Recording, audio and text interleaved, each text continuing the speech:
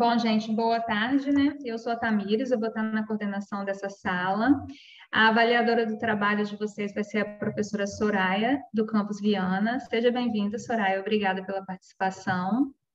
Boa tarde é... a todos, obrigada, Tamires. De nada. Então, eu acho que vocês já estão conscientes da regra. Quem está apresentando é a câmera e o áudio ligado, e os demais podem ficar com a câmera e o áudio desligado. É, o aluno vai ter oito minutos para estar tá apresentando. Eu vou tentar sinalizar para não passar esse tempo. É, faltando um minuto de apresentação, eu vou aparecer aqui e falo rapidinho, falta um minuto, só para vocês finalizarem. E a Soraya ela vai ter cinco minutos para estar tá realizando as perguntas. Alguma dúvida? Acho que não, né? Então, eu vou estar tá iniciando aqui com a Mariana. Pode botar a apresentação, Mariana.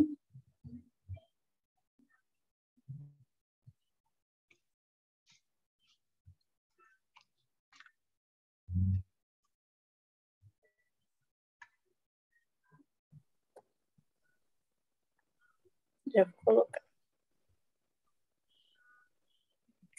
É...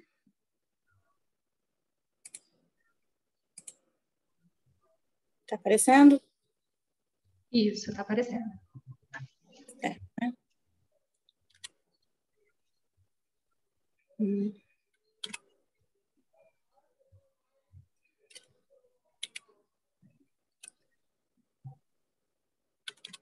É agora. Não está querendo abrir. Tá. Agora foi. Já Oi, posso né? começar? Pode, quando você começar aqui, eu vou, eu vou cronometrar. Pode começar. Tá. É, boa tarde, gente. O meu nome é Mariana, eu sou aluna do professor Mauro, fui orientada por ele. E o nosso tema do nosso projeto é a implantação do controle de qualidade para o empreendimento de química verde. É, o controle de qualidade ele pode ser classificado como um conjunto de medidas com o objetivo de gerar informações necessárias necessárias para tomada de decisões, é, no decorrer de desenvolvimento de atividades. É, a principal função do controle de qualidade é de gerar as informações necessárias a fim de resguardar e a segurança e a melhor produtividade de todo e qualquer setor onde as decisões serão tomadas. É, a composição de produtos conhecidos como domissários ou saneantes, elas podem... A gente, minha câmera saiu, desculpa.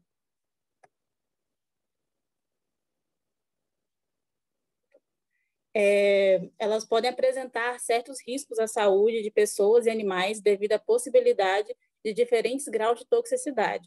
E, então, por isso, a relação entre o controle de qualidade e o processo de fabricação, elas estão fortemente ligadas, pois avaliar os parâmetros é, obtidos através de análises físico-químicas é imprescindível para controlar a qualidade de saneantes, atuando como auxiliador no fornecimento de produtos mais eficazes e sem riscos à saúde. É, dos objetivos, os principais foram é, elaborar, experimentar e organizar os protocolos de metodologias analíticas do controle de qualidade, contribuir para a fiscalização do uso sistemático de, tanto de EPIs quanto de EPCs, é, do novo empreendimento intitulado Verde Vida, Indústria e Comércio de Saneantes Limitada, e colaborar para a organização do registro da empresa e do produto da fábrica na Anvisa. É, dos materiais e métodos, as metodologias físico-químicas elas seguiram todos os protocolos, seguindo as boas práticas de fabricação para produtos saneantes, que está presente na regulamentação da Anvisa de 2013, é, visando estabelecer o controle de qualidade necessário para a produção de sabão. É, as análises que foram feitas foram o pH, a alcalinidade livre e alguns testes qualitativos, como teste de formato de validade e teste de formação de rachaduras. Outros métodos aplicados foram as pesagens e medições das barras e o monitoramento do uso indispensável de API. É, e também foram feitas é, regularização da fábrica para o registro e notificação, como eu falei nos objetivos, de saneantes do Brasil, né, que elas são é, adotadas pela Anvisa.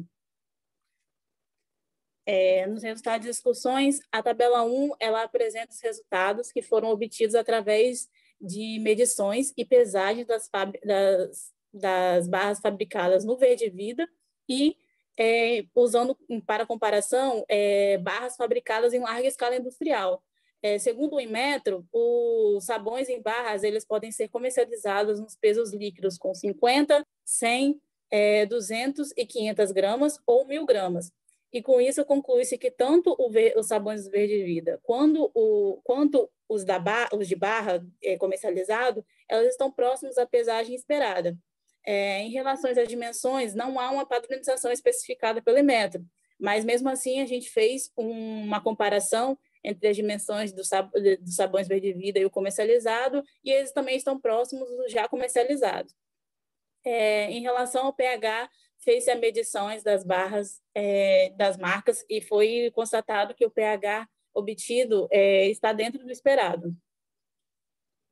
É, no, mês de, no, mês de, julho desse ano, é, houve a liberação dos acessos laboratórios do IFES, é, seguindo todos os protocolos de higienização e distanciamento social, é, e com isso foi possível a realização de alguns testes, como o pH e o alcalinidade livre, e os resultados estão presentes na tabela 2. É, no pH, as medidas foram feitas em sabões de 2020 e 2021, e também foi constatado que os valores estão dentro do esperado, pois a legislação ela diz, a legislação não, a regulamentação ela diz que os valores são maior do que 2 e menor do que 11,5, e elas garantem a segurança para garantir a segurança desses produtos. É, na condições de uso, que são propostas para domicílios de risco 1. É, quanto à alcalinidade livre, os valores também estão dentro do esperado, é, que diz que são permitidas para comercialização é, é, produtos que sabões que têm alcalinidade livre máxima de 1%, peso por peso. Em relação aos EPIs e EPCs, a imagem 1 ela traz, né, todos os EP, alguns EPIs e EPCs utilizados na fábrica, é, eles, eles são considerados elementos de contenção ou barreiras primárias, e elas podem reduzir a eliminação ou eliminar a exposição individual, sendo de, determinado por norma, normas técnicas do Ministério do Trabalho, também conhecidas como NR6, que está responsável pela área de trabalho, para aqueles que estão responsáveis pela área de trabalho e manuseio dos reagentes. É, além do uso de EPI, a fábrica ela já utiliza exaustor e chão antiderrapante e outros EPIs que não estão é, mostrados na imagem, como a como o óculos de segurança de lentes para lentes resistentes a impacto, jaleco e calça. E a crescente utilização de saneantes, ela traz ela traz consigo uma maior responsabilidade em regularização, é, onde a Anvisa é responsável pela, pela aprovação e a fiscalização desses produtos, a fim de garantir uma maior qualidade e segurança, tanto para quem faz quanto para quem compra. E ele é necessário, né, segundo a legislação, a, e é necessário a notificação desses produtos.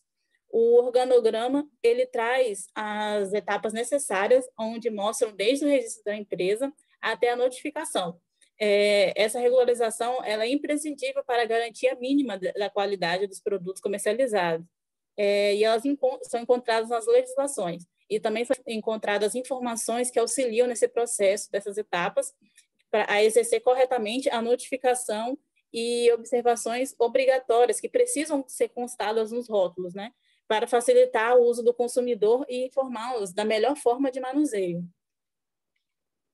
É, então, com o presente, presente de trabalho, foi possível aplicar e compreender as utilizações do controle de qualidade nesse novo empreendimento que está sendo desenvolvido em Vila Velha, é, onde o método ele pode auxiliar e favorecer os métodos eles podem auxiliar e favorecer o aprimoramento do controle de qualidade do sabão produzido, a fim de contribuir da melhor forma para a avaliação do produto final.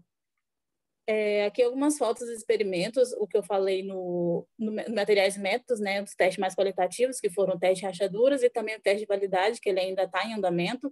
E aqui as medições também das barras, exemplificando como foram feitas.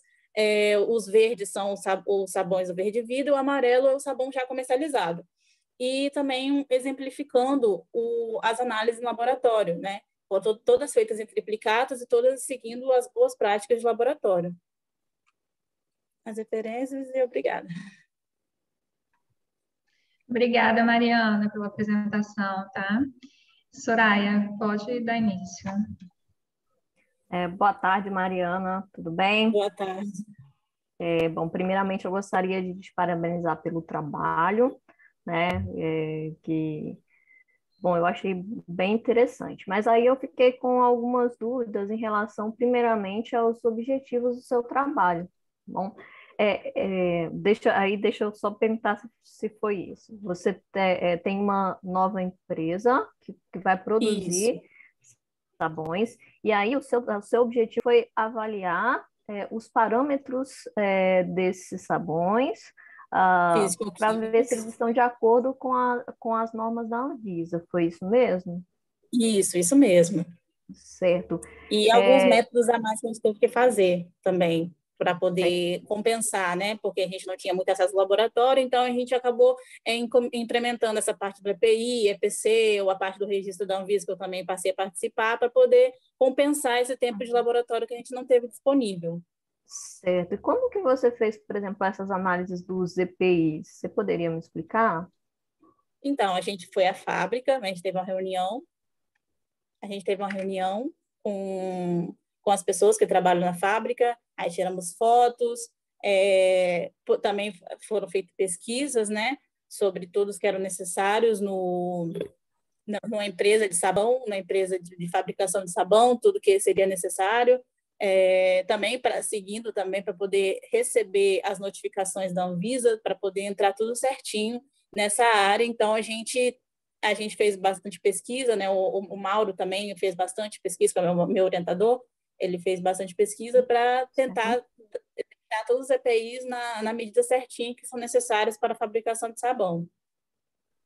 Certo. É, esses testes que precisam ser feitos né, para o controle de qualidade, precisa ter algum laboratório certificado ou não? Você sabe é, essa informação? Então, como a gente está fazendo mais uma pesquisa, a gente utilizou mesmo o laboratório do IFES, né? O laboratório que a gente uhum. tem lá no campus, é, ele é um laboratório mais para estudantes mesmo, então a gente conseguiu ter um controle, porque não é uma fábrica assim é, em larga escala, né? Ela é uma fábrica mais comunitária, ela, ela, vem, ela vem de um instituto comunitário, né? uma ONG, ela vem de uma ONG, é, essa fábrica. Então, a gente, a gente tem deu para ter um controle de fazer todo o controle de qualidade, né? O máximo que a gente conseguiu, que foram só apenas dois testes, mas agora está entrando em desenvolvimento outros também para o próximo ano. E uhum. para a gente conseguir ter esse controle e ai minha câmera. E e assim como a, a gente está fazendo em um, um, laboratório de pesquisa a gente consegue controlar e, e fazer tudo certinho por lá sem precisar de e porque todos os equipamentos também que são necessários são equipamentos básicos mesmo no laboratório de química. Então a gente consegue fazer tudo por lá mesmo Certo, mas aí você, essa empresa ela pretende ter o, o aval da Anvisa para funcionamento Sim, ou ela já porque... tem?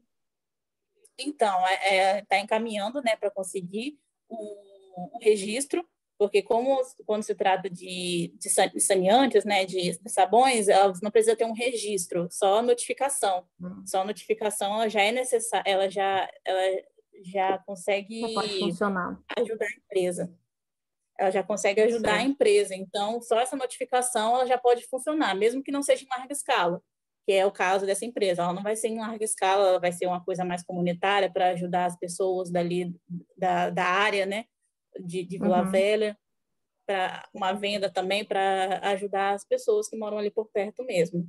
Certo, então é uma, é uma fábrica de pequeno porte, né? Isso, isso. Não, tá bom.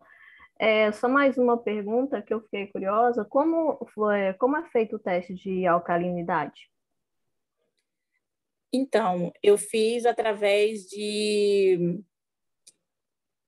de, de todos foi feito, foi feito por titulação, né? A gente fazia tudo em triplicatas, a gente pegava uma amostra, uma pequena amostra, é, uhum. botava para aquecer, né? Aquela amostra para poder ela diluir e a partir dali a gente fazia uma, uma, uma neutralização ácido-base para encontrar um, através da, da titulação, né, do, dos valores consumidos, a gente conseguia fazer através de uma fórmula uma fórmula já pré-estabelecida, a gente jogava nessa fórmula pré-estabelecida para poder encontrar o valor de alcalinidade livre que poderia estar presente naquele, naquele sabão, na barra de sabão. Certo. Qual era o, o, o indicador que vocês usavam? Indicador então, estudado na titulação? O indicador é o, a fenolftaleína. Fenolftaleína, né? Tá bom, então, Mariana. Uh, muito obrigada. Eu não tenho mais nenhuma pergunta para você. Bom, obrigada. Parabéns mais uma vez pelo trabalho. Obrigada. Parabéns, Mariana. Aí você pode encerrar a sua apresentação, quando você quiser. Obrigada, tá? Nada, Agora, obrigada. O Rodolfo, você está pronto para apresentar? Oi, estou sim. Boa tarde. Oh, boa Vamos tarde. Compartilhar aqui. Na hora que você estiver pronto. Uhum. Vou compartilhar aqui o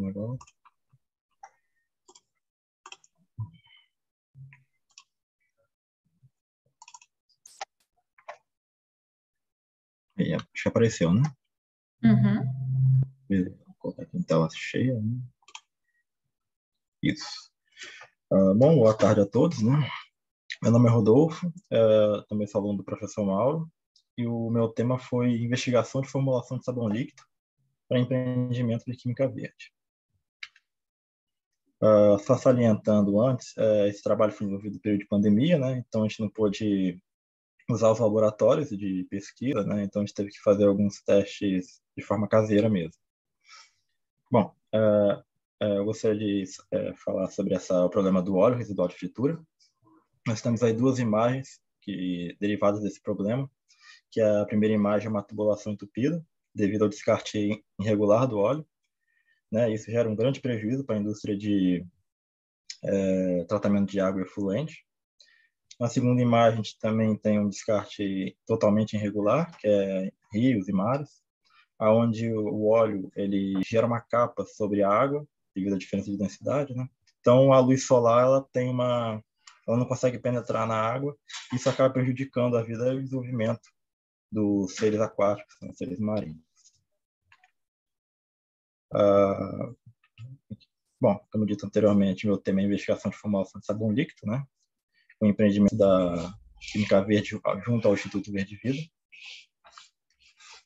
Bom, durante esse projeto foi desenvolvido em torno de nove formulações e uh, a diferença básica das formulações foi a questão da salmoura mesmo, a quantidade de salmoura.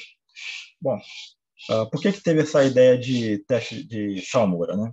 Uh, o subproduto desenvolvido da reação é o, a glicerina. Ela não tem um aspecto visualmente muito interessante para o sabão, ele deixa um pouco mais viscoso, né? Então, é, resolveu-se então aplicar a técnica de salmoura para remover essa, esse subproduto. E, bom, como está destacado na imagem, a formulação que deram mais certo foi a formulação 6 e 9. Né? Aqui. Foi realizado também um teste de uh, teste de limpeza, de forma bem caseira, como podemos ver. A gente pegou uma bandeja, uh, uma balança de cozinha comum, uh, colocamos a linguiça, colocamos no forno, deixamos ela assar, depois pegou a bandeja com a gordura, ela pesamos ela, e então adicionamos o sabão, lembrando que foi feito dois testes, né, para a formulação 6 e 9, né, foi feito duas vezes o teste. E aí passou a bucha levemente para remoção da gordura, depois pesou a bandeja vazia. Depois anotou as massas e realizou esses cálculos de porcentagem de limpeza de cada sabão. Bom, uh, aqui, como eu disse, foram duas formulações que tiveram sucesso. Nós temos na figura 3 sabão à base de NOH e o da figura é, B à base de KOH. Aparentemente são muito parecidos, porém eles têm uma textura um pouco diferente um do outro. Eles têm um cheiro, um odor, né, uma consistência diferente, sensação na pele também. E na figura 2 foi uma figura tirada do teste de Samora, né, no, no funil, onde nós temos ali a parte amarelada, o óleo, o perdão, o sabão. Na parte aquosa transparente seria supostamente a glicerina mais água e possivelmente é um excesso de soda. E na parte branca seria o o sal com a água mesmo, que é a, a salmoura né, de fato. Bom, aqui a gente tem o resultado de discussão o, em relação ao, ao, ao, resultado do teste de limpeza, expresso em porcentagem. Uh, para o GNOH, nós obtivemos 98,3%, o KOH 98%, o sabão da fábrica 98,2%, e um detergente comercial uh, acima de 98%.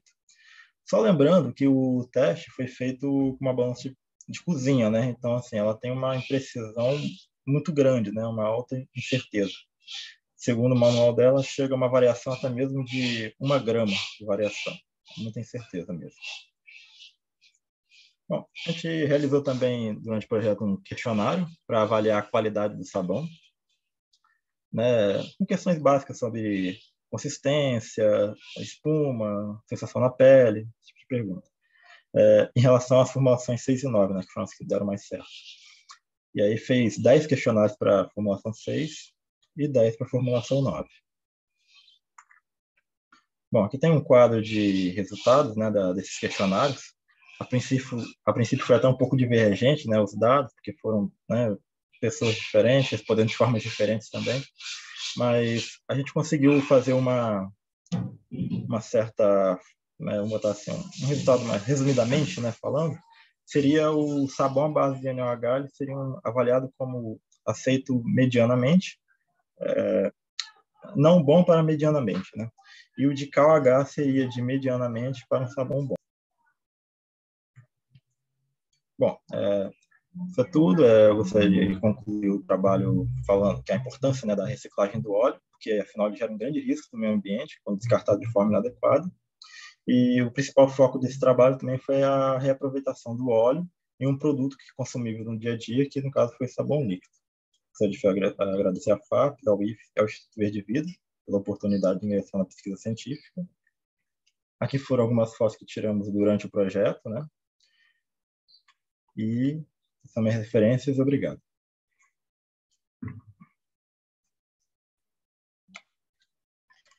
Obrigada, Rodolfo, pela apresentação. Parabéns pelo trabalho.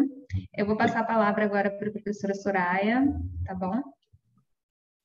Boa tarde, Rodolfo. É, primeiro, eu gostaria de te parabenizar pelo trabalho, né? Eu acho que o seu trabalho, o trabalho da Mariana, são, foram feitos, uh, foram do mesmo projeto, certo? Ou eu estou enganada? Isso mesmo, a gente fez junto, mesmo instituto. Ah, sim, mesmo, né, mesmo, mesmo projeto com planos de trabalhos diferentes, né? É, Rodolfo, eu fiquei com uma dúvida. Se você puder voltar no seu slide lá das, das formulações do sabão, né? Nas formulações que você fez. Isso. Se puder voltar no slide para mim. Aqui. Aqui, certo? É, aí, olha só, é, você, você falou que a formulação 6 e a 9, elas foram as, as que é, deram mais certo. É, por como você chegou a essa conclusão que elas deram mais certo? Então. O que você analisou, assim, foi cheiro, foi ah, é, aspecto físico? Então, é porque o teste ele foi realizado muito de forma assim, caseira mesmo. Então, assim, a gente meio que fomos, foi experimentalmente, assim, tanto que cada um delas, de formulação, tem a diferença na quantidade de salmoura. Então, assim, uhum. a gente testou pouca salmoura, muita salmoura, né? Então ficou aquela coisa muito experimental, um pouco a olho nu até. E aí quando a gente viu que chegou num valor de 240, né, que é gramas por de sal em 240 ml de água, a gente viu que, poxa, não está tão em excesso, mas também não está faltando. Acho que ficou numa qualidade tão boa, porque o excesso também não é interessante. E o uhum. pouco, a gente não consegue remover tanto a glicerina assim. Né? Certo. Então, esse aqui foi a, a condição de 6, foi o que você acabou, que você viu que você conseguia remover glicerina em maior quantidade, é isso, visualmente falando. exatamente. Certo. E a 9, foi a mesma coisa? Ou que mesma, mesma lógica. Porque é, essa questão, a tabela 1, ela mostra a questão do sabão à base de NOH, né? Uhum. Já a tabela 2 é a base de KOH, a gente mudou a base, né? A gente fez dois sabões com bases uhum. diferentes, né? Aí na tabela 2 foi a mesma lógica, seguindo a questão da salmoura. Certo, aí eu, eu, percebi aqui também que em dois experimentos, né, um dos da, com KOH e outro com NaOH, você usou o carbonato de sódio. É, e... e... teve alguma diferença, assim, que você então, viu é, quando você antes... adicionou essa substância? Então, quando a gente adicionou o carbonato de cálcio, de, de sódio ou de potássio, é, foi mais para teste mesmo, porque a gente não, não, não, teve uma diferença. Assim, na prática mesmo, a gente não sentiu essa diferença. Por isso que a gente só fez uma vez e a gente uhum. meio que descartou. Mas a gente botou porque como a gente fez, né? Então a gente colocou, né? Uhum. Entendi. É, bom, e aí, só uma pergunta: você fez aqueles testes lá, depois, quando você fala que você fez testes de limpeza, porque eu entendi a diferença de massa do. A, a diferença de massa do seu uh, tabuleiro limpo e ele sujo, é isso? Exatamente. A gente se baseou em um artigo, né, já é, se não me engano, da, um artigo sobre sabão também, né, sobre da, da Carvalho, enfim. E esse, esse artigo, ele tinha uma fórmula que a moça, ela utilizava um, essa questão da diferença da massa da sujeira do recipiente, né, no uhum. caso, usava leite integral na época, né, então ela pegava um beck, colocava o leite tal, secava ele, gerava uma massa, e essa massa seria meio que a gordura, a sujeira em si.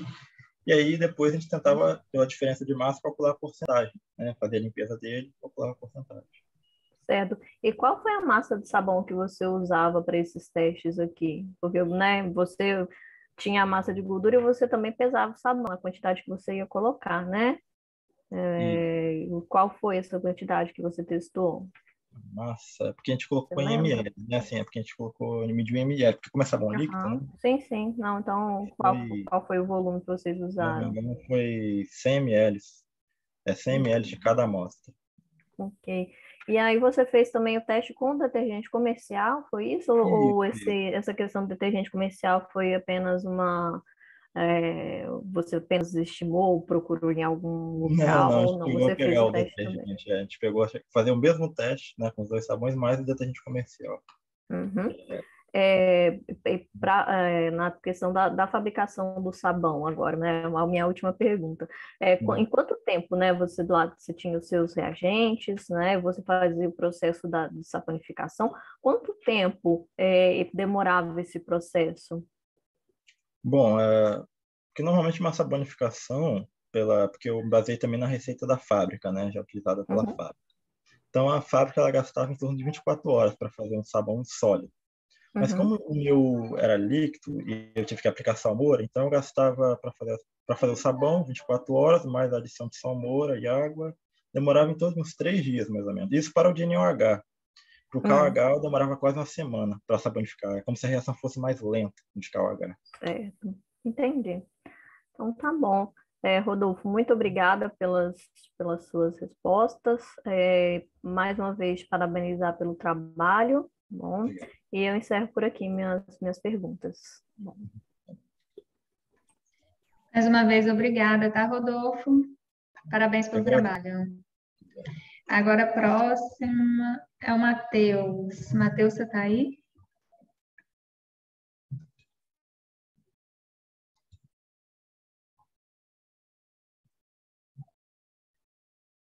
Matheus?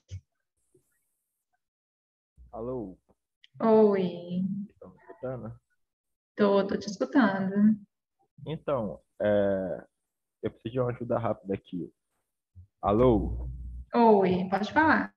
Aqui, eu tô com um problema porque o meu computador ele não tem câmera. Uhum. Entendeu? Sim, e sim. aí. Só um minuto aqui. E aí, no caso, precisaria de uma câmera para apresentar, né? Não, no caso que você não tem, tranquilo. Você consegue botar sua apresentação? Consigo. Aí você deixa o áudio ligado. Só um instante aqui. Sim.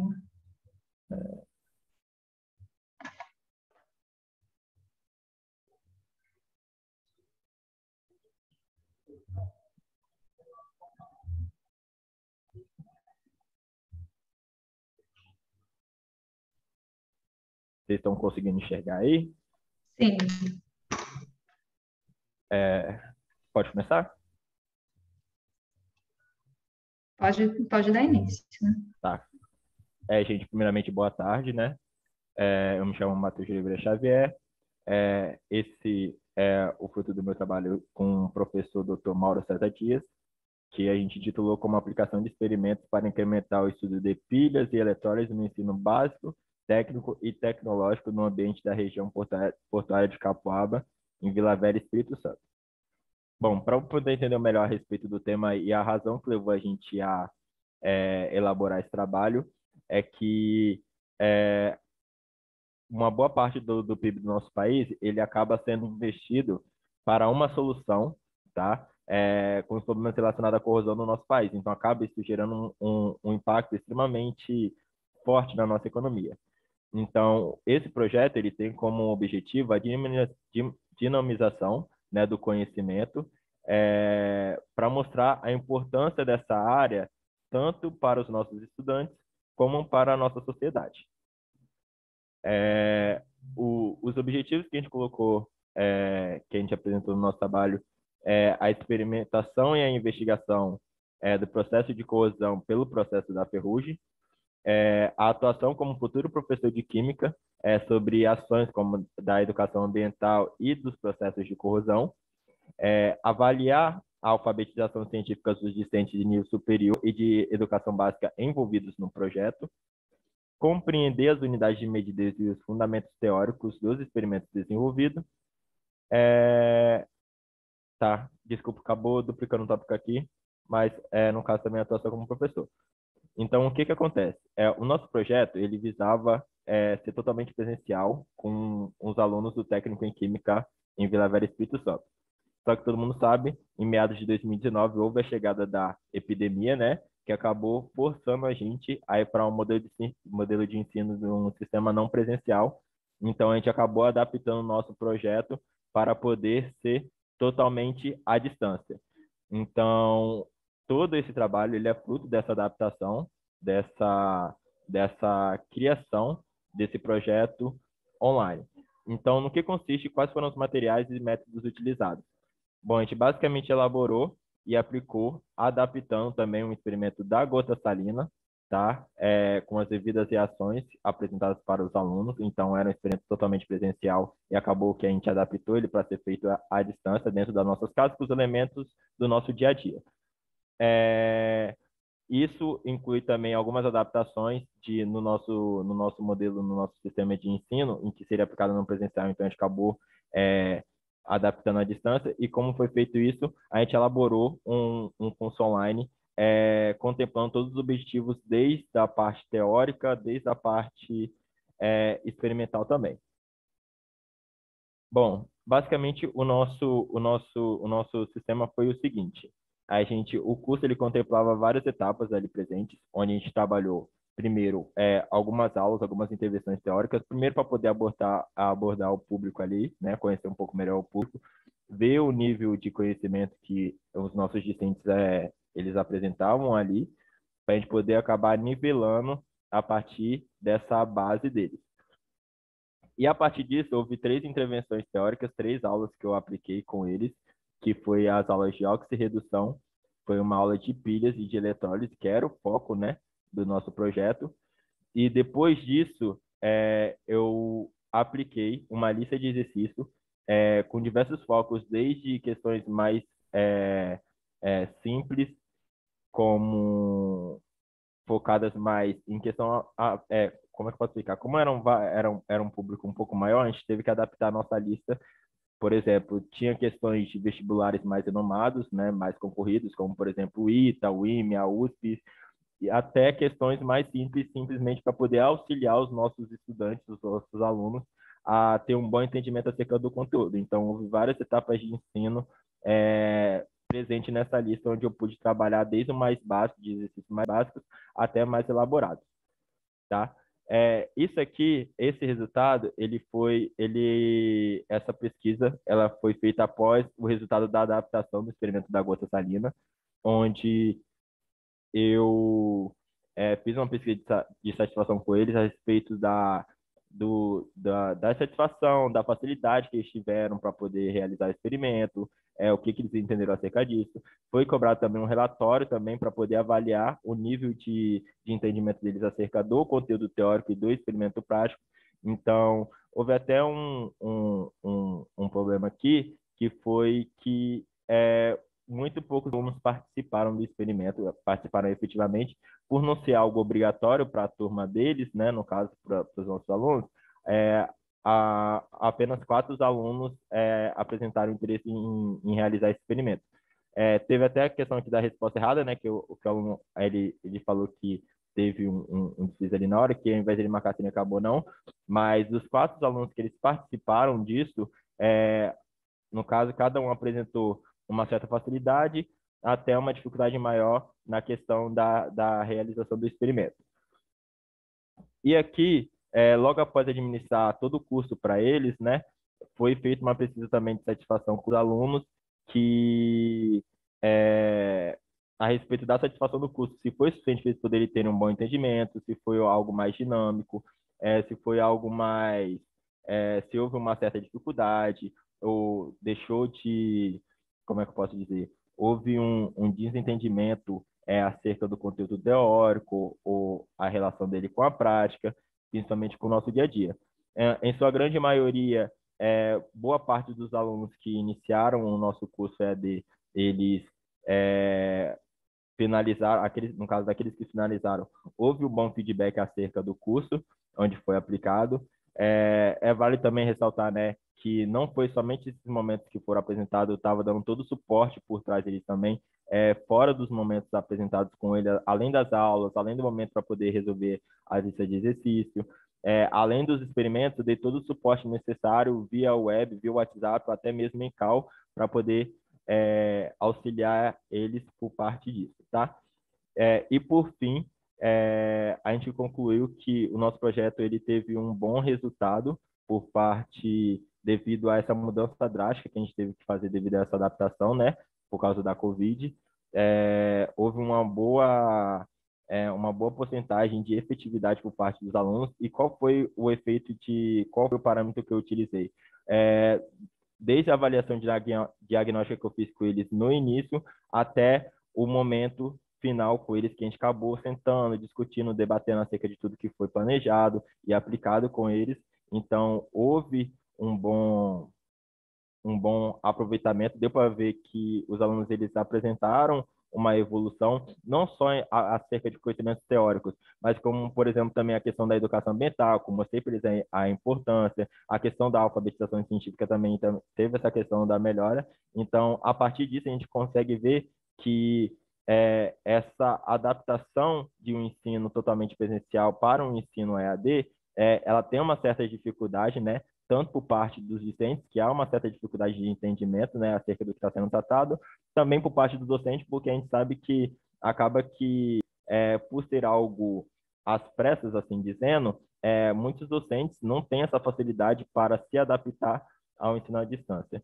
É, como agradecimento, eu gostaria de agradecer ao IFES, obviamente, pela bolsa concedida, que acabou auxiliando, dando o suporte necessário para toda a execução desse projeto, e também por me dar essa oportunidade é, de entrar nesse, nessa, nesse ramo da pesquisa científica. Aqui são as fotos do experimento, onde eu elaborei um convite para eles, né? É... Matheus, licença. É, já passou 40 segundos, tá? Já estamos indo ah, para quase nove minutos. Se você puder finalizar. Posso sim. É, basicamente, essas são as imagens aqui que eu apresentei da, do convite que foi feito para eles, da lista de experimento, da lista a, da questão das intervenções teóricas. Bom, e é isso. Obrigada, Matheus, pela apresentação, tá? Vou dar a palavra agora para a professora Soraya. Boa tarde, Matheus. É, primeiramente, eu queria te parabenizar pelo né, desenvolvimento desse trabalho, né, por você ter, é, no meio da, né, da pandemia, você ter conseguido uh, né, mudar o foco né, do seu trabalho que seria desenvolvido presencialmente para um, né, um trabalho é, né, para os alunos em forma de, de EAD. Então, foi bem, é, você se virou bem aí no meio, dentro dessa, desse, desse contexto da pandemia. É, aí, Matheus, eu fiquei com algumas dúvidas, né, durante o momento que eu, eu, li, eu li seu resumo e também aqui, no, aqui na sua apresentação, porque é, eu é, senti falta de, do que? É, esses alunos, quantos alunos participaram desse projeto? Você tem esse levantamento? Quantos alunos participaram do projeto? Qual era a idade desses alunos? Você pode é, falar? Posso. É, eu sei que ficou um pouco confuso, né? Até porque é, é, é, é muita coisa para pouco tempo para poder explicar, então acaba que eu, eu percebi que deixei algumas coisas não. Bom, basicamente foi o seguinte, vou resumir. O nosso primeiro público-alvo, obviamente, era o pessoal do IFES Campus Vila Velha, né? Que era o foco da nossa pesquisa presencialmente falando. Então, quando uhum. eu fui adaptar isso para o ensino à distância, né? Houve algumas complicações em que sentido? É, a gente não conseguiu entrar em contato com todos os alunos que a gente iria aplicar, né? Então, acabou que ficou um pouco pingado. Em que sentido? Eu tinha alguns contatos de alguns alunos do técnico em química, né? E eu fiz o convite e levei o convite para eles, é, pedir para esses alunos eles fazerem um convite para as suas respectivas turmas. Então, houve aproximadamente quatro, cinco alunos do IFES, tá? É, que participaram efetivamente do projeto. Então, devido a essa baixa demanda, o que, que aconteceu? A gente teve a ideia de expandir esse curso para é, um público aberto, com diversos interesses.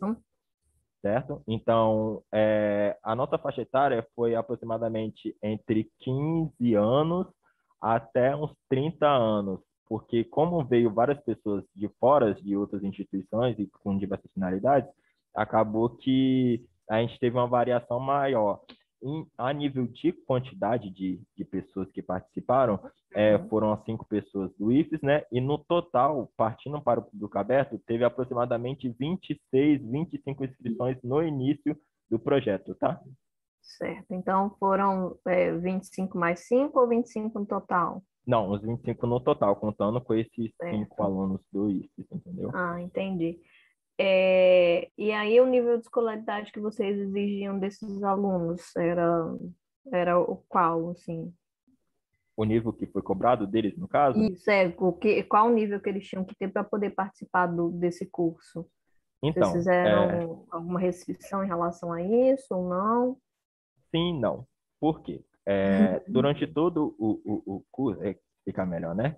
É, durante é, a elaboração do curso, devido a essa adaptação para um público aberto, né? A gente, não, perdão, né? Eu e o professor, a gente tinha que é, avaliar, mesmo sendo é, qualitativamente, o nível de conhecimento que eles tinham acerca do conteúdo. Por que disso? Foi, é, é, além de ser uma, uma matéria, né, um tema um pouco complicado de se tratar, principalmente na EAD, a gente tinha que saber o quanto que eles sabiam. O nível de requerimento era, antes, era um pouco mais elevado devido a se tratar o técnico em química. Só que, por abrir ao público, né, teve uma diminuição, onde eu tratei alguns aspectos básicos bem lá na base mesmo do conteúdo, entendeu? Para poder é, dar o suporte necessário para eles em relação a isso, para a gente ir progredindo cada vez mais e, e é, nessa questão do nível de complexidade. Certo. Então, assim, no final, o curso ele acabou não tendo restrição porque você uh, começou do lado do básico, né? Voltou. Exatamente. Certo. É, mais uma pergunta. É, aqueles alunos que responderam o questionário, o questionário, desculpa, que você fez após a, né, porque eles tinham que fazer experimentos no final, né? Eu vi lá o sexto, acho que o sexto item era fazer experimentos, né? Foram só quatro alunos que fizeram mesmo ou só quatro alunos responderam? Você tem esse levantamento ou não, assim, você não sabe? Você fala referente ao experimento da gota, né? Isso, porque você pediu para fazer experimento em casa, certo? Isso, isso, exatamente. E, e aí, é, você falou aquele, aquele gráfico né, que você mostrou, foram de quatro alunos respondendo o questionário. Esse questionário era sobre esse experimento, certo? Isso. É, é, que até que eu falei que teve o erro do aluno que respondeu que não participou, né? Mas ele acabou, uhum. ele acabou justificando. Certo. É, foram só esses quatro alunos que apresentavam interesse, uhum. porque não era um componente obrigatório do curso, entendeu? era uhum. algo mais como um extra para eles, eles poderem relacionar né, todo o conteúdo que foi ensinado, eles verem na parte como é que funciona, ver que a gente uhum. consegue ter essa adaptação do experimento para fazer dentro de casa, entendeu? Então tá bom, Matheus. É, muito obrigado pela, né, pela, pelas suas respostas e eu gostaria de te parabenizar mais uma vez pelo trabalho, tá bom? encerro por aqui minhas perguntas. Obrigado. Obrigada, Soraya. Obrigada, Matheus, pela apresentação, tá? Parabéns. Eu vou pedir para você retirar a sua apresentação. Agora, a Maria Eduarda, tá aí?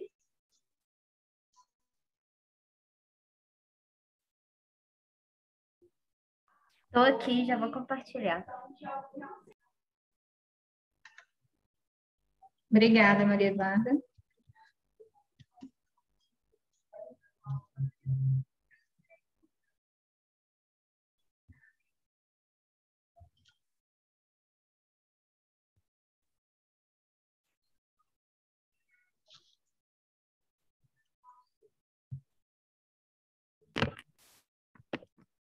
Pode começar?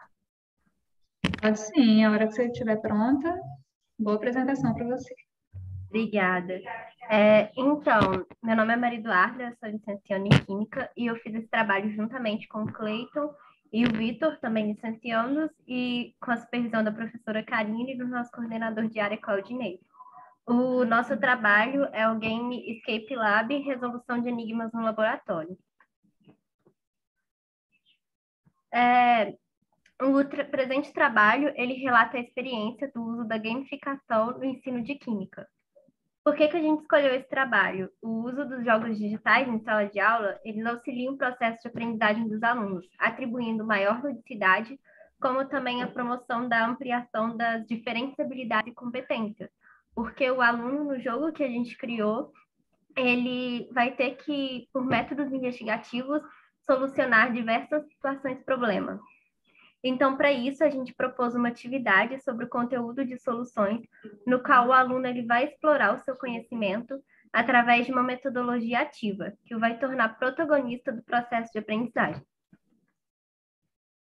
Os objetivos do nosso trabalho foi tornar o conteúdo de soluções mais lúdico e interessante ao aluno, visando uma abordagem diferenciada, e também explorar o conhecimento aplicando a metodologia ativa, que, como já explicado anteriormente, é, coloca o aluno como protagonista do processo de ensino-aprendizagem. É, essa nossa atividade foi realizada nas turmas da segunda série do ensino médio da Escola Francerina Carneiro Setúbal, localizada aqui na cidade de Vila Velha, do Espírito Santo. O jogo ele foi desenvolvido no software Geniali, integrado à plataforma Google Forms.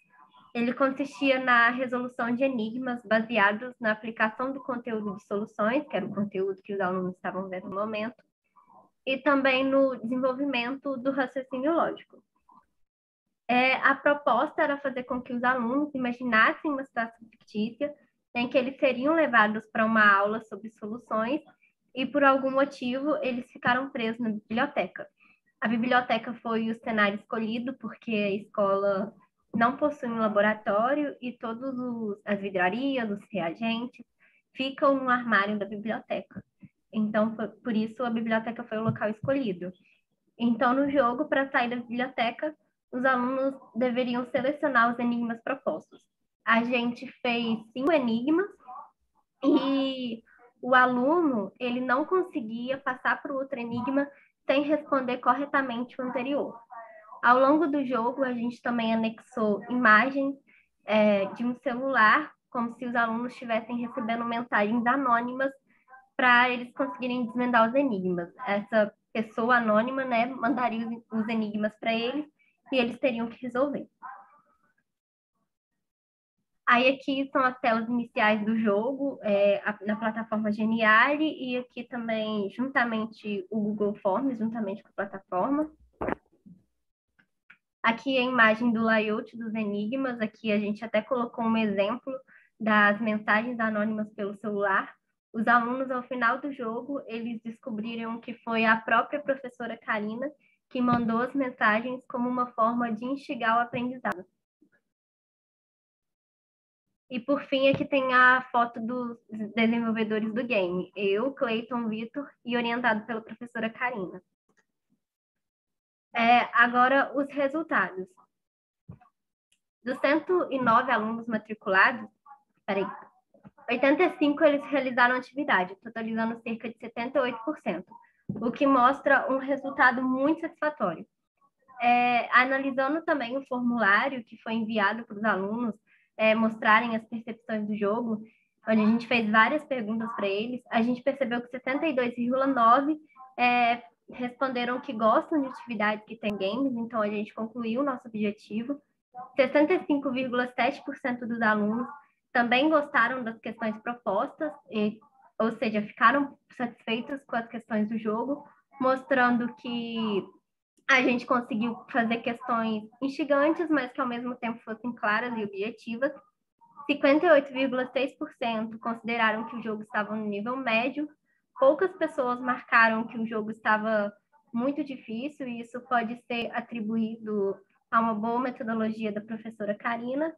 E poucas também marcaram que estava fácil, muito fácil, justamente porque o jogo ele explora diversas habilidades e competências dos alunos.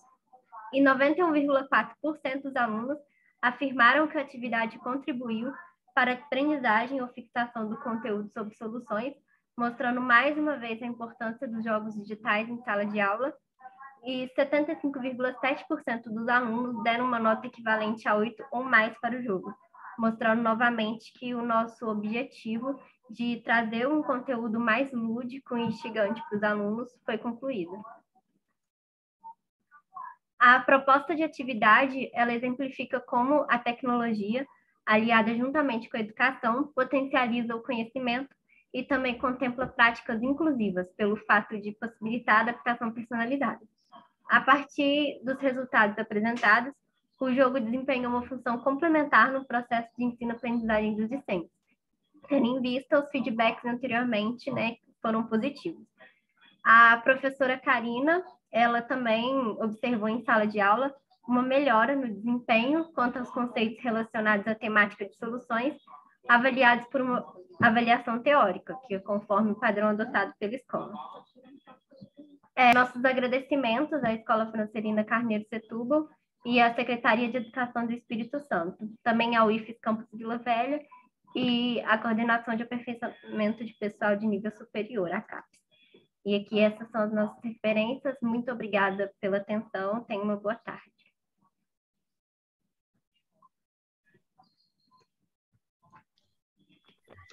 Eu agradeço a Maria Eduarda e vou passar a palavra agora para a professora Soraya. Boa tarde, Maria Eduarda. É, primeiro, te parabenizar né, você, o Vitor e o Cleiton pelo trabalho que vocês desenvolveram. É, e aí, durante, durante o trabalho, eu fiquei com uh, algumas dúvidas, assim. É, é, quando vocês, é, vocês fizeram a proposta de desenvolver o jogo, né, então vocês mesmos desenvolveram esse jogo, certo? Pelo que eu entendi, Isso. vocês mesmos desenvolveram esse jogo. É, quando vocês foram aplicar esse jogo na sala de aula, é, para quantos alunos esse jogo, você, vocês aplicaram esse jogo? Era, então, foi uma então. turma só? Como foi? É, o jogo, a gente ainda estava em período remoto, né? Então, a professora Karina, ela colocou no, no Google Classroom, e aí todas as quatro turmas do segundo ano do ensino médio realizaram o jogo, que dá um total de 109 alunos, mas apenas 82, 85 participaram. Licença, Maria Eduarda, se você puder abrir a câmera, que você tem, ah, né? Claro. A recomendação é ficar aberta. Obrigada, tá? É, Maria Eduarda, é, é, eu lembrei aí que você colocou esse valor no, nos slides. É, e assim, vocês aplicaram, foi no dentro do, da, da, plataforma Google Classroom, né, que você que você falou. É. é quanto tempo que eles tinham para fazer esse, esse resolver esse enigma? É, foi, tinha um tempo específico, ou eles podiam ficar o dia inteiro? Como que foi? Foi durante o período de, de, de aula de, da aula de química? Então, a professora Karina é, disponibilizou o jogo por alguns dias, eu não lembro ao certo quantos dias foram, mas ela avisou para os alunos qual era o prazo e depois nós fechamos o formulário. Certo, então não foi um, um, período assim de uma hora e quarenta, que seria o período de não, duas aulas. foram vários um dias. Maior. Mais de uma semana. Mais de uma semana, certo. É, e aí o questionário foi aplicado quanto tempo depois assim da finalização? Porque vocês fizeram um questionário para né, para vocês terem lá aqueles percentuais no final, vocês aplicaram o questionário. Quanto tempo depois assim que finalizou esse, esse esses jogos, vocês aplicaram esse questionário? é, assim que o jogo foi fechado, né, assim que eles não puderam mais realizar a atividade, é, a professora Karina ela também já disponibilizou o formulário para os alunos. Então, foi assim que a atividade acabou. Certo, e todos os, todos os alunos responderam o questionário? Você Não, foram só, foram só 70 respostas no formulário. Uhum, de, de 85, de 85, né? é. Certo, não, tá. Aí eu fiquei, eu fiquei curiosa em, em ver pelo menos um dos enigmas aí na, na apresentação. Queria ter visto um, pelo menos, para ver como que era a carinha do, do jogo de vocês, né? Porque eu fiquei curiosa como que foi, né? Uh, o que, que eles tinham que responder, né? Então, só uma coisa que eu gostaria de, de, de ter visto, tá bom? Tá bom. É, mas é, gostaria mais uma vez de parabenizar vocês pelo trabalho e eu encerro aqui as minhas Sim. perguntas, tá bom? Obrigada. Obrigada, parabéns, Maria Eduarda, pelo trabalho, tá? Obrigada. É, a próxima a apresentar é a Adna, mas eu acho que é a Stephanie que vai apresentar, né?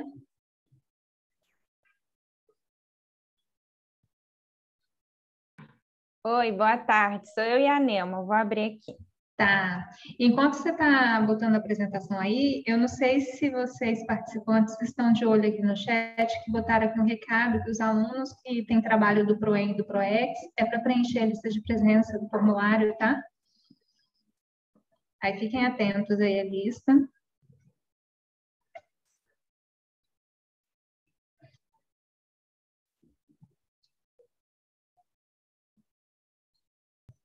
A hora Só um que minutinho, que eu não, é porque eu não estou achando onde abrir a câmera.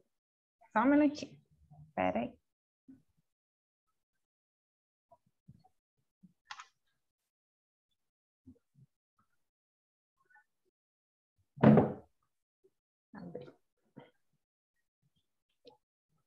Pode dar início. Pode dar início. Olá, boa Pode. tarde a todos. Meu nome é Stephanie, eu sou aluna do curso de licenciatura em Química do campus da Aracruz. É, o nosso projeto, é, a gente trabalhou a preparação de lista de exercícios. Devido à pandemia, a gente ainda não, não voltou para a escola, né? Porque a escola também estava funcionando de forma remota, e quando a escola retornou, a gente ainda não estava vacinado, inclusive eu ainda não tomei a segunda dose. E devido não ter as duas doses, então a gente não conseguiu ir para a escola ainda. É, o meu grupo sou eu, a Neuma e a Adna, e a nossa preceptora é a Gisele. É, a gente trabalhou com a preparação de listas de exercícios, e essas listas de exercícios, elas foram preparadas de acordo com o modelo de APNPs, né, que são as atividades pedagógicas não presenciais, e foram abordados os assuntos do segundo e do terceiro trimestre de Química, né? Algum, aí eu coloquei aqui alguns dos assuntos que foram as transformações da matéria, química no cotidiano, ligações químicas, que aí são a iônica, covalente, metálica, propriedade das substâncias iônicas, moleculares metálicas, número de oxidação, reconhecimento das funções inorgânicas, nomenclatura e características das funções inorgânicas, óxidos, poluição, pigmentos, etnias, agricultura, calagem do solo, do terceiro trimestre foram exercícios com o conteúdo de caráter ácido e base das, substâncias, com escala de pH, poluição atmosférica, chuva ácida, reações de neutralização e formação dos sais, leis ponderais, balanceamento de equações, reações químicas e reações de combustão. Vai seguir, Nelma?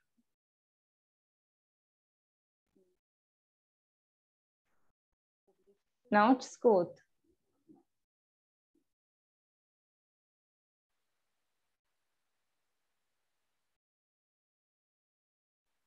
Eu vou seguir porque acho que ela não está conseguindo abrir o microfone dela. Aí, os objetivos de intervenção foi a aplicação do conteúdo estudado em forma de exercício, e identificar eventuais dificuldades em associar o conteúdo estudado com o exercício proposto. A gente tinha essa identificação através do que a professora passava para a gente nas reuniões, porque a gente preparava, por exemplo, o plano de aula e o exercício, quem aplicava era ela. A gente não teve nenhum contato com os alunos, então tudo que a gente tem é o que a professora passava para a gente. Como referencial teórico, a gente usou Freire e Tardif, Aí a gente citou aqui Freire: ensinar não é transferir conhecimento, mas criar as possibilidades para sua produção ou a sua construção. E Tardif, o professor não é apenas alguém que aplica o conhecimento que aprendeu, é um sujeito que assume suas práticas baseadas no, no significado que ele mesmo dá. O desenvolvimento. Os exercícios propostos, eles foram elaborados através de pesquisas em livros didáticos e em sites que têm um, conteúdo com fontes confiáveis. Aí tem alguns que a gente usou, Manual da, da Química, Educa Mais Brasil, Escola. Como a gente avaliou se o conteúdo era confiável? A gente tinha os livros didáticos, né, alguns que a gente tinha acesso, e ia comparando, né, se realmente aquele conteúdo ele era verídico ou não, se tinha algum erro. Aí os que a gente viu que dava para ser utilizado, a gente utilizou. Resultados e discussões. Cada aluno tem dúvidas e dificuldades diferentes na hora que estão resolvendo as atividades, surgem novas perguntas sobre o conteúdo, tais com uma visão diferente de quando estavam vendo pela primeira vez. Então, através dessa prática, o aluno vai construindo conhecimento. Então, assim, é ministrada a aula e ele pensa assim que entendeu. Aí na hora que ele vai fazer o exercício, que ele percebe a dificuldade. Aí de acordo que ele vai fazendo o exercício e percebe essa dificuldade, então vai sendo explicado novamente a, é, a matéria para tentar sanar essa dúvida. A conclusão é que a aplicação de exercício após explicação é um método utilizado há muito tempo e através dele podemos identificar eventuais dúvidas do aluno e sanar essas dúvidas.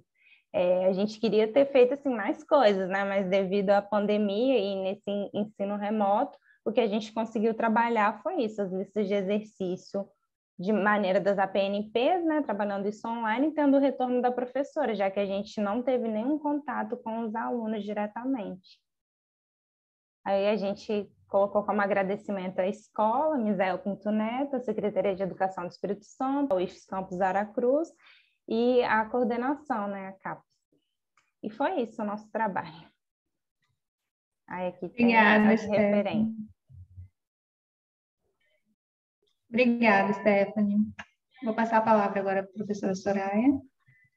Boa tarde, Stephanie. Boa Gostaria tarde. de parabenizar parabenizar né, você, a Adna e a Nelma pelo desenvolvimento do trabalho. É, e assim, eu fiquei com algumas dúvidas, né? Eu vi que vocês, né, pelos conteúdos, foi, foram turmas de primeiro ano do ensino médio, Sim. né? É, quantas turmas que vocês aplicaram? Isso foi uma turma só? Na, na verdade, você falou que fora, foi a professora que aplicou, né? Mas foram Sim, quantas turmas? Sim, então, a professora, ela dá aula para todas as turmas do primeiro ano da escola, né? Uhum, Então, a gente preparava e ela aplicava em todas as turmas. certo. São, você sabe quantas são? Duas, três, quatro, Não sei dizer Não, a né? quantidade, não. certo.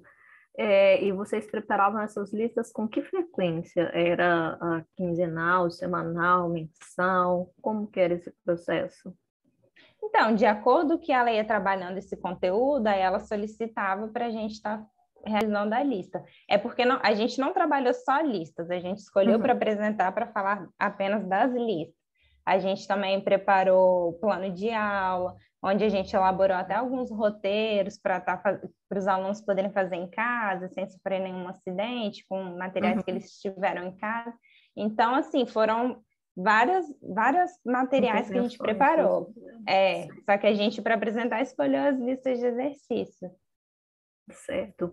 É, eu tinha mais uma pergunta, peraí que eu me perdi da minha pergunta. Ah, vocês davam esse, esse, quando os alunos, né, eles resolviam essas listas de exercícios e tinham dúvidas, né? Era a professora mesmo que dava o suporte para eles ou vocês chegaram a dar algum suporte para os alunos nesse sentido? Porque você falou que não, vocês não tiveram contato Sim. com os alunos, né?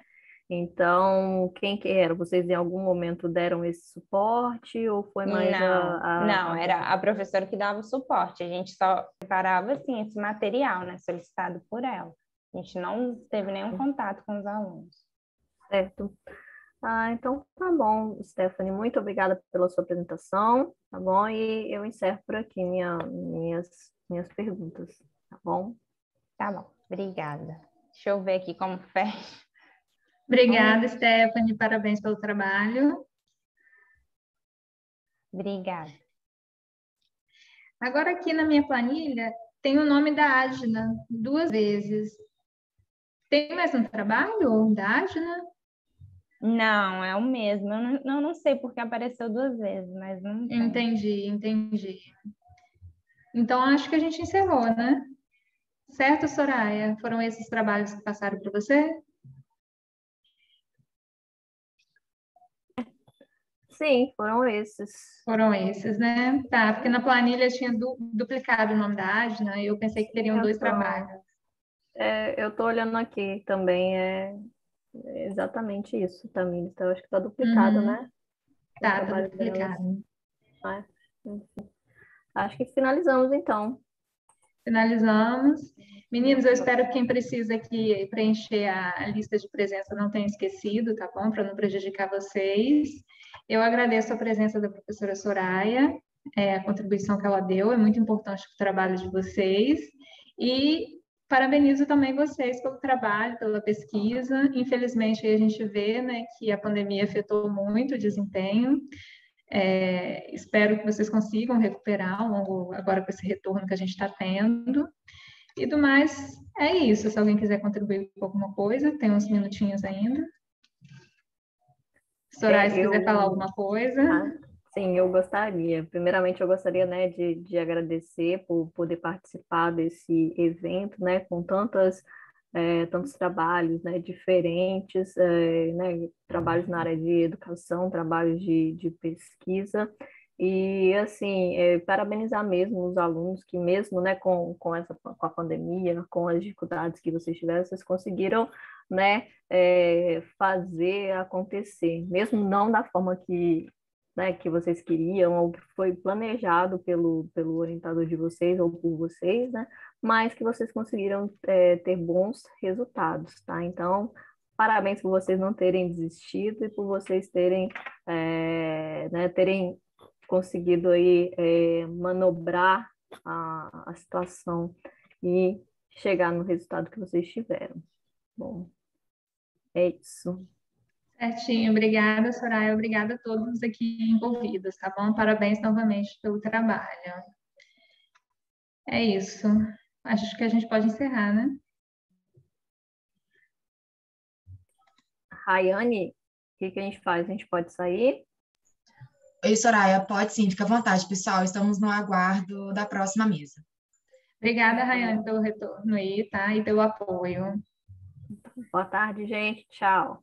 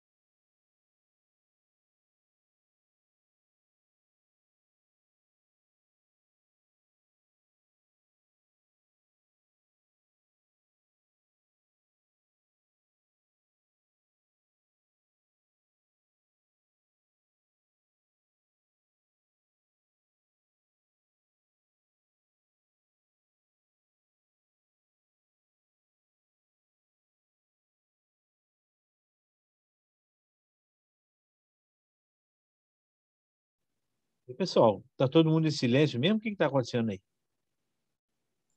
Oi, pessoal, nós estamos só aguardando a, as 2h30 para a gente entrar novamente, ok? Ah, tudo bem. Quem que está coordenando a sala? Oi, Sávio, é a Renata. Tá certinho, Henrique. Renata, ela não está aqui ainda não? Tá sim, a gente está aqui na sala de teste, vou te colocar Ah, um momento. ok. Não, tudo bem, tá bom.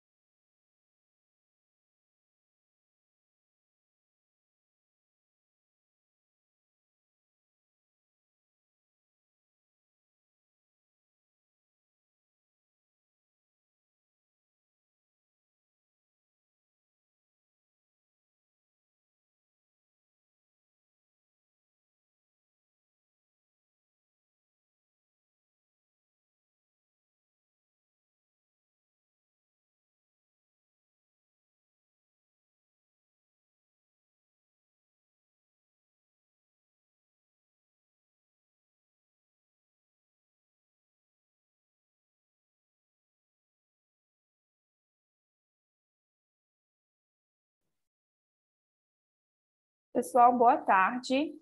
Nós vamos dar início aqui à sessão de apresentações dos trabalhos das engenharias B3, da quinta jornada de integração do IFES. Boa tarde a todos. Né? Agradeço aí a presença do professor avaliador, professor Renato Siqueira, que vai estar avaliando os trabalhos. Eu sou a professora Renata, professora do IFES São Mateus, e vou estar aqui né, orientando vocês, conduzindo a sala, controlando o tempo, né, as apresentações, e qualquer dúvida, né, vão perguntando aí no chat, né, e tudo mais, ok? É, eu vou pedir que todas as apresentações, quem estiver apresentando, ligue a câmera, né, para fazer a apresentação, e quando não estiver apresentando, mantenha câmera e microfone desligado para não atrapalhar, né, não ficar muito pesada a apresentação do colega, ok? E então vamos iniciar com a apresentação do Henrique Pupim Bravin Pena, que tem o trabalho intitulado Projeto de Construção de Quadriciclo Movido a Energia Elétrica do Campus Vitória, e o orientador do Henrique é o professor Evandro Armini de Pauli. É, então, Henrique, abre a apresentação, por favor.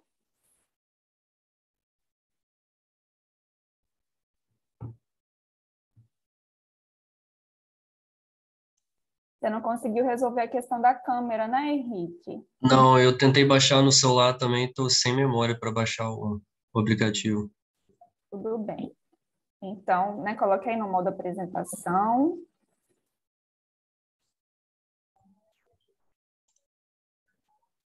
Ok, eu posso apresentar sem o. Eu pensei que a gente teria a presença do, dos orientadores.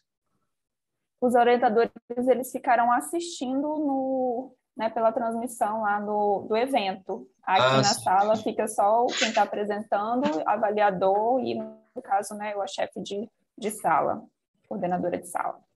Ok. Ok? Então, vou colocar aqui para marcar. Você tem oito minutos para fazer a apresentação.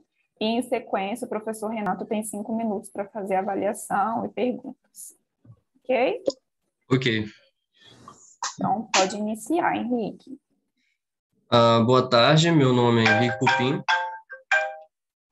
É, meu projeto é o projeto construção de quadriciclo elétrico movido quadriciclo movido a energia elétrica que nós demos o nome de Q4. E meu professor orientador é o professor Evandro Armin. Quanto à justificativa, introdução justificativa para esse projeto, é que no Brasil existem poucas iniciativas de desenvolvimento de carros elétricos a iniciativa mais recente encontrada foi uma parceria entre a Itaipu Nacional, uma empresa suíça, e a Fiat, que é italiana, e ele já tem dois protótipos do modelo Palio Weekend, são movidos a eletricidade. Podemos dizer que a matriz energética brasileira é formada, em sua grande maioria, por centrais hidrelétricas, que é uma fonte de energia que polui muito pouco o ambiente quando comparado a outras fontes, e isso seria ideal a substituição da frota movida MCI, que é um motor de combustão interna que usa como combustível combustíveis fósseis, por uma frota movida a energia elétrica, que são os carros elétricos, no caso. O objetivo do, do projeto é projetar e construir a estrutura de um quadriciclo, adaptar motores elétricos e placa solar para alimentar as baterias. Na questão dos materiais e métodos, foram muitos, então eu separei em materiais consumidos e máquinas e equipamentos. Não vou ler tudo aqui para não exceder o tempo de apresentação. Uh, quanto ao método, foi realizado primeiro a atualização do estado da arte sobre os carros elétricos, tecnologias e modelos existentes no mercado, desde o início dos carros elétricos até hoje em dia. Foi feito um desenho 3D do, da concepção do projeto, um detalhamento das peças, depois foi realizada a compra dos materiais e, posteriormente, a desmontagem e corte das bicicletas elétricas selecionadas, porque nós utilizamos para esse projeto partes e peças de bicicletas elétricas já existentes no mercado. E por último, ocorreu a fabricação mecânica. Quanto aos resultados de discussão, podemos dizer que, como resultado, nós tivemos a atualização das informações referentes aos veículos presentes no mercado e sobre as características construtivas de um carro elétrico no geral e seus componentes. Obtivemos um desenho 3D, o que permite que estudantes da área continuem esse trabalho ou utilizem como base para seus próprios trabalhos. Uh, o veículo foi estimado em 160 quilos ao final da construção, já com a parte elétrica, e concluímos uma relação peso-potência de 0,16 quilos por watt. Quando estivermos com dois passageiros, ou motorista e o passageiro de 70 quilos cada, essa relação peso-potência vai ser de 0,21 quilos por watt. O quadriciclo foi testado mecanicamente com dois ocupantes, motorista e passageiro. Algumas funções mecânicas deixaram a desejar, como a direção não ficou bem regulada e não acabamos não consertando isso devido à falta de tempo para poder continuar é, dar início à montagem da parte elétrica, que seria o plano de trabalho 2. Como conclusão, nós tivemos que é a montagem mecânica, incluindo suporte para o sistema elétrico, foi totalmente concluída, o que fechou o meu plano de trabalho. O funcionamento mecânico, apesar de algumas considerações, foi considerado bom. Assim, foi possível realizar alguns testes, mas acabamos por estudar novas novas melhorias para a próxima versão do veículo, caso alguém continue. Quanto ao meio ambiente, nós podemos dizer que deve ser criadas políticas públicas de desenvolvimento de projetos e comercialização de carros elétricos no Brasil. É viável para o nosso país, ainda mais com a matriz energética que não polui tanto o meio ambiente como a matriz energética de outros países. E pode ser a solução de problemas relacionados à poluição atmosférica, sustentabilidade e sustentabilidade no uso de energia para automóveis. Eu agradeço ao IFES, aos professores José Eduardo Rigo, Marco Antônio Pereira Stuzer, Evandro Armini de Pauli, que é meu orientador, e a todos que colaboraram com o projeto. Eu trouxe aqui duas fotos do experimento. Uma é a vista frontal do protótipo, já em fase de finalização, e outra é uma vista lateral traseira do protótipo também, o Q4.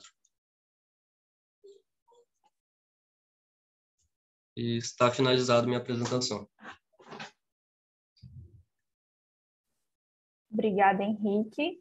Então, agora dou a palavra ao professor Renato para fazer as perguntas, considerações. Obrigado, Renata. Henrique, parabéns aí pelo trabalho. Obrigado. Muito interessante, né? A gente, é, maneiro que o que dizer sobre a necessidade aí de buscar tecnologias né, que, que venham a contribuir para diminuir a poluição do meio ambiente. Né? E o carro elétrico, eu acho que já, já tá, antigamente era uma coisa do futuro, né? hoje em dia já, já se torna realidade. Acho que a maior parte das edificações que estão sendo construídas na Grande Vitória, principalmente, já, já prevê até ponto aí de recarga né, para esses carros nos próprios edifícios. Né? Então, acho que é bem bacana o estudo aí. Agora, eu gostaria de ouvir sua opinião. Assim, qual foi o, é, qual a principal contribuição de vocês aí para o desenvolvimento nessa, nessa área do, do, do, carro elétrico? Existem já bicicletas elétricas, entendeu? Então, eu utilizei parte de bicicletas, entendeu? Então, aquele motor, aparentemente é um pouquinho maior que o de uma bicicleta. É, é o motor que é utilizado na bicicleta também, entendeu? Então, qual foi a contribuição de vocês? Vocês pegaram a bicicleta e transformaram essas partes num carro para verificar, entendeu? não desenvolveram alguma coisa nova? Entendi. Esse motor que foi utilizado é exatamente o que é utilizado em uma bicicleta elétrica, a bicicleta da marca Felícia. É, como você já disse, eu já vi motores menores em outras bicicletas. Okay. A, contribuição foi dizer que é viável um estudo para concepção de um carro elétrico. Às vezes parece um pouco fora da nossa realidade, uma coisa do futuro, mas nós conseguimos provar que é totalmente viável com, com pouco recurso. Nós utilizamos apenas recursos materiais do IFES, mais partes de bicicletas elétricas e foi possível conceber um quadriciclo elétrico, que é totalmente um protótipo, não é nada comercializável, mas foi uma, vamos dizer, um, uma, uma frente de estudo, sendo que existem raros projetos hoje no Brasil. Não, é, é bacana. É, é, realmente é um projeto muito interessante. Quantas pessoas atuam nesse projeto? Quantas pessoas? É isso. Você tem mais alunos envolvidos? Né? Além de mim, tiveram mais quatro ou cinco alunos que atuaram em períodos diferentes, auxiliando na, nas tarefas manuais tal. Certo.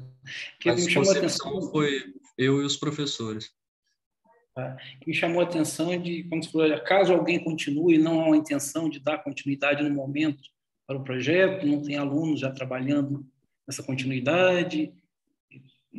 Entendi. É porque eu acabei, eu acabei a parte da iniciação científica e, e acabei me separando do projeto, mas ele está em aberto para uma nova iniciação científica para algum aluno que tenha uma nova ideia, queira dar continuidade ou algo do tipo. Mas no momento não tem outro aluno não que venha já Não, está... no momento está tá parado. Ah, tá joia. Bacana. Estou vendo aí o laboratório de solda aí da, do Luiz, não é isso? Isso, exatamente. Já já estudei nesse laboratório um tempinho atrás. Entendeu? Saudade? Bastante, bastante. Foi na década de 80 que eu estudei aí. Então, mas olha só, eu acho muito bacana a, a ideia, né, conversar aí com, com, com, os professores aí, né, Evandro e tudo mais. O Zé Eduardo foi meu professor. Então, é, mas para poder assim, realmente trazer um projeto que, que acho que é uma pena parar, eu acho que deve continuar, né? e integrar também outros conhecimentos. Tem muita coisa que dá para desenvolver nesse, nesse, projeto aí. Né? Eu, eu, vejo muito pelo que é usado lá no Baja, né? nem sei se é, digamos assim, um Baja elétrico aí, está desenvolvendo um carro elétrico, e trabalhar um pouquinho alguns outros conceitos na área de materiais, por exemplo, pode ser trabalhado aí, né? entendeu? Aí puxando um pouquinho a sardinha para minha área, parte também de aerodinâmica. Sim. Bacana essa primeira versão aí, mas a gente vê que poderia melhorar muito, né? Quando você fala a relação. Sim, aerodinâmica, eu acabei não pensando. É, quando você fala aí da relação peso-potência, eu achei um pouquinho alto ali, entendeu? Ainda Sim, carro. Ficou, comparado com o veículo a combustão, ele realmente ficou alto. Se você colocar aí, ficou 150 quilos por cavalo, vamos pegar uns 100 cavalos, seria um carro comum aí, né? um carro popular aí, entendeu? Então, poxa, você está vendo um, um, carro o quê? De, de 15 toneladas aí, né? Entendeu? Um carro popular. Então, acho que o peso está relativamente grande e pode ser diminuído, talvez trabalhando alguns conceitos aí também. Se você melhorar a aerodinâmica, você pode estar tá aí é, melhorando a, o desempenho do carro, né? E com isso aí, entendeu? Tá, também está não reduzindo essa relação, mas assim, conseguindo um desempenho bem melhor, né? Trabalhando outros fatores também. Mas, mas é isso. Primeiro é começar, né? o carro está pronto aí, acho que seja uma motivação grande para a continuidade. Tenho certeza que você aprendeu muito em diversas áreas. Aprendi né? bastante coisa, com certeza. Isso, é só incentivar os colegas aí a, a, dar continuidade ao trabalho aí. Se Deus quiser, Sim. vai ter uma, uma versão de um carro elétrico aí bem mais. Como, como você mesmo disse, tem várias, várias coisas para para melhorar é, de várias áreas. Você pode desenvolver automação, você pode desenvolver uma suspensão melhor, tem mecânica, tem elétrica. Sim, sim. Incentivar aí essa, essa, essa, essa é, multidisciplinaridade aí para o desenvolvimento. Pensa, pegar como exemplo aqui o que é feito na, na equipe do Baja. Né? Tem uma equipe para suspensão, tem outra para direção, e tem mais aí. Né? Talvez pensar num timezinho desse aí para poder melhorar esse protótipo do carro elétrico aí também. Exatamente. É uma boa ideia. Mas bacana, parabéns pelo trabalho aí. Obrigado. É isso aí, Renata. Obrigada e parabéns pela apresentação, Henrique. Estou aqui imaginando que o professor Evandro deve estar lá assistindo, querendo falar né, sobre os é. próximos é. planos para esse projeto, mas como ele não está na sala, Sim, sim. Mas parabéns aí pelo trabalho. Então, né, continuamos aqui com as apresentações. Agora, é, nós teremos a apresentação do aluno do IFES São Mateus, ai, desculpa, Campus Aracruz, Israel Nardoto Barbosa. Então, o Henrique pode fechar a apresentação dele e Israel pode abrir, ligar a câmera, por favor. O orientador do Israel é o professor Felipe Arthur Firmino Monhol. E a, o título do trabalho dele é Análise de temperaturas e velocidade de propagação da frente de combustão in situ em reservatórios de óleos pesados. Abriu aí, Israel? É, boa tarde. Boa tarde. Bem. Isso. Tivemos e ouvimos. Então, Israel tem oito minutos para fazer sua apresentação. Ok? Sim. Pode começar.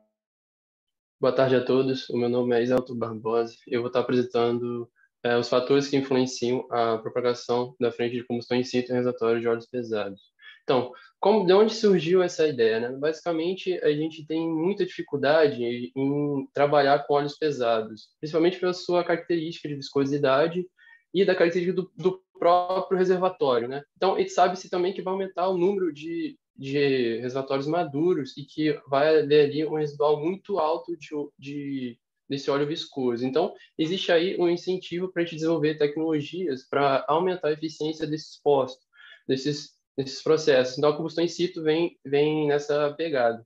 Então, o que, que basicamente seria esse processo? É denominado como especial porque ele vem depois de todo um processo é, primário, né, basicamente de diferença de pressão. Então, o que consiste isso? Ele consiste na geração de calor em um volume, e esse, essa geração de calor vai ser é, ligado à combustão do, do, próprio resíduo que existe ali ainda. Porém, com o oxidante passando nesse volume, ele vai carregar essa energia térmica à frente dessa frente de combustão, fazendo com que haja diminuição dessa viscosidade, aumentando assim a eficiência desses poços. Então, fazendo uma comparação bem rápida, a gente pode ver na coluna D que a combustão in situ ela leva vantagem sobre os outros métodos, é, mesmo que a injeção de vapor e das emulsões, que tem tido muito avanço também. É, bem, então, os materiais e os métodos que eu utilizei para fazer isso, então, primeiro eu tive que escolher um método matemático para a gente conseguir modelar esse sistema, essa combustão smoldering. Então, eu escolhi uh, o modelo matemático de, do Instituto de Mecânica de, dos Fluidos de Toulouse, Segundo, eu tive que fazer o meu próprio solver, ou baseado no trabalho do mestrado PRET, da UFES. Depois, eu criei a malha e a geometria usando o ANSYS. E o quarto, eu validei meu modelo com a tese de, de doutorado do Martins, na, nessa, nesse próprio instituto, e apoiado também com o mestrado do Munhol. Então, esse modelo ele é muito complexo, ele envolve várias físicas e reações secundárias e terciárias também, como a gasificação, liquefação, etc. Então, eu me atentei aqui basicamente aos processos de transferência de calor, que é a condução, convecção, radiação, difusão, etc. Então, primeiro eu fiz algumas explicações para dar tempo de fazer isso né, no meu solver. Então, eu admiti que ele fosse unidimensional, que a porosidade desse sistema fosse constante e no espaço e no tempo, e que eu admiti também a lei dos gases perfeitos.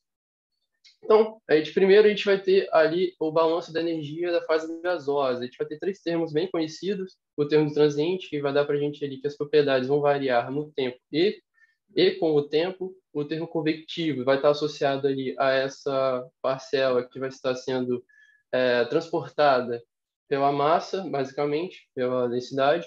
E é, o termo difusivo, ali ele vai estar é, modelando tanto a radiação como a difusão. Então, desculpa, a condução, porque é um potencial.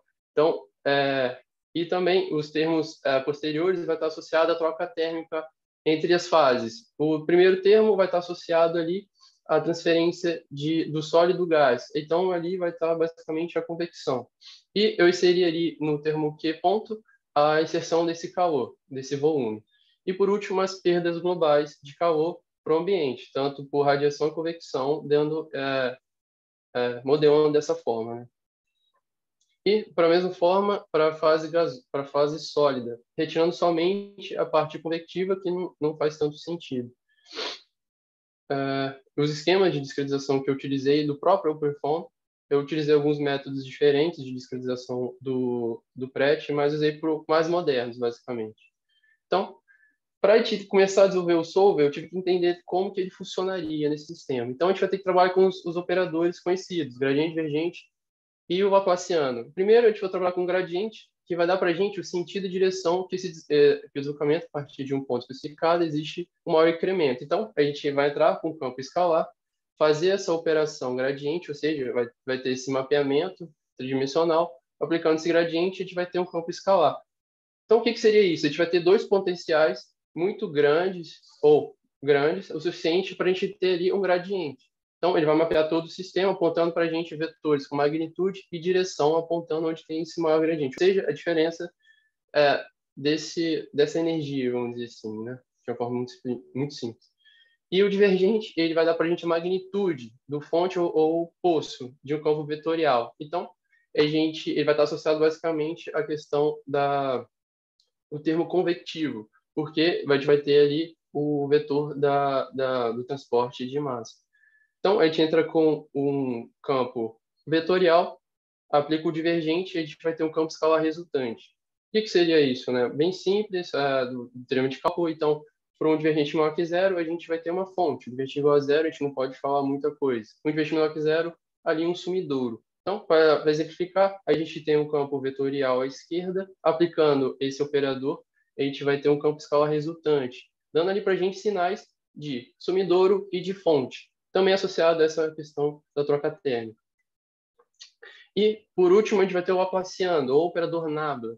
A gente aplica ele em um, um, campo escalar, ou seja, ele pode ser entendido como divergente, desculpa, é, divergente de um gradiente de um campo escalar. Ele pode ser conhecido como tensor de segundo grau, mas eu não vou entrar muito no mérito. Então, ele vai dar o mesmo parâmetro para a gente que encontrado no divergente. Então, para exemplificar, no mesmo exemplo, no primeiro exemplo, aplicando para a mesma topologia, com, é, exemplificando um poten potenciais diferentes, a gente vai ter ali indícios de fonte ou sumidouro. Então, com isso, o solver que eu criei baseado no benchmark do PRET, é, apoiado nessa teoria desse teorema de cálculo e dos campos vetoriais, foi esse, portanto, para fase gasosa e para fase sólida. Então, a geometria, basicamente, eu fui modelar o reator do Martins, a tese de doutorado dele, que é um cilindro com termopares equidistantes. E a geometria posta do lado lateral, com os termopares equidistantes, com suas cotas, uh, que ele utilizou no trabalho dele. Então, a minha malha, basicamente, eu fiz ela estruturada, com o centro dela é, com hexaedros e ao redor dela com tetaedros na borda, com um pouco de hexaedros, para deixar menos deformada possível, para a gente não ter um erro numérico associado e, nesse sentido. Então, os, os parâmetros aqui que eu utilizei no, no meu trabalho, e vale ressaltar que eu cheguei a quase um milhão de nós e a quase 220 mil volumes finitos, que é um número considerável para a gente não ter aí um erro associado a isso também. Eu tive esse cuidado. É. E as minhas hipóteses, eu considerei a superfície interna como é diabática, é, uma entrada e saída de, de velocidade a, a uma velocidade constante sem perda de carga. E a, essa frente de chama foi modelada com uma, é, uma pré-espessura já estabelecida, com uma velocidade constante já dada pelos trabalhos do Martins e do Munhol, e uma temperatura ambiente de 20 graus Celsius. Então, primeiro, a validação, a gente observa que existe sim um comportamento quase que simultâneo de um adiabático com o encontrado por Martins porque basicamente eu usei propriedades médias, eu não, eu não fiz com em função da temperatura, porque seria muito complexo, não teria tempo de fazer isso. Então, a, a parte que eu foquei foi a frente de combustão. Então, a gente tem um, um termo diabático, é, batendo com tanto com do, do Martins quanto a parte numérica também. Eu vou falar disso mais na frente. Então, os resultados de discussões. Eu valei três parâmetros. Israel, a velocidade do... Oi. Só um minutinho, deu tempo aqui, então Adianta aí, tá? Tá, tá Já deu uns oito então, minutos. É, a gente avaliei três parâmetros, a velocidade de fluxo de ar, a espessura da frente de chama e a fração volumétrica de sólido. Então, a, o mais expressivo foi a velocidade, que a gente teve picos maiores, e, o, e, e o, a leitura de, de temperaturas também no leito. É, o efeito da espessura da frente de chama não, a gente teve mudanças na topologia, sim, mas não no pico de temperatura. O efeito da fração volumétrica, a gente não tem tanta mudança, mas vale ressaltar que sim houve mudança na questão de transferência térmica por, pelo fato de termos um espaço vazio maior, ou seja, poros maiores. Então, conclusão, eu, eu basicamente, eu vou resumir, é, eu acho que consegui, sim, é, fazer com o que prometido no plano de trabalho, e vai ressaltar que eu vi esse comportamento dual ali, diabático, e também numérico ali do Martins. E vou agradecer o IFES, ao professor Munhal e também ao doutor Avelino Foretti, que me ajudou no desenvolvimento desse software. E algumas fotos do meu experimento é, de 500 segundos até os 5 mil segundos, que foi a extinção dessa frente de chama. E as minhas referências bibliográficas. E desculpa por ter passado um pouquinho. Ok, obrigada, Israel. Renato. Obrigado, Renato. Parabéns aí, Israel, pelo trabalho. E é isso. Acho que esse tema aí daria umas, umas três horas para a gente ficar conversando aqui, né? Mas eu acho que o Renato vai dar esse tempo para a gente. Né? Eu entendo. Logo com quem, né, Renato? É. Não gosta desses temas. É? Agora é o seguinte, você pegou um probleminha aí, né? O Munhol, eu já conheço o trabalho dele aí, tanto do Munhol quanto do Márcio também, né? Que é o Martins aí, né? dele. É, basicamente, você simulou e foi, foi, foi a, o avanço dessa, dessa, dessa frente de combustão? Na verdade, eu, eu fiz os fatores que influenciavam é, esse, comportamento é, das temperaturas dentro é, desse, desse domínio, né? É, ficou legal você explicar a parte do, do da física do problema, o que é o gradiente, o que é o divergente, mas assim, eu fiquei com algumas dúvidas em relação. Para começar, é, porque você, para gerar geometria, você usou o design módulo, né? Entendeu? Então, normalmente vem lá junto com o pacote do, do ANSYS lá, né? Mas assim, você usou o OpenFOAM ou, ou, ou o ANSYS para poder simular isso aí? Eu usei o ANSYS Student, que ele deixa a gente usar até 5 mil volumes finitos. Uhum. É, eu, eu exportei para o OpenFOAM, porque usar o o gerador de malha dele é impossível fazer um cilindro fazendo ponta a ponta. Assim. Então, é, eu utilizei o ANSYS Student. Ah, é um pouquinho mais complexo. Você usou o ANSYS só para gerar a geometria mesmo e a malha, né? depois você importou o OpenFone. E Isso. outra coisa que eu achei assim, interessante, porque aí é, é muito complexo que você está tá estudando aí. Porque, ó, meio poroso, meio poroso, aí já está já, já tá muita coisa para poder avaliar. É, é o que se tem aí realmente. Né? Combustão, processo multifásico, a equação transiente ainda. Né? Então, é bastante complexo aí para simular esse fenômeno aí. Né? Então, já, é, você já pegou algum é, modelo já pronto aí de, open source, né? de código aberto aí, ou você teve que implementar a parte do código, adaptar alguma coisa para conseguir fazer essa simulação? Eu usei o benchmark feito por Preti, no caso, que ele já fez um detalhamento é, dos próprios experimentos do Martins. Mas eu peguei e eu, ele só basicamente deu o, essa parte de duas linhas do, da fase gasosa e da fase sólida mas não falou assim o caminho que eu tive que seguir. Então foi um, um, caminho muito longo de entendimento da física e de como que eu poderia fazer essa malha, de como que eu poderia inserir esse volume gerador de calor, como que ele se moveria, porque foi muito complexo. Foi literalmente um ano inteiro só para fazer isso funcionar. Então foi muito trabalho. Bacana, mas é isso. Como eu falei, assim, há muita coisa para a gente conversar e de repente, uma hora dar um pulinho em Aracruz, você dá um pulinho aqui em São Mateus, para a gente conversar um pouquinho mais aí, né, com o Monhol aí também, com a turminha, né, ou na UFS lá com, com o grupo do Márcio lá também, né. Mas é, Pô, adoraria, adoraria tomar um café lá. É interessante, vamos combinar uma hora assim, de fazer isso, para a gente continuar esse diálogo aqui, e que tem muita coisa aí que pode bacana para ser, ser avaliada, né? pode ser implementada aí, ou discutida aí. Parabéns pelo trabalho.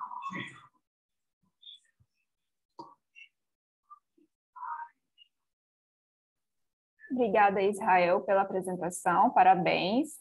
Obrigada, Renato, pelas considerações. E agora, dando prosseguimento às apresentações, nós temos a apresentação da aluna Jamile Riguete de Oliveira Pires, aluna do PRPPG do campus Aracruz, que tem como orientador o professor Tiago Campos Magalhães. Jamile, pode abrir sua apresentação, ligar a câmera.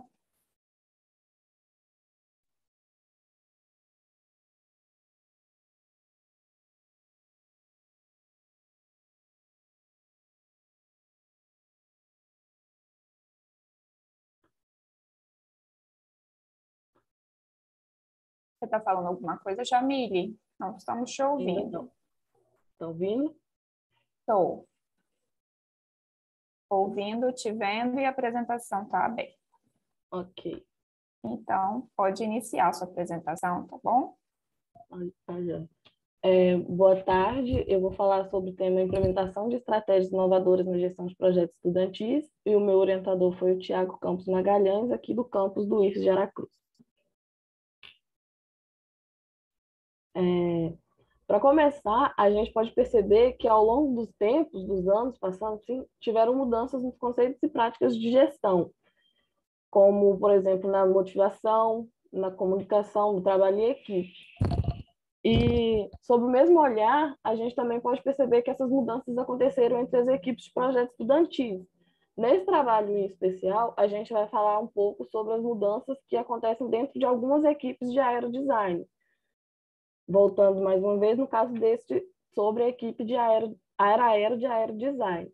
E alguns estudiosos, onde a gente pôde perceber, eles relataram que muitas equipes de aerodesign, elas falham no início de sua carreira, não por incapacidade técnica ou por falta de ferramentas de maquinário que atendem suas necessidades, mas sim pela dificuldade em apresentar um planejamento estratégico voltado e pautado cientificamente para o desenvolvimento do projeto que vai ser executado. E a gente teve por objetivo é, obter melhores resultados em projetos estudantis por meio da aplicação de técnicas de gerenciamento aplicar essas técnicas estudadas em todos os setores e sub-áreas do projeto Araero, além de planejar, organizar, programar e executar as ações do projeto Araero. A gente teve, a gente, os nossos métodos materiais foram divididos em três etapas, sendo a primeira delas a revisão bibliográfica, a segunda, uma descrição sucinta do atual cenário da equipe, e a terceira foi a análise e execução desses resultados obtidos, desses dados que a gente levantou durante o projeto. A gente pode perceber que um indicativo muito significativo para a gente foi a melhora na massa da aeronave ao longo dos anos, desde a criação do projeto Araero.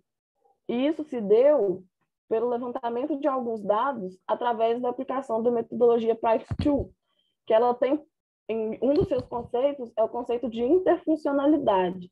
E o que, que isso quer dizer? Isso trabalha com várias pessoas e áreas diferentes. Então, as pessoas precisam saber trabalhar em conjunto.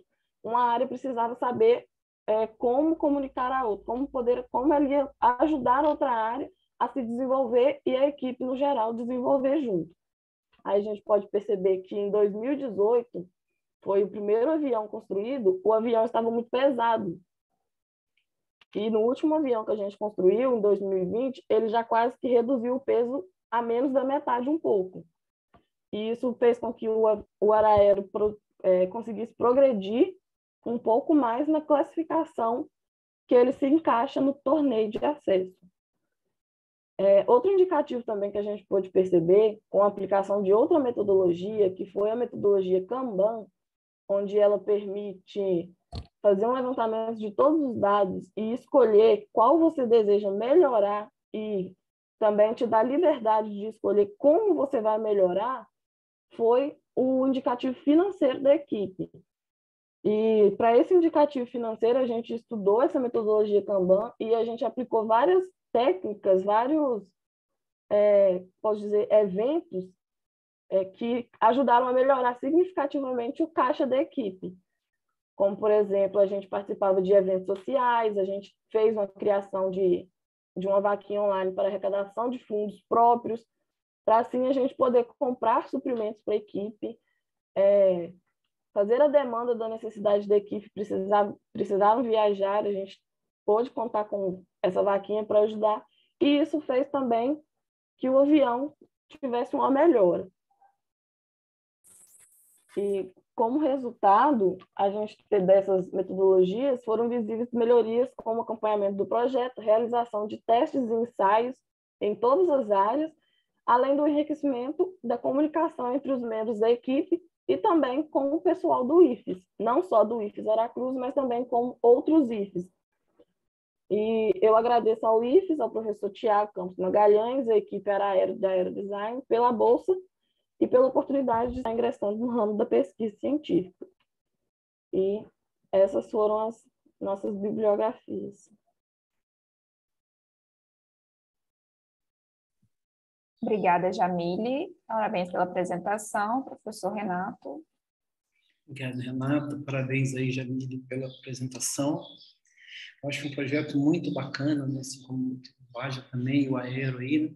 Esse o Araero, quando eles começaram, eles estiveram aqui em São Mateus logo no início, né? passaram um tempinho aqui com, com, a equipe daqui, que é o, que é o, o Aero do FAM, o Aero Design, Força Aérea Mateense entendeu? Então, eu acho bem bacana esse projeto. Acho que a principal contribuição que se tem aí é você é, é realmente aprender a trabalhar em equipe, se organizar, né? utilizar as ferramentas que ele apresenta durante o curso, né? para resolver problemas, no caso aí melhorar aí o desempenho dessa dessa aeronave. Né? E as ferramentas de gestão, acho que são, de suma importância para o engenheiro, tem que ter controle, né? não adianta, vou mudar o avião lá e vou ver o que acontece, o que é isso, tem um, é, uma gestão muito...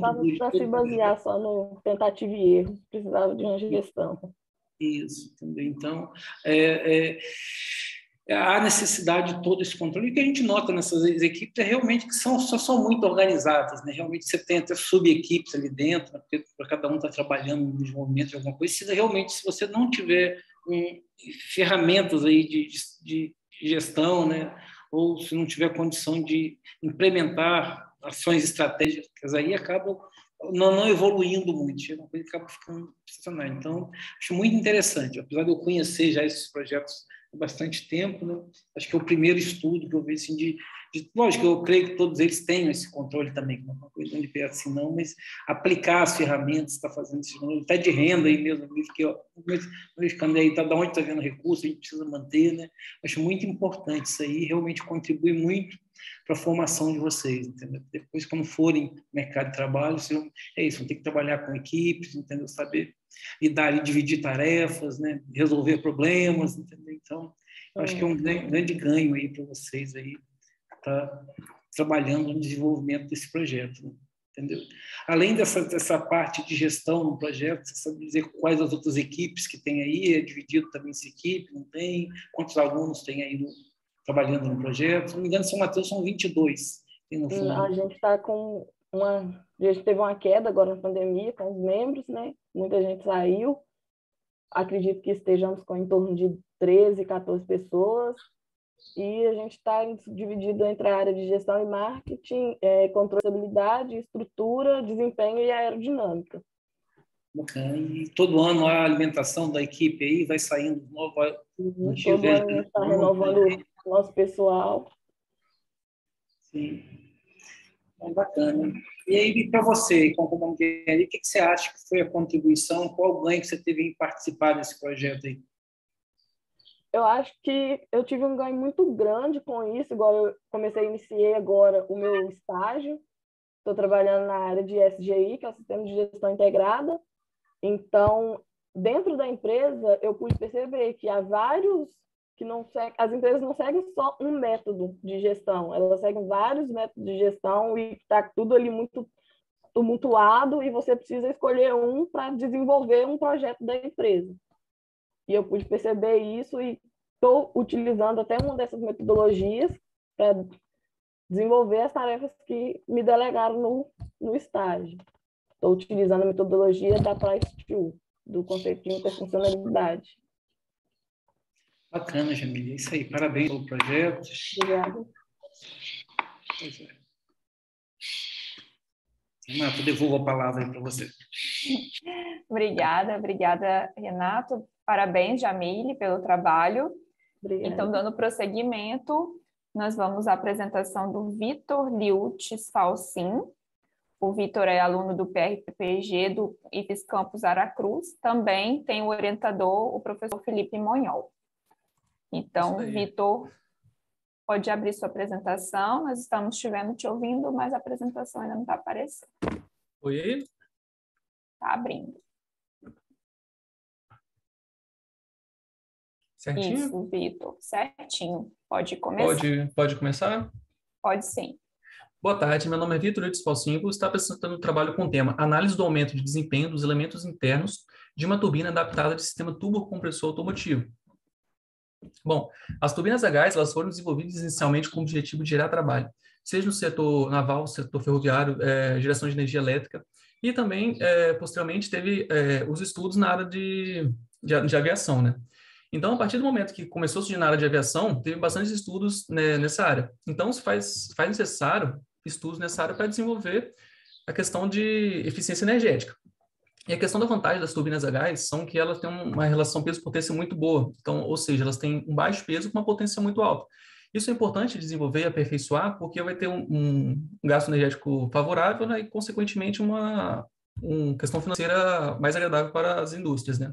E a questão do panorama, panorama em questão da, em relação à energia elétrica, é que vai aumentar cada vez mais o consumo de energia elétrica tem previsão para dobrar até 2030 o consumo de, de energia elétrica no, no, no, no, mundo, né? Bom, para isso a gente partiu no sistema turbocompressor é, automotivo, né? Que seria um sistema equivalente à turbina a gás, porque adquirir um sistema de, de turbina a gás é, não, é, não é viável para nenhuma instituição, porque é um sistema muito caro. Então, fazendo algumas, algumas considerações, a gente consegue chegar num, nos resultados bastante, bastante bons. Aqui a gente tem a câmara de combustão, é, onde é dividida em difusor, zona primária, zona secundária e zona de diluição. A gente vai estar analisando a zona primária, a zona secundária e a zona de diluição. Aqui a gente é, são bem, são três áreas bem distintas, onde tem é, entradas de ar e fluxos de calor distintos. E o objetivo é projetar e analisar melhorias nos, nos elementos internos de uma microturbina gás adaptada, a fim de aumentar o desempenho de tal tecnologia sem necessidade de despender grandes custos, né? Porque, como eu disse, as turbinas gás são bastante custosas. Para isso, a gente começou com o redimensionamento da câmara de combustão. Essa câmara de combustão está numa bancada, já, já foi feito é, esse trabalho, né? ela foi adquirida pelo IFES, porém, essa câmara de combustão ela não foi desenvolvida da maneira correta, não foi dimensionada da maneira correta. Então, a gente consegue ver no lado direito da, da imagem 4, da figura 4, abaixo da turbina, a câmara de combustão. Então, partindo do mapa de desempenho do tubo compressor, a gente consegue chegar, a gente tem essa, esse mapa de desempenho aqui, né, na figura 5, e partindo da relação de pressão, adotando a maior eficiência, a gente tem uma vazão de 70 libras por minuto. Então, é, com isso e fazendo algumas considerações pela metodologia de Lefebvre, Balau, Meconian e Bonac, a gente, a gente tem a zona primária com 108, a zona secundária 72 e a zona de diluição com 275 milímetros. E com isso também, pela mesma metodologia, a gente consegue obter as temperaturas da zona de combustão, que vai ser a temperatura inicial da zona primária e a temperatura do final da zona primária, e assim consequente, é, sucessivamente, né? E vale ressaltar que o final da zona primária vai ser a mesma temperatura que a temperatura inicial da zona secundária. A gente, é, eu vou estar adotando os, os, parâmetros de vazão, espessura e condutividade para é, fazer o desempenho, análise do desempenho dessa, dessa câmara de combustão. A vazão foi a vazão de projeto, de 0,53 kg por segundo e 0,8 kg por segundo. A espessura, 1,5, 3 e 6 milímetros. E a condutividade térmica, 17,3, 19,3 e 20,9 watts por metro Kelvin. Bom, para isso a gente teve que, fazer, é, tive que utilizar um método numérico, que a gente fez a, a, distribuição dos nós na câmara de combustão. Aqui é um corte é, RZ da câmara de combustão, a gente consegue ver é, a espessura da câmara de combustão. São 188 nós divididos nessa câmara de combustão. Aí seria a espessura, né? E a gente vai utilizar o método numérico utilizando o Visual Studio Code, um programa, foi desenvolvido por, por mim, e é, é possível obter as temperaturas em cada, em cada nó desse. É, aqui seria a gente tem uma imagem 3D para gente mostrar, que tem três perfis de temperatura bem distintos, bem definidos, né, nessa câmara de combustão. Serão nas três zonas, na zona primária, na zona secundária e na zona de diluição. Como temos duas vazões, três espessuras, três materiais e três zonas bem distintas, a gente vai obter 54 distribuições de temperatura. Vai ser é, uma seção, vai ser uma anelar, né? Quando não varia de acordo com o ângulo, a distribuição de temperatura, a gente pode pegar qualquer parte ali. E para simplificar, a gente vai pegar o ponto, vou pegar o ponto médio de cada zona.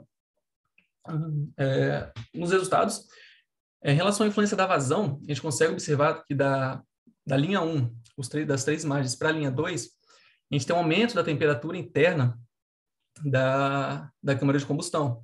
Isso de acordo com, com a vazão, aumento da vazão. Isso foi para todos os casos, tanto para é, 1,5 milímetros, 3 milímetros e para 6 milímetros. A gente também consegue observar que é, da linha 1 para a linha 3, das colunas, nas colunas, na verdade, né, desculpa, é, a gente consegue observar uma melhor distribuição de temperatura, ela ficou mais homogênea, com aumento da condutividade do material. Aqui, em relação à condutividade térmica do material, a gente consegue observar para 1,5, para 3 e para 6 milímetros, para todos os casos, que aumentando a condutividade térmica, a gente tem uma melhor distribuição de temperatura. Então, vai fazer com que tenha uma menor variação de temperatura interna no material, que vai ser a diferença entre a temperatura máxima e a temperatura mínima. A gente consegue ver isso para todos os casos. Porém, é, para esse caso aqui, onde a vazão foi de 0,53 kg por segundo, 3 milímetros, é, a gente não consegue observar, é, mudando a condutividade térmica, visualmente, né, é uma melhora nessa distribuição de temperatura. Porém, quando a gente pega é, os valores de temperatura máxima e mínima, a gente consegue observar que teve uma melhora sim, claro que bem menor, mas teve uma melhora sim na distribuição de temperatura na, na parede da câmara de combustão. Em relação à espessura, é, para 1,5 para 3 para 6 milímetros, a gente teve resultados bastante distintos. Só que o que teve o melhor resultado foi o de 3 milímetros, porque o, a diferença de temperatura entre a máxima e a mínima foi menor, comparado com 1,5 milímetros e 6 milímetros.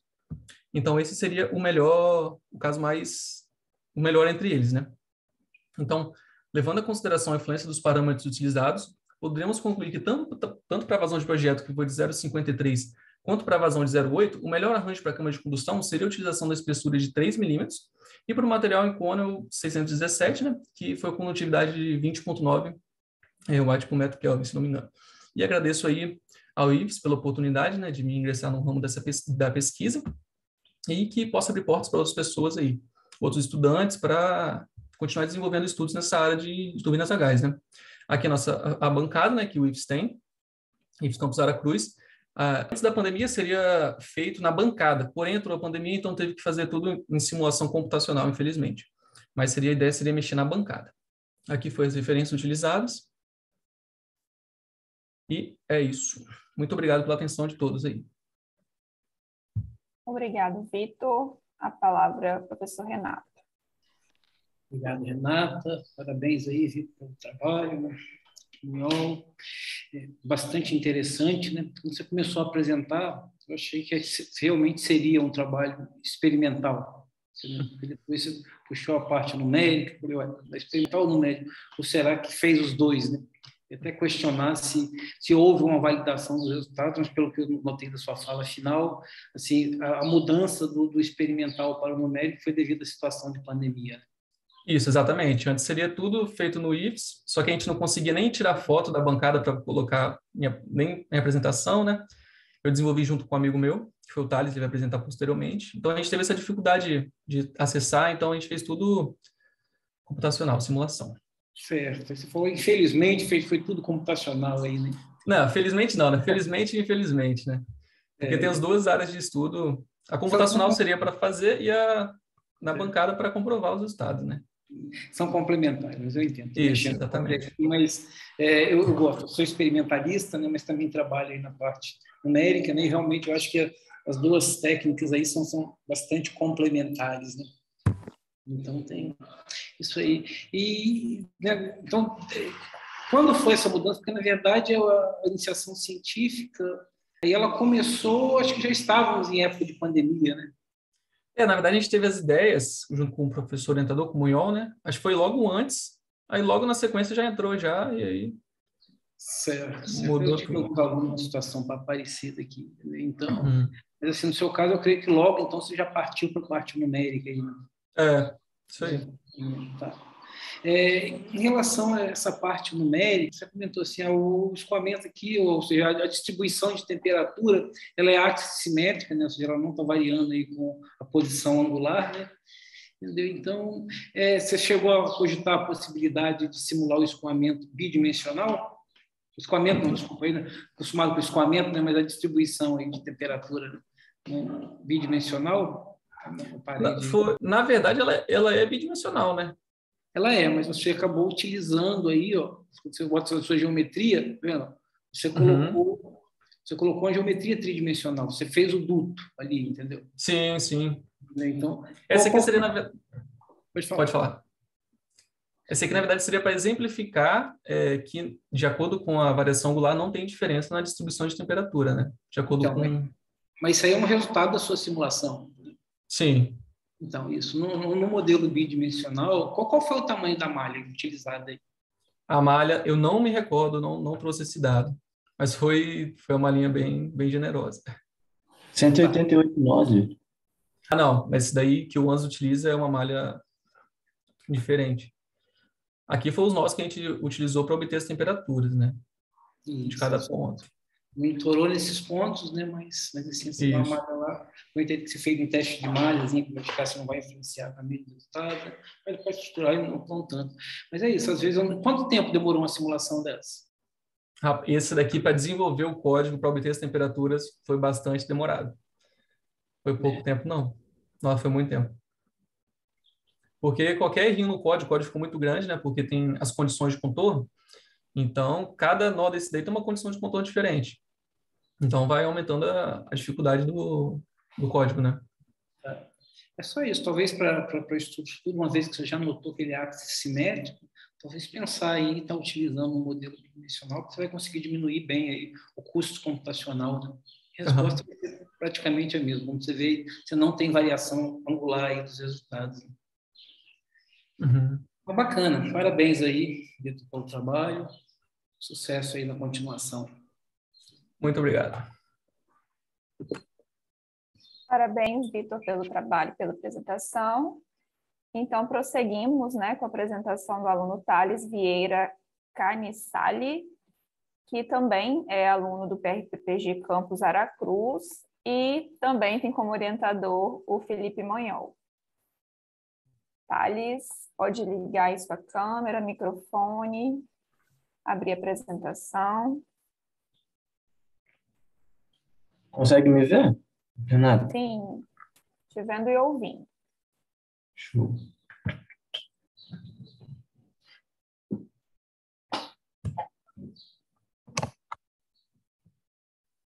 Só falta a sua apresentação.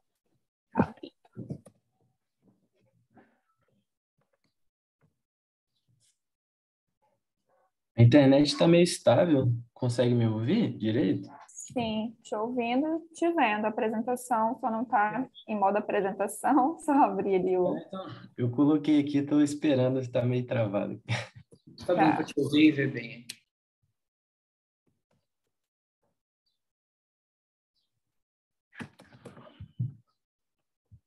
Estamos dentro do tempo.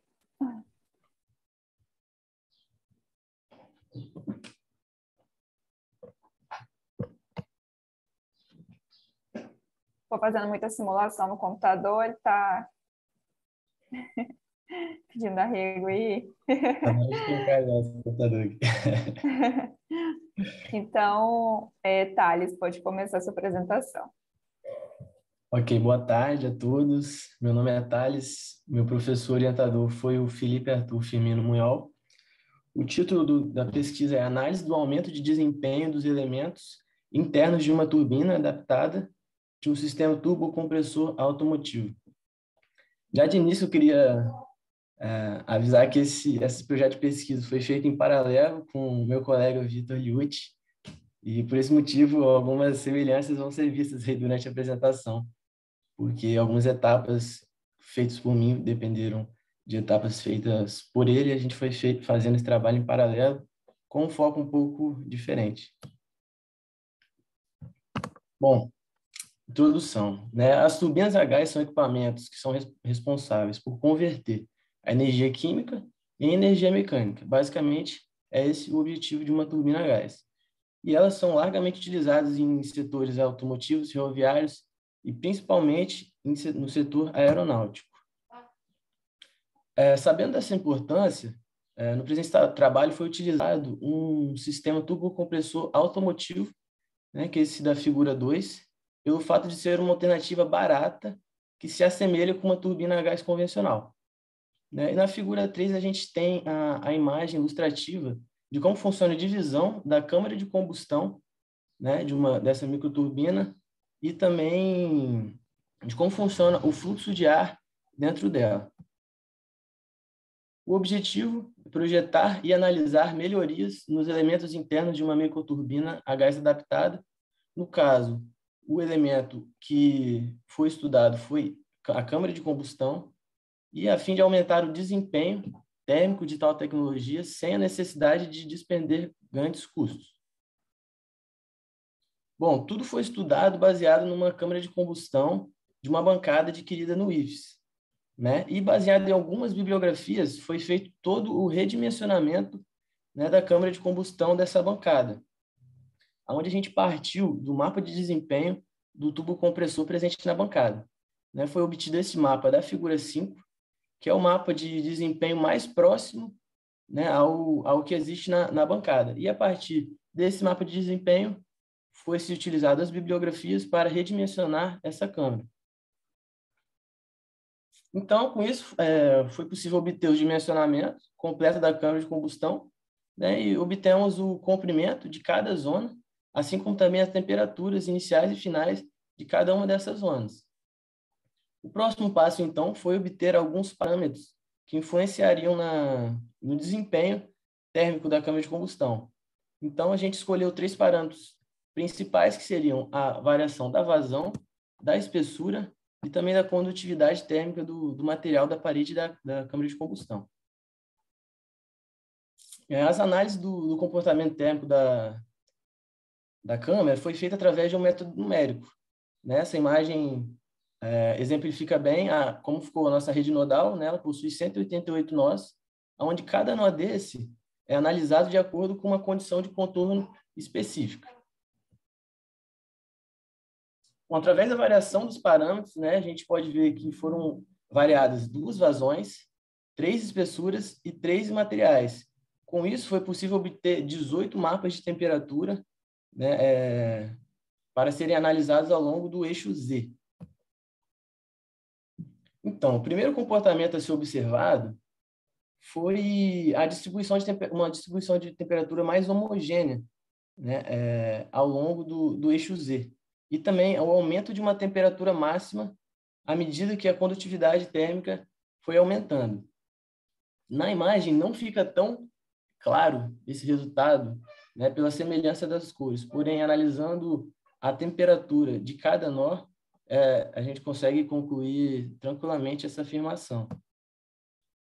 Bom, é, agora, ao analisar o aumento da espessura de 3 para 6 milímetros mantendo todos os outros parâmetros fixos, a gente pode observar que houve uma diminuição das temperaturas internas das, das paredes. Né? Isso pode ser observado pela, pelo clareamento da cor. Né? O, o laranja foi ficando num tom mais fraco. E isso pode ser justificado pelo fato do volume interno da parede ter ficado ter é, aumentado bastante. Então, com isso, o calor foi absorvido pela parede e assim dissipado através do material, diminuindo a temperatura máxima da parede do material.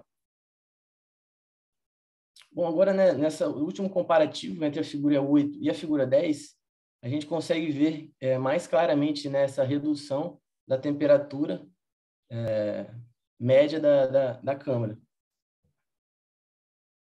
Então, por fim, pode-se concluir que, que, para ambas as vazões simuladas, o melhor arranjo seria uma câmara de, de combustão com uma espessura de 3 milímetros e um material de Inconel 617, que seria a maior condutividade térmica. Essa combinação de uma alta condutividade térmica com uma espessura de 3 milímetros, ela vai trazer para a gente um, um menor, menor, uma melhor variação de temperatura. E essa variação curta de temperatura vai facilitar a, a manter uma maior um maior tempo de vida do material, né? evitando fadiga térmica, por exemplo. Então, por fim, queria agradecer a todos, ao IFES, ao meu orientador, Felipe Munhol, e também ao Vitor, que foi parceiro aí durante toda essa pesquisa. Aqui é a foto da bancada que utilizamos como base para fazer a análise computacional e as referências.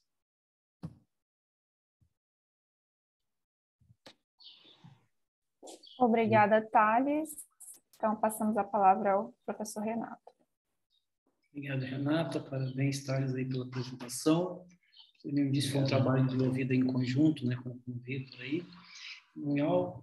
É, só uma curiosidade que eu tive, que você falou assim, ah, sobre as condições de contorno, você foi definido, como é que, que, são essas condições de contorno, como é que elas foram definidas, de onde saíram esses valores utilizados?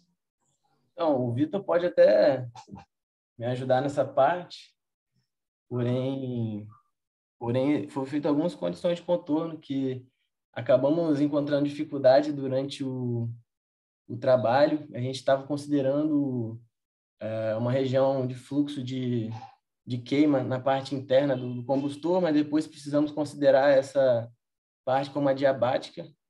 Né? Eu não eu não tenho aqui especificado todas as condições de contorno para cada nó, porém os nós da parte superior tinham condições diferentes da, da parte inferior, assim como os nós de quina, né? Porém eu só vendo o, o trabalho para eu conseguir lembrar de como qual condição exata para cada nó, né? Já que você tem normalmente dois tipos de condições, né? Fluxo constante ou temperatura constante aí. Então, na temperatura constante, né? Partindo da, da temperatura média de cada zona, a gente foi, foi realizando o equacionamento. Aí colocou uma distribuição de temperatura ao longo da parede ali, né? Para a função dela Isso. calcular o restante. Isso, utilizando o código né, que, que a gente fez com o Visual Studio, a gente conseguiu a temperatura de cada nó, né, partindo dessas condições iniciais. Ah, tá joia. E qual, qual foi a principal dificuldade que você encontrou aí no processo de simulação disso aí? Então, foi, realmente a construção do código, né? Foi uma, uma etapa complexa porque basicamente a gente precisava definir todas as condições de contorno e acertar todos os equacionamentos para a gente conseguir a temperatura em cada nó e depois conseguir fazer a, a variação das, das temperaturas para fazer o comparativo, a variação do, dos parâmetros. Então, enquanto a gente não tinha esse, esse código todo certinho, a gente não conseguia obter as temperaturas para fazer a comparação de qual material ia ser melhor, qual material combinado com uma espessura ia trazer uma distribuição melhor de temperatura. Então, foi mais a parte do código que, que agarrou. A parte de, de dimensionamento do tamanho da, da, de cada zona da câmera foi a parte mais tranquila. Você, você está em que período aí? Então, eu finalizei já a, a faculdade, só ficou, ficou pendente a, a iniciação. Ah, a gente está desde 2000, 19, eu acho. Com ela já tem um tempo que a gente finalizou. Ah, legal. Então, tá bom. Boa sorte aí na, na carreira aí como engenheiro, né, para colega de profissão aí. Tudo de bom e parabéns pelo trabalho. Obrigado, professor. Tá. Parabéns, Thales, pela apresentação.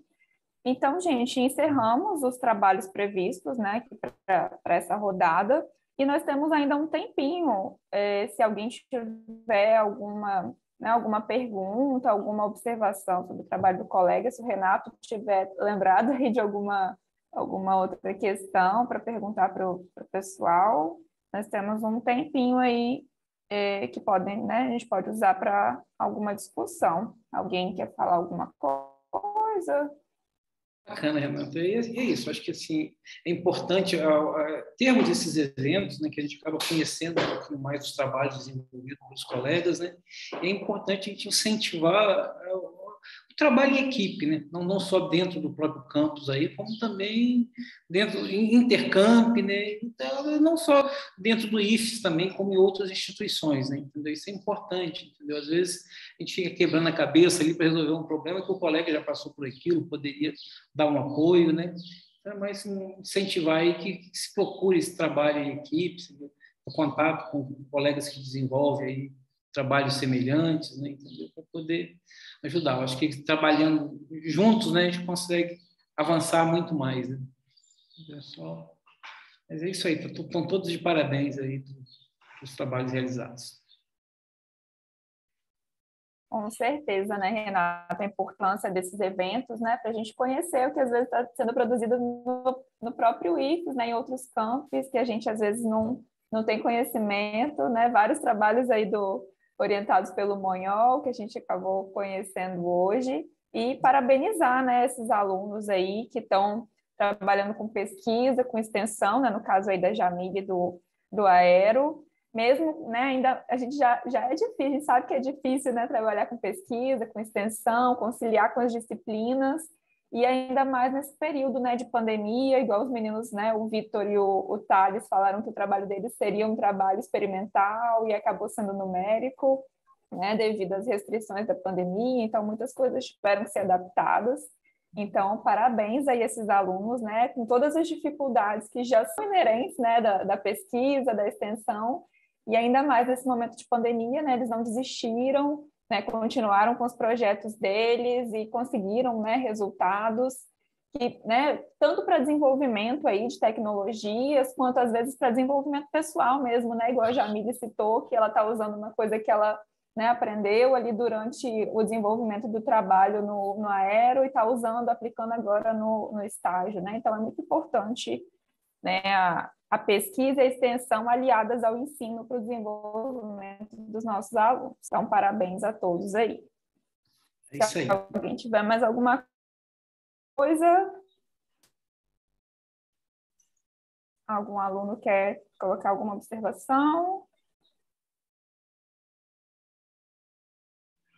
Precisa de algum dado aí ainda, Renato, para avaliação? Tá não, não está anotado direitinho aqui, depois eu, eu passo para os formulários da avaliação. Ok. Então, como, né, acho que os meninos não estão quietinhos aí, não, não vou falar mais nada. Então, está Tá, encerrada, né, nossa rodada aqui. E muito obrigado pela presença. Parabéns a todos e sucesso aí. Obrigado pela, pela essa oportunidade, gente. Valeu. Falou, gente. Tchau, tchau. Falou, gente. Boa Sucesso tarde. aí na Tchau, vida tchau. de vocês. Tchau.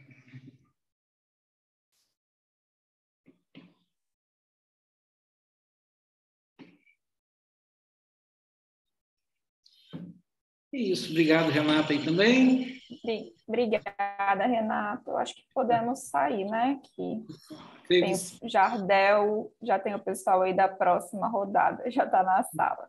Então, tá bom, um abraço. Tchau. Um abraço, tchau, tchau.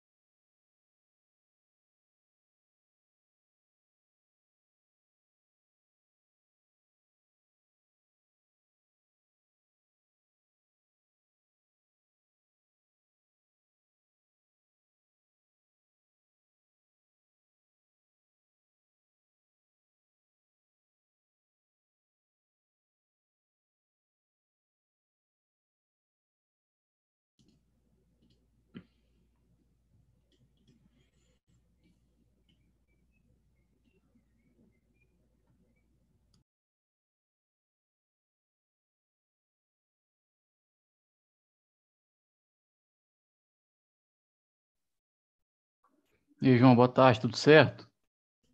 Boa tarde, tudo tranquilo? Tudo tranquilo, beleza.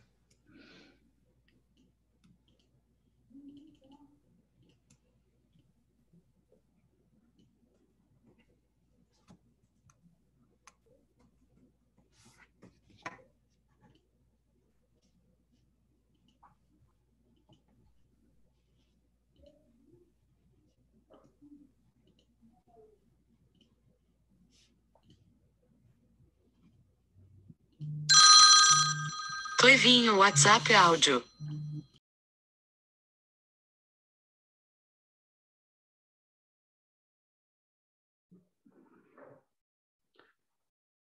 Bom.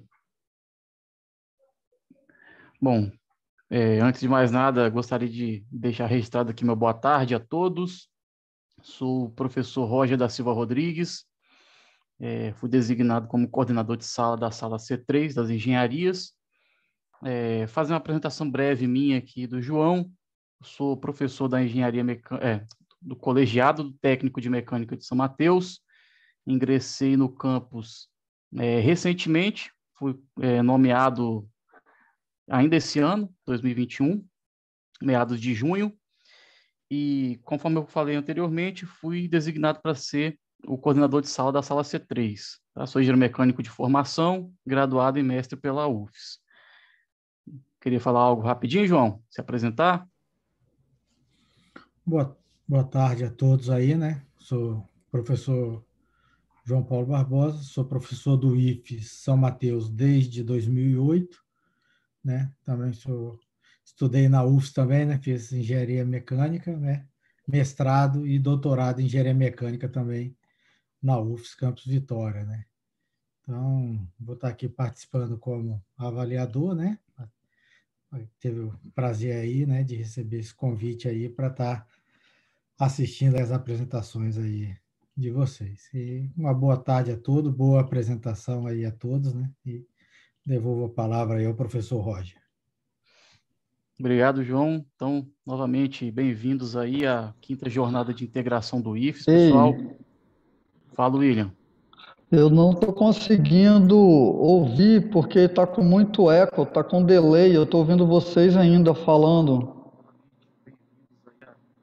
Eu, eu acho William. que eu vou precisar de sair e entrar não. de novo. Só um momentinho. Você está com a plataforma aberta, William? Porque está com muito eco, está com delay. Eu estou ouvindo vocês ainda falando. Ele deve estar tá com a plataforma aberta, pessoal. Só um momentinho.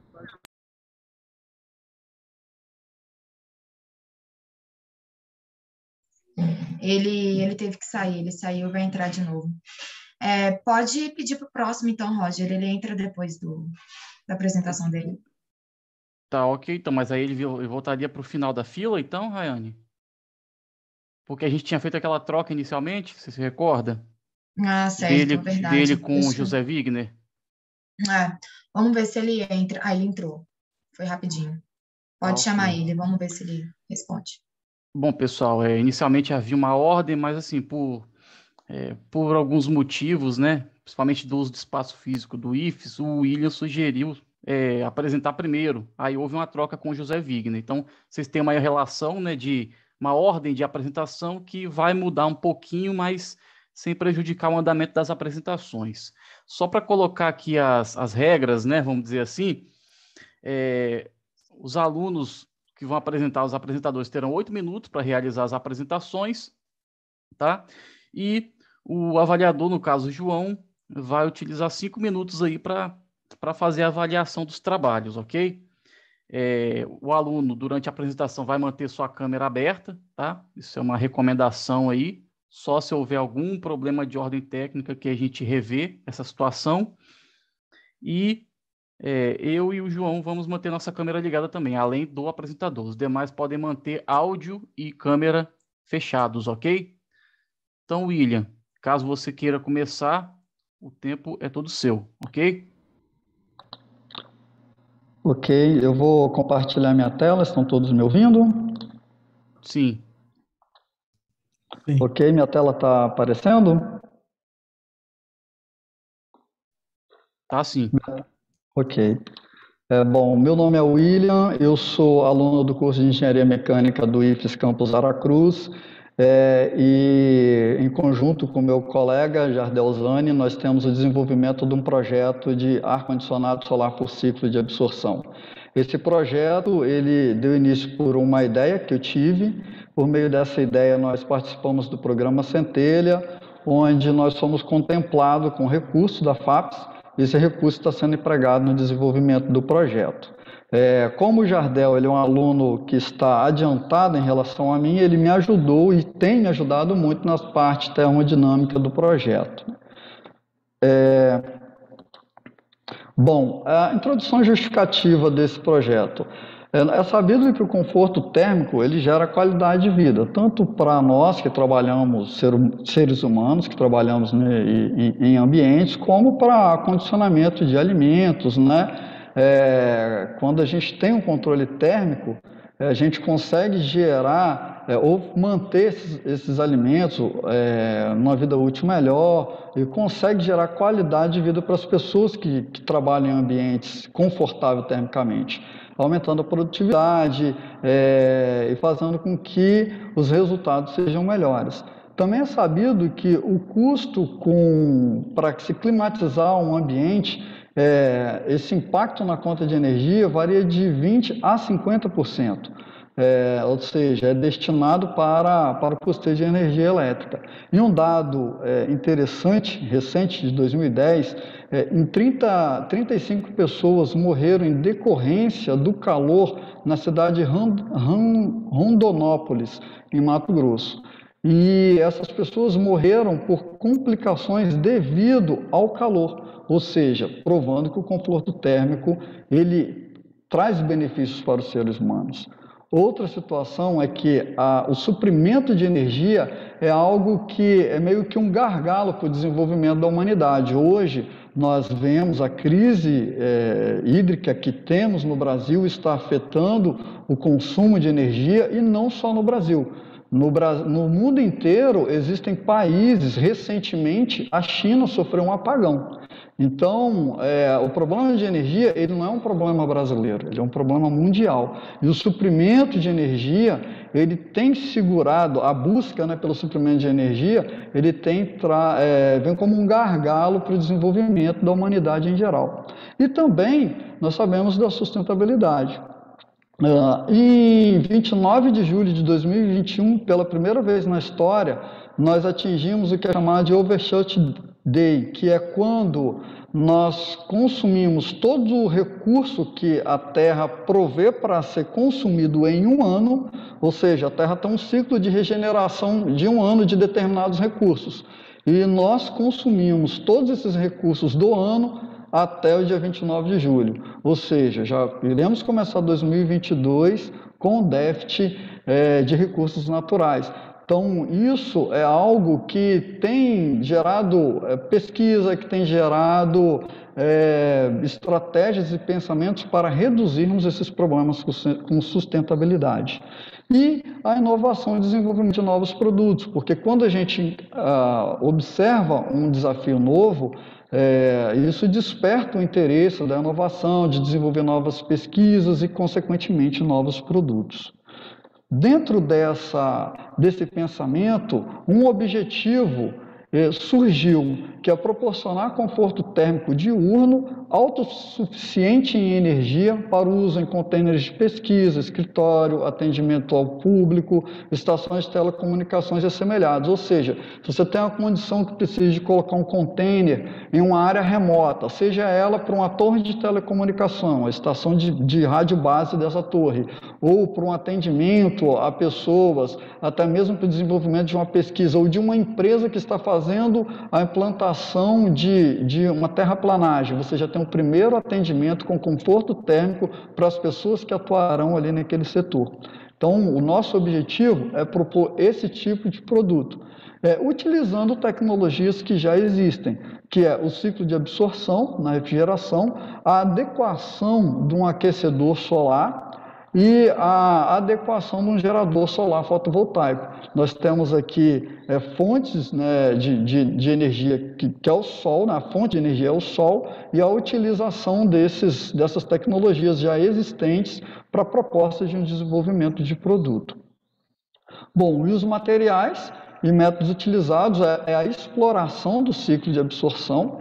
O ciclo de absorção na refrigeração ele foi utilizado no passado, amplamente utilizado, e com o advento da compressão, é, os compressores ganharam espaço e a, a, e a, dificuldade de você ter dentro de uma residência é, ou de, de, algum ambiente confinado uma chama acesa para um ciclo de, de absorção, isso fez com que ele saiu, é, caiu em desuso em, em pequenas escalas, né? grandes escalas ainda existe utilização.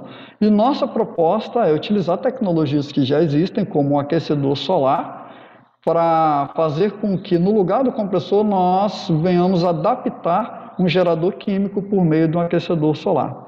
E utilizarmos um sistema é, de geração fotovoltaica isolado, com bateria, módulos, para o suprimento de energia elétrica para os equipamentos eletroeletrônicos.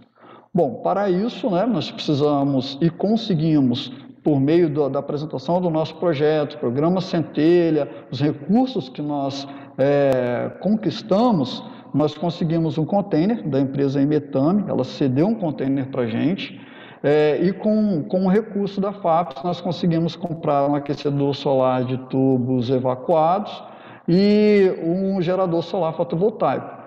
É, dentro dessa circunstância, nós estamos agora no, no, no passo da montagem de um laboratório para o desenvolvimento de, um, de uma proposta de produto ou de produto de pesquisa que com o objetivo de se tornar um, um produto de, de, de fabricação industrial. É, essas condições, por meio da pesquisa que vai ser apresentada pelo Jardel, nós, nós encontramos condições termodinâmicas aceitáveis para o container, com, com, com COP bastante interessante, de 63,75%, e nós temos alguns desafios de tubulação né, e até carga térmica de container a ser avaliada porque o container que a gente calculou era um e a gente conquistou outro. E nós temos condições é, para a fonte elétrica do gerador fotovoltaico muito promissoras, porque os módulos estão muito avançados e as condições de energia elétrica para os componentes elas serão supridas é, de forma a entregar o que a gente realmente precisa.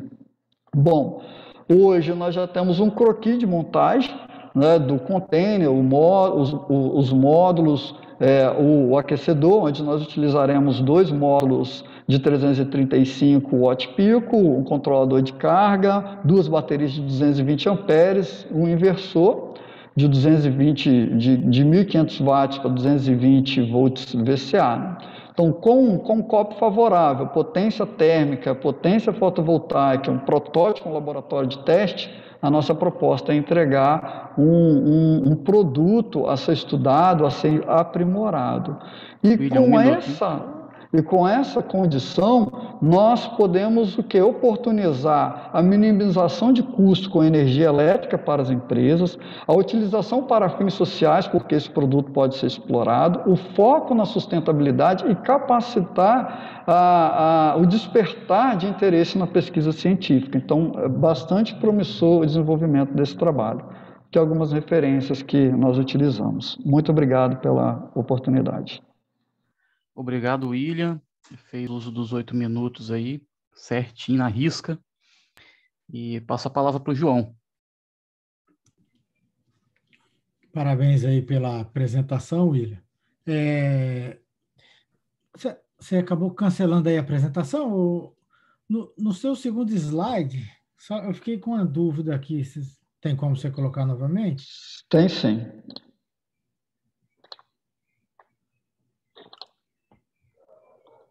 No segundo slide, objetivos. Isso, é, é, é uma dúvida que eu fiquei aqui, você proporcionar conforto térmico diurno, né? Isso aí. Você, mas lá na frente você tem esse diurno que você colocou aí, isso aí é porque vai precisar da energia solar. Isso, térmica e fotovoltaica. Isso. Mas lá você vai estar armazenando sua energia, né, em baterias, que também proporciona você utilizar no outro horário?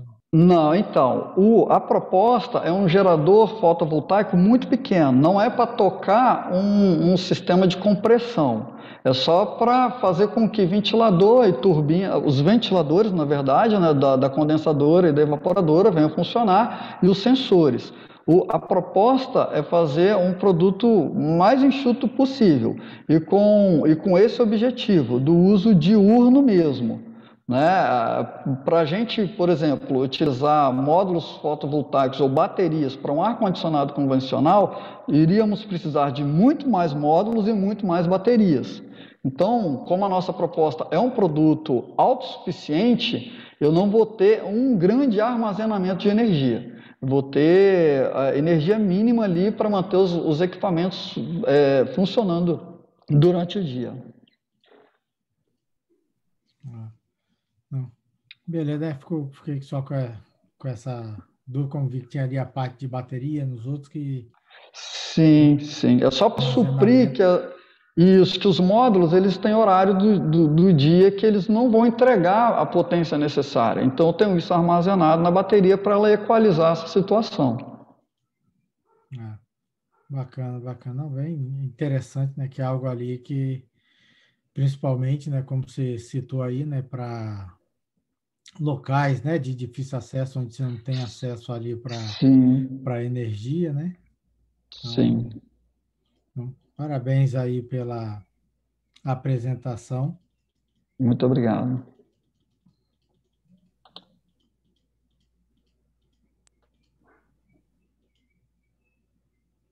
Beleza. Então, obrigado, William, pela sua apresentação. Meus parabéns pelo desenvolvimento do trabalho. Parabéns a você, ao, ao Jardel, que também fez parte de alguma forma, e ao seu orientador, né? Que eu estou vendo aqui, que é o Felipe Monhol. É, beleza. O, o Renan, que seria o próximo a apresentar, já está apto, Renan? Sim, sim. Vou transmitir a tela. Tá ok, então.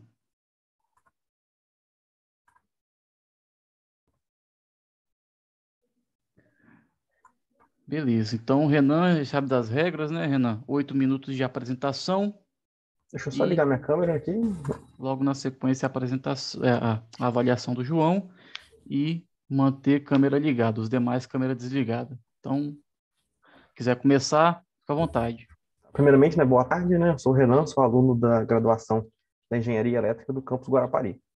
E durante o ano passado e esse ano, né, a gente fez um processo de automatização da rebobinadora para motores elétricos de indução. Essa é a fase 2, que é a continuação, que agora a gente quer montar a com o usuário, né? uma IHN. Então vamos lá. Então, os motores elétricos, né, com certeza, aí fazem parte da vida do nosso cotidiano, né, desde aí da geração, que são geradores, máquinas de grande porte, até dentro de nossas casas, né, geladeira, ventilador. Então, com certeza aí o motor é uma, uma, fez uma mudança muito grande nas nossas vidas. E na parte de aplicação industrial, ele é um dos principais tipos, um motor de indução trifásico, né? Porque ele apresenta baixo custo de manutenção e tem uma facilidade de controle da sua velocidade. E quando esse motor, né, essa máquina apresenta algum defeito, algum problema, você pode trocar o, a rebobinagem dele, né? Então você pode mudar a eficiência ou então botar uma melhor, né? Tem diversas formas de fazer. E essa é uma, em vez de você descartar essa máquina, você pode rebobiná-la, né, que é uma solução proveitosa, sustentável e ainda economicamente benéfica, que é um pouco mais barata do que você trocar todas as suas máquinas. E aqui no Espírito Santo, né, a gente tem a empresa Terene, que está no mercado há bastante tempo e já faz aí essa recuperação desses motores, que é o processo de rebobinamento. E para ajudar, para melhorar o processo deles, ajudar a reduzir perdas, diminuir o tempo do processo, e aumentar ainda mais a qualidade do serviço que eles já prestam aqui no Estado, um processo de automatização faz muito necessário para poder trazer essas vantagens ainda mais para a empresa. Então, o objetivo que a gente queria alcançar foi desenvolver uma rebobinadora automatizada para esses motores que atenda aí a, as especificações da empresa, que consiga atendê-los no dia a dia. E como a engenharia elétrica aqui no campus Guarapari é bem nova, já ajuda aí também a trazer empresas para o cotidiano aqui dos alunos e promover também a pesquisa e o ensino. Então, a gente teve que fazer um levantamento aí bibliográfico, né, principalmente dos, dos documentos e resultados que obtivemos no ano passado, na fase 1. Então, foi tudo catalogado para poder a gente dar continuidade nessa segunda fase. Utilizamos aí um fluxograma para trazer para vocês para apresentar as etapas e a, a diagramação dos componentes para a gente ver o que, que tem de interessante. Então, nossa nossa rebobinadora automática ela conta com esse microprocessador, microcontrolador, desculpa, que vai fazer todo o gerenciamento do processo. O motor de passo ele vai, vai usar a posição do, do, do filamento de cobre a, nas posições corretas para que a, o, a, a, bobina fique adequada, né? O visor LCD é para poder fazer a parte já de, da interface com o usuário, para que ele possa fazer a programação ali com poucos comandos. O aplicativo junto a isso, ainda traz aí a mobilidade da pessoa, não precisa ficar necessariamente próxima ao processo, ela pode se distanciar para fazer uma outra atividade, e depois ela recebe uma notificação, pode até parar o processo. E aí a foto da rebobinadora local lá da empresa. Então, é, o nosso, nosso programa, né, nossa ideia de, de automatização seria fazer primeiro o carregamento dos parâmetros iniciais, conforme está aí no nosso fluxograma. Então, vai carregar posição, velocidade, tipo de, de filamento, tipo do motor, é, o tipo da, da, da, rebobinadora que vai ser que vai estar conectada ali, vai fazer um, uma seção dos dados. Então, assim, ó, eu quero tantas voltas, eu quero mudar o meu, meu tipo de filamento, eu quero mudar, então eu posso fazer essa alteração rapidamente pela interface. E eu vou contar o número de voltas, vou passar para a próxima etapa, vou posicionar novamente todo o meu sistema e, e finalizando todo o processo, vai sinalizar pelo, pelo, pelo visor, né, pelo IHM e também pelo app, que aí a pessoa pode ir lá, o operador, e desmontar, pegar e continuar o processo. Então, é, para combater o problema real, que é esse descarte de, de motores, e aumentar ainda mais a facilidade de rebobinamento, esse projeto aí foi muito útil, a empresa é, tinha essa demanda que ela estava querendo resolver, além de combater também o problema ambiental e promover a sustentabilidade, né? E a gente conseguiu alcançar isso e esse trabalho também foi para consolidar tudo que a gente estudou aqui no, na graduação, né, como o curso ainda está começando, então isso tudo aí foi, ajudou bastante a, a consolidar os ensinos que a gente teve, principalmente na área de eletrônica e na parte de potência também. Então, agradecer, claro, né, a CNPq, que, que ajudou fomentando o nosso projeto e dando espaço aí para a gente realizar a pesquisa. Então, a gente traz umas imagens aqui para vocês entenderem. Então, nós temos aí o modelo 3D da estrutura, tanto da rebobinadora quanto da guia de fios. Então, essa é a posição no espaço, né? o formato que a gente, que a gente tem. O modelo dos moldes que a empresa usa, que é, a gente partiu desse modelo para poder atender a demanda. E um primeiro protótipo que a gente realizou, que tem já uma primeira IHM. A gente, infelizmente, não conseguiu fazer um EGM mais elaborado por causa de questões, questões aí de a empresa também é, e o campus fechados, né? Então, a gente não conseguiu levar para eles uma EHM com um LCD bonitinho, mas atendeu a demanda deles e, você, e eles conseguiram fazer bastantes é, pro, progresso lá no processo. Algumas referências. E, gente, muito obrigado pela atenção. Obrigado você, Renan, pela apresentação tá? Parabéns a você, Obrigado. a sua equipe de desenvolvimento, seu orientador, tá? É, nesse momento eu passo a palavra para o João, poder fazer a avaliação de vocês, alguma pergunta. João, fica à vontade. É, parabenizar, né, o Renan aí pelo trabalho, né, o pessoal, é, a equipe que trabalhou, que é algo que é bem interessante no, nesse trabalho de ser, que é ser voltado né, para a indústria, um problema de uma empresa local, né, onde uhum. vai estar aplicando ali o, o, o aprendizado para solucionar esse problema, né, e já teve, teve o retorno, né. Então, eu, se tinha uma foto, poderia, né, ali, não sei, o, o, você botou ali o, o desenho, o projeto, né, mas como passou, sabe, a, a empresa já estava trabalhando, né, não sei se não não conseguia uma, uma, uma imagem, se a empresa, de repente, não, não, não tinha liberado aí, né? é, é, É, infelizmente a gente não conseguiu né? Hã? Infelizmente a gente não conseguiu retornar lá esse ano, né? Para poder conversar com eles com calma. É que aí seria bem interessante ver ali, dá, dá para ter uma ideia ali do, do, do projeto, né? Mas, Uhum. como se diz? E, e- e quais as dimensões de, de motor para isso aí de rebobinamento que você tem? Você, isso aí você sabe informar ou, ou isso aí varia dependendo lá da... Que vocês prepararam foi a a parte eletrônica ali, né? Perfeito. Então, lá- na empresa eles, eles, eles reformam diversos motores, desde os pequenos até de quase assim, de um metro e meio de altura, né? São máquinas bem grandes. E o nosso processo de automação, ele independe da máquina, porque como ela vai ser interfaceada ainda com a... Dá, dá licença, eu voltar aqui. É, esse molde, eles têm vários tamanhos, desde pequenos até variando aí até grandes, para motor de grande porte. E a nossa interface ela vai ativar né, outros processos que eles já realizam para poder fazer isso. Então, independente do motor ser pequeno ou grande, você consegue adaptar. No caso específico, a gente eh, pegou um modelo de médio porte, um pouco maior que esse aqui, né, que é, é, é o que eles mais utilizam. Então, por isso que a gente focou nesse, que é o que eles fazem com mais frequência. Mas dá para adaptá-la para qualquer porte de, de motor. Para alterar as dimensões do porte ali de motor, você, você, aí você teria que fazer alguma alteração ali no, no programa, né? Que você tem no seu Isso, na, na entrada, né, tanto pelo, pelo app quanto pela IHM, você consegue alterar o tamanho do molde. A gente já deixa, deixou programado alguns, alguns modelos, que é o que eles mais utilizam, mas aí dá para fazer, po- pode fazer por fora, eu posso reprogramar né, minha, meu microcontrolador, mas lá já tem no histórico de alguns modelos e pode sempre atualizar conforme a necessidade deles. Hum, ah, bacana, bacana. Que aí atende a, a gama maior mesmo. Isso, né? perfeito.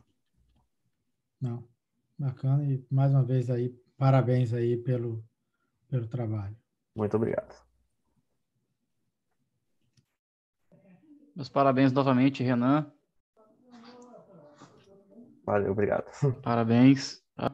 Agradeço aí novamente pela, pela sua apresentação. Transmito meu parabéns ao seu orientador, ok? Valeu. É, A Tainara, agora seria a vez da Tainara. Ta- Tainara, tudo certo aí?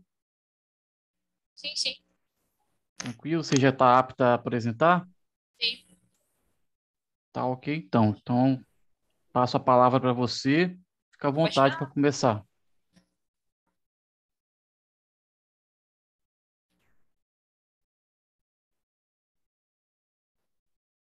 Tudo pra ver? Tá sim.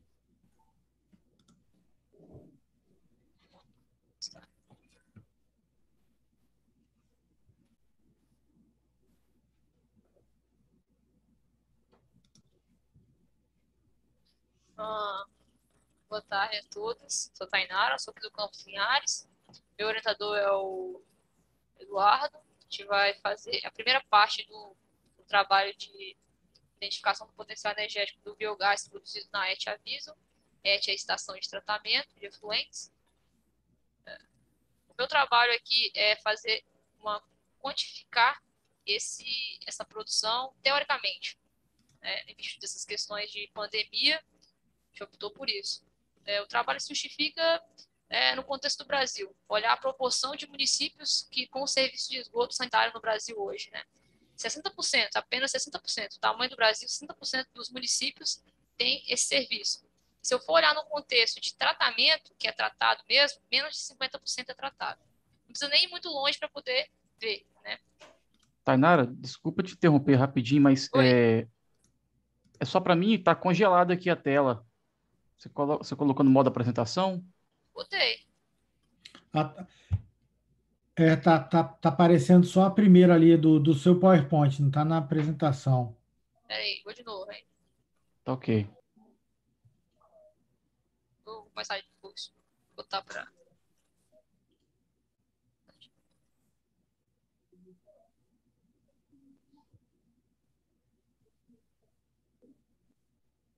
Esse passa. Passou? Agora sim. Boa. Pode continuar. É, vou botar. Ah, eu até esqueci onde eu estava. Ah, não precisa ir muito longe para você ver essa situação no, no, país, né? Só que nós tivemos um aumento aí é, no número de, de, municípios que são atendidos, se for olhar na década de 90 para agora, um aumento de 13%. Esse aumento se dá em virtude do uso dessa tecnologia que estou estudando, que é uh, os, os reatores anaeróbicos de fluxo ascendente e manta de lodo, que é o ASP do inglês, né? Então, esse, esse tratamento com esse reator, ele tem um subproduto, um dos, né? Nós temos outros subprodutos.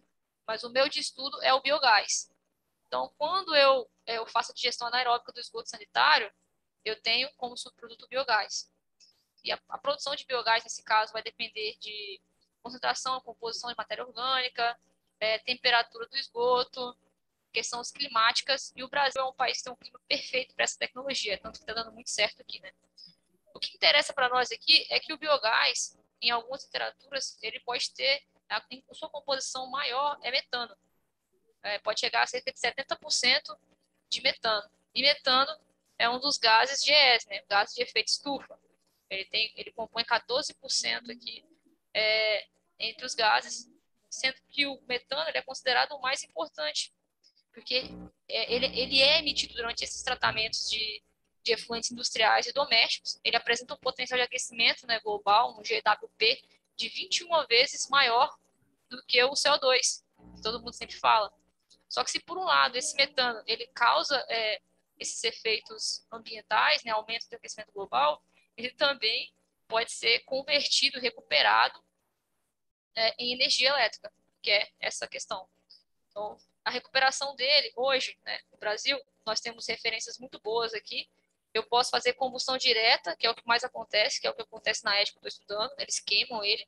Posso usar para gerar calor em caldeiras, secadores, que é usar o lodo para como energia. E eu posso também utilizar que é o que eu quero fazer, que é combinar, usar motores, turbinas e micro, microturbinas. Aqui algumas reportagens novas, né? Essa área vai receber muito investimento, a gente precisa diversificar. A gente precisa diversificar. Ah, meus objetivos era revisar a literatura, né? Porque é um, é, uma, é uma, um trabalho que tem muita química, e eu faço engenharia de controle e automação, né? É, ver o que tem produzido também, quantificar a produção média de metano, que é o metano é o meu principal componente, realizar previsões do potencial energético e determinar as possibilidades de utilização de acordo com essa ET. É, eu cumpri todos os objetivos. A revisão de literatura, acabei, é, o Brasil é um dos, pioneiros nisso, o Brasil está na frente nesse, né, nessa questão. A quantificação média, eu utilizei um uma metodologia proposta pela Lívia Lobato, a doutora, ela é especialista nisso, eu utilizei um software chamado ProBiogás. Eu tive um problema que esse software ele não atendia algumas faixas que eu precisava, então eu tive que fazer é, na mão mesmo Excel, tive que extrapolar e fazer isso. E, e as previsões que eu fiz, é, eu não pude medir em louco, que é o, que eu, é o próximo passo né, do projeto. Eu utilizei os dados que o SAI me, me deu. É, temos um problema com os dados, né, que esses dados eles são, eles não são medidos no local, eles não são medidos é, eles não têm uma, uma frequência. Eles vão para o laboratório e é medido. Então, eu tive que extrapolar para eu conseguir ter uma, uma boa, uma, uma melhor resultado aqui e determinar as possibilidades é, para essa, essa, esse caso. Aqui é meu reator WASP, lá da ET. Eu tenho, eles têm um projeto para expansão, já está já tá na mão já. Então vai aumentar acho que mais dois reatores eles queimam hoje, eles queimam o biogás produzido lá. Uh, eu dividi em duas partes, né, revisão biográfica, eu fiz um estudo do local, é, temperatura, características, vi as outras possibilidades também de conversão de energia lá, é, como que eu poderia também fazer para não ter um gargalo quando eu for colocar no local para medir. Ah, os levantamentos de dados, eu utilizei os dados do SAAI, do INCAPé, é, do ano todo. É, potencial energético, como eu falei, eu utilizei é, o trabalho da Lívia Lobato, né, com orientação do doutor Chenicharo, que ele é um especialista no Brasil nisso, está na frente, Minas Gerais. Eu visitei uma ética que, ele, que eles fizeram um trabalho, inclusive, é, e a demanda energética da, da, estação, eu vi quanto que a estação gasta é, nesses últimos anos com energia. Ah, no período que eu monitorei, é, a vazão é extremamente importante nesse cálculo. Eu consegui 78 litros por segundo, né? Uma produção volumétrica no pior é, cenário de 817 Nm por, por dia. Eu, eu estimulei três é, estados, né? um pior, um típico e um melhor. Ah, a possibilidade de geração de 1.309 kWh por dia, sendo que a demanda da, da ET é de 366,8 kW por dia, watt-hora por dia. Então, aparent, é, teoricamente, compensa é, a gente é, investir nessa tecnologia. É, os, os, meus cálculos foram baseados na tecnologia de microturbinas, que para fazer o cálculo precisa de uma eficiência, né? E eu utilizei microturbinas porque era melhor o tamanho da ET. É uma ET de pequeno porte, costuma ser usada tecnologia de microturbinas. Agradecer ao IFES, né, pela colaboração, o SAAI e o INCAPé também. E aqui minhas referências. Beleza, Tainá. A gente também te agradece aí pela apresentação. Obrigado pelo, pela sua explanação. É, é uma área que particularmente eu gosto, né, essa parte, parte térmica. Eu gosto bastante, inclusive foi minha formação. João, passo a palavra para você. Fica à vontade para poder avaliar e fazer as perguntas que forem necessárias. Parabéns aí, Tainara, pela apresentação, né? É um, um tema aí que é bastante relevante, né? Devido hoje em dia tudo você tem que aproveitar ao máximo, né? Então, na empresa, tudo que deve ser gerar aí energia, gerar aí força, é, é, é, calor, né? Tudo aí se, se utiliza. Eu fiquei só lá nos seus objetivos, Tainá. Você, você acabou que deu uma, uma, uma, uma passada aí, né? Levantou, fez a, a revisão. Né? É só um, um, um, detalhamento um pouco maior ali, né? Fiquei um pouco a dúvida, essa quantificar a produção média do metano, né? Você falou que você pegou os dados da SAI, fez uma parte ali para Excel, outro de um software, né? Só aí fiquei um pouco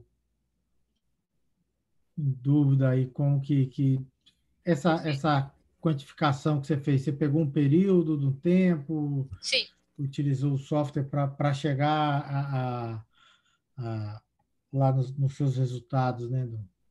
Sim, professor. É, eu peguei o período, todo o período que eu tinha de dados, é vai desde 2013.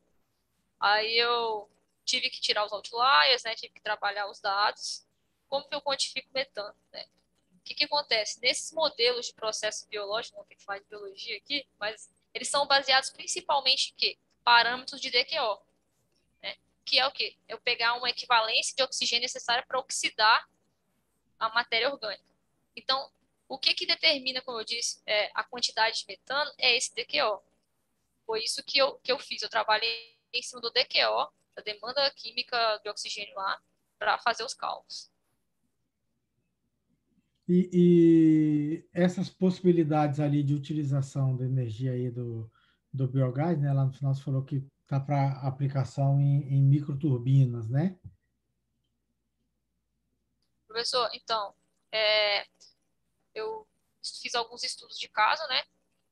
Esse, esse doutorado da Lívia, principalmente, foi, ela está muito bem, muito bem ocupado mesmo. Ela fez um estudo em, acho que, sete estações de tratamento. Eu fui em uma.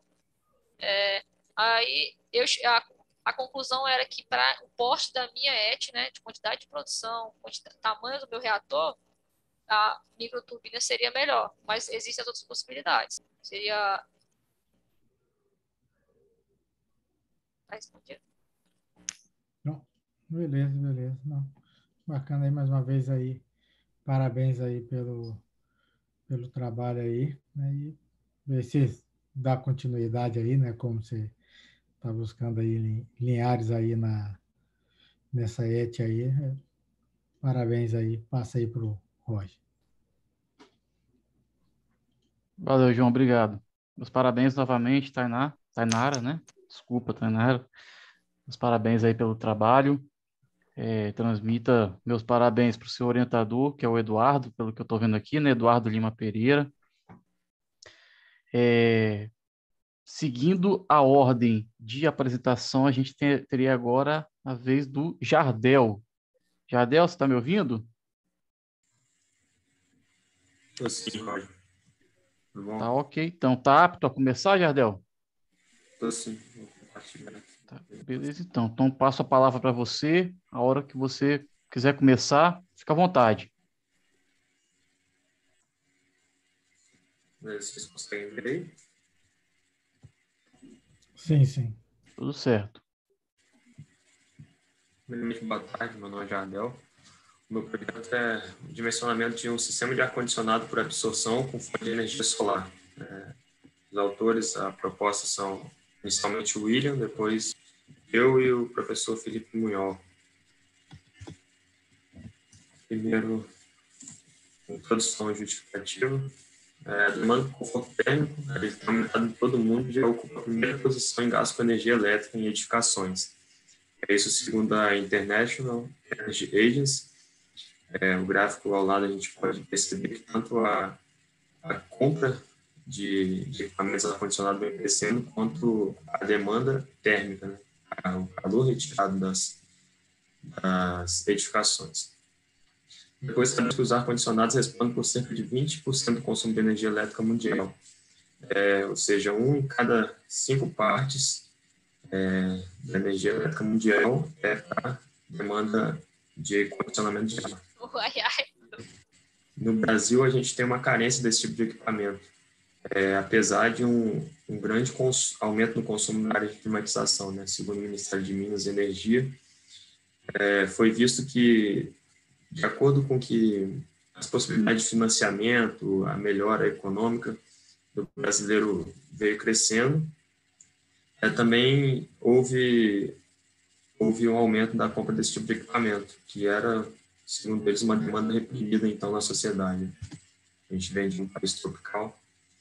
O objetivo é desenvolver um projeto técnico de ar-condicionado solar com ciclo de absorção que seja economicamente viável para posterior fabricação. Bom, os materiais e métodos. Primeiros materiais, a gente vai precisar de um, um computador, né, com um bom desempenho, é, bom processador, é, e que rode os softwares que são descritos ali. O software, primeiro, o EAS, né, que é o Engineering Equation Solver, é, ele faz as modelagens térmicas é, do ciclo. O Microsoft Excel, que a gente precisa fazer alguns cálculos interativos. Depois o AutoCAD, que a gente precisa do, de desenhar o esboço né, do equipamento. Depois os livros bases e literatura especializada no assunto. É, vocês podem ver na figura ao lado, na direita, é um exemplo de um ciclo solar por absorção. Está descrito cada componente dele e cada tubulação também. É, cada linha de tubulação. Né? O que, que a gente precisa definir nesse ciclo? A potência dos componentes é, a energia que a gente vai necessitar de absorver e equipamentos como as tubulações, as válvulas, a gente precisa definir todos eles. Então, os métodos, primeiro, é pesquisar tecnologias existentes e adaptações possíveis. Uma adaptação proposta foi que o, o gerador nosso ele fosse feito com um coletor solar de tubos evacuados, é uma proposta nova. A gente já tem alguns funcionando com fogareiro com energia solar, só que de forma diferente, com concentração, com espelhos, é, designando a luz solar para um ponto, um foco, mas o coletor solar ainda é uma, uma aplicação nova, ele que, é o nosso, a nossa proposta. Depois a simulação computacional do ciclo, né, no, no software ES, com a de parâmetros de entrada, como temperatura, pressão do fluido, é, temperatura de subresfriamento superaquecimento. Depois, alguns cálculos dinâmicos para determinar o diâmetro das tubulações e o desenho técnico com a disposição dos elementos. É, nos resultados, a gente encontrou que as vazões máximas em cada linha são as descritas aí, nas linhas estão descritas. Abaixo das vazões máximas estão as potências de cada equipamento que a gente vai utilizar, é o trabalho da bomba e o COP, né, o nosso coeficiente de performance, é uma espécie primária de eficiência do ciclo. E ao lado à direita pode ver os esboços que foram feitos à mão e depois foi passado digitalizado, né, e passado para o AutoCAD dos elementos é, em cima de um container é, tamanho padrão, que foi o que foi cedido pra, pela empresa Inmetano para a gente. Depois as dimensões de cada tubulação, de cada trecho da tubulação, a gente retirou pelo desenho as dimensões e calculou com base em cálculos interativos né, é, o diâmetro que seria necessário para as tubulações para comportar o fluido. É, e na tabela 3 a gente pode ver a energia absorvida pelo coletor. A energia absorvida pelo coletor foi de 8.400 watts, suprindo e com sobra é, a demanda energética que foi calculada na tabela 1, é, a demanda do gerador, ou seja, o projeto se apresenta viável. Conclusões são que o sistema é teoricamente possível de ser implementado, a energia que é gasta é menor que a absorvida, é, o sistema Vale lembrar que está superdimensionado, a gente usou, utilizou, valores de subresfriamento e crescimento acima, é por se tratar de um projeto teórico que vai ser posto em prática. A gente deu alguns, algumas folgas, e a carga térmica também a gente pegou de um container maior, ou seja, é, essa demanda deve ser suprida com, com folga. Então, os próximos passos é a compra dos equipamentos, alguns deles já foram comprados, já estão no campus, é, a montagem do protótipo, agora com a chegada do container vai ser possível, e verificar na prática a teoria que foi estudada e pesquisada. Por últimas referências foram utilizadas.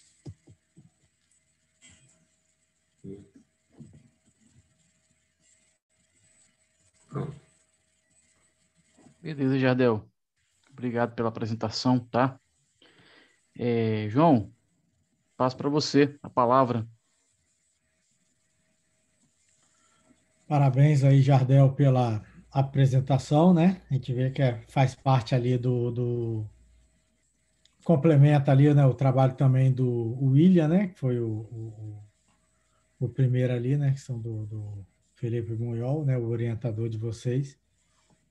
Parabéns aí. Eu o, o, o, algo né, que parece ser bem, bem simples ali, mas é, é, é, é interessante até mostrar o que você mostrou ali, o seu esboço, né, que você colocou ali no slide, bem pequenininho, né, mas ali é a partir daí que sai, né? Então, isso aí é, é algo que eu acho muito interessante, né? Então, para uma apresentação, assim, lógico, para o seu trabalho, né, ali, é, é, é um trabalho escrito, tudo ali, não não cabe tanto, mas acho que até poderia ter explorado um pouquinho maior esse, esse desenho, botado maior, porque a partir dele ali a gente tem até uma riqueza maior de detalhes do que o, o desenho que você fez, né? Como ali a, as dimensões ali ficou bem, bem feito. Não está pequeno, não dá para ver tanto, mas parabéns ali, dá para ver que você gosta bem aí de, de fazer os desenhos, né? simbologia de válvula, né? Você vê que tem, tem um detalhamento bem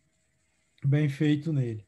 Eu, eu senti uma, uma falta aqui, que eu, eu não sei se você, como já está o projeto, já chegou o material que você falou, né? Tem ali, já separou as tubulações, né? Já, já, já tem a, a, a especificações. Você chegou a fazer o projeto de tubulação dele?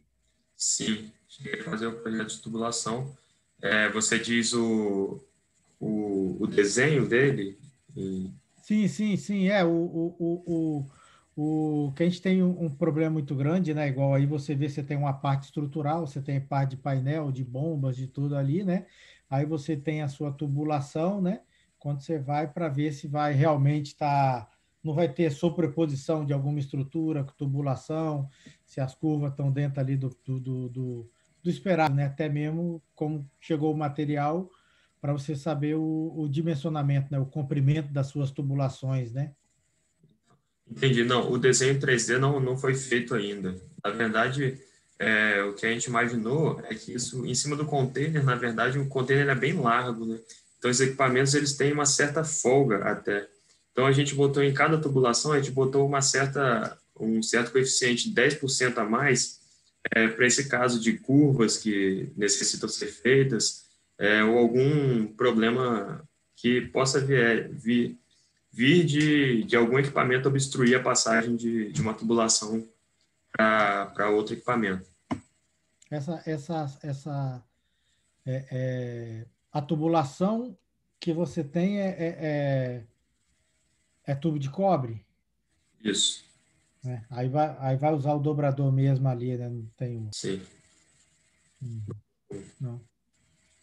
Beleza, só essa parte aí, né? Que senti um pouquinho mais bem interessante aí, né? Assim como falei lá pro, pro William, né? Que é bem interessante aqui, é do mesmo projeto, né? Para atender aí, no seu caso, estando ligado ali a parte da captação né, de energia, de, de térmica solar ali para geração de energia. É bem interessante, quem sabe tem alguns pontos ali que são complicados a chegada de energia, né, principalmente no interior, locais mais distantes.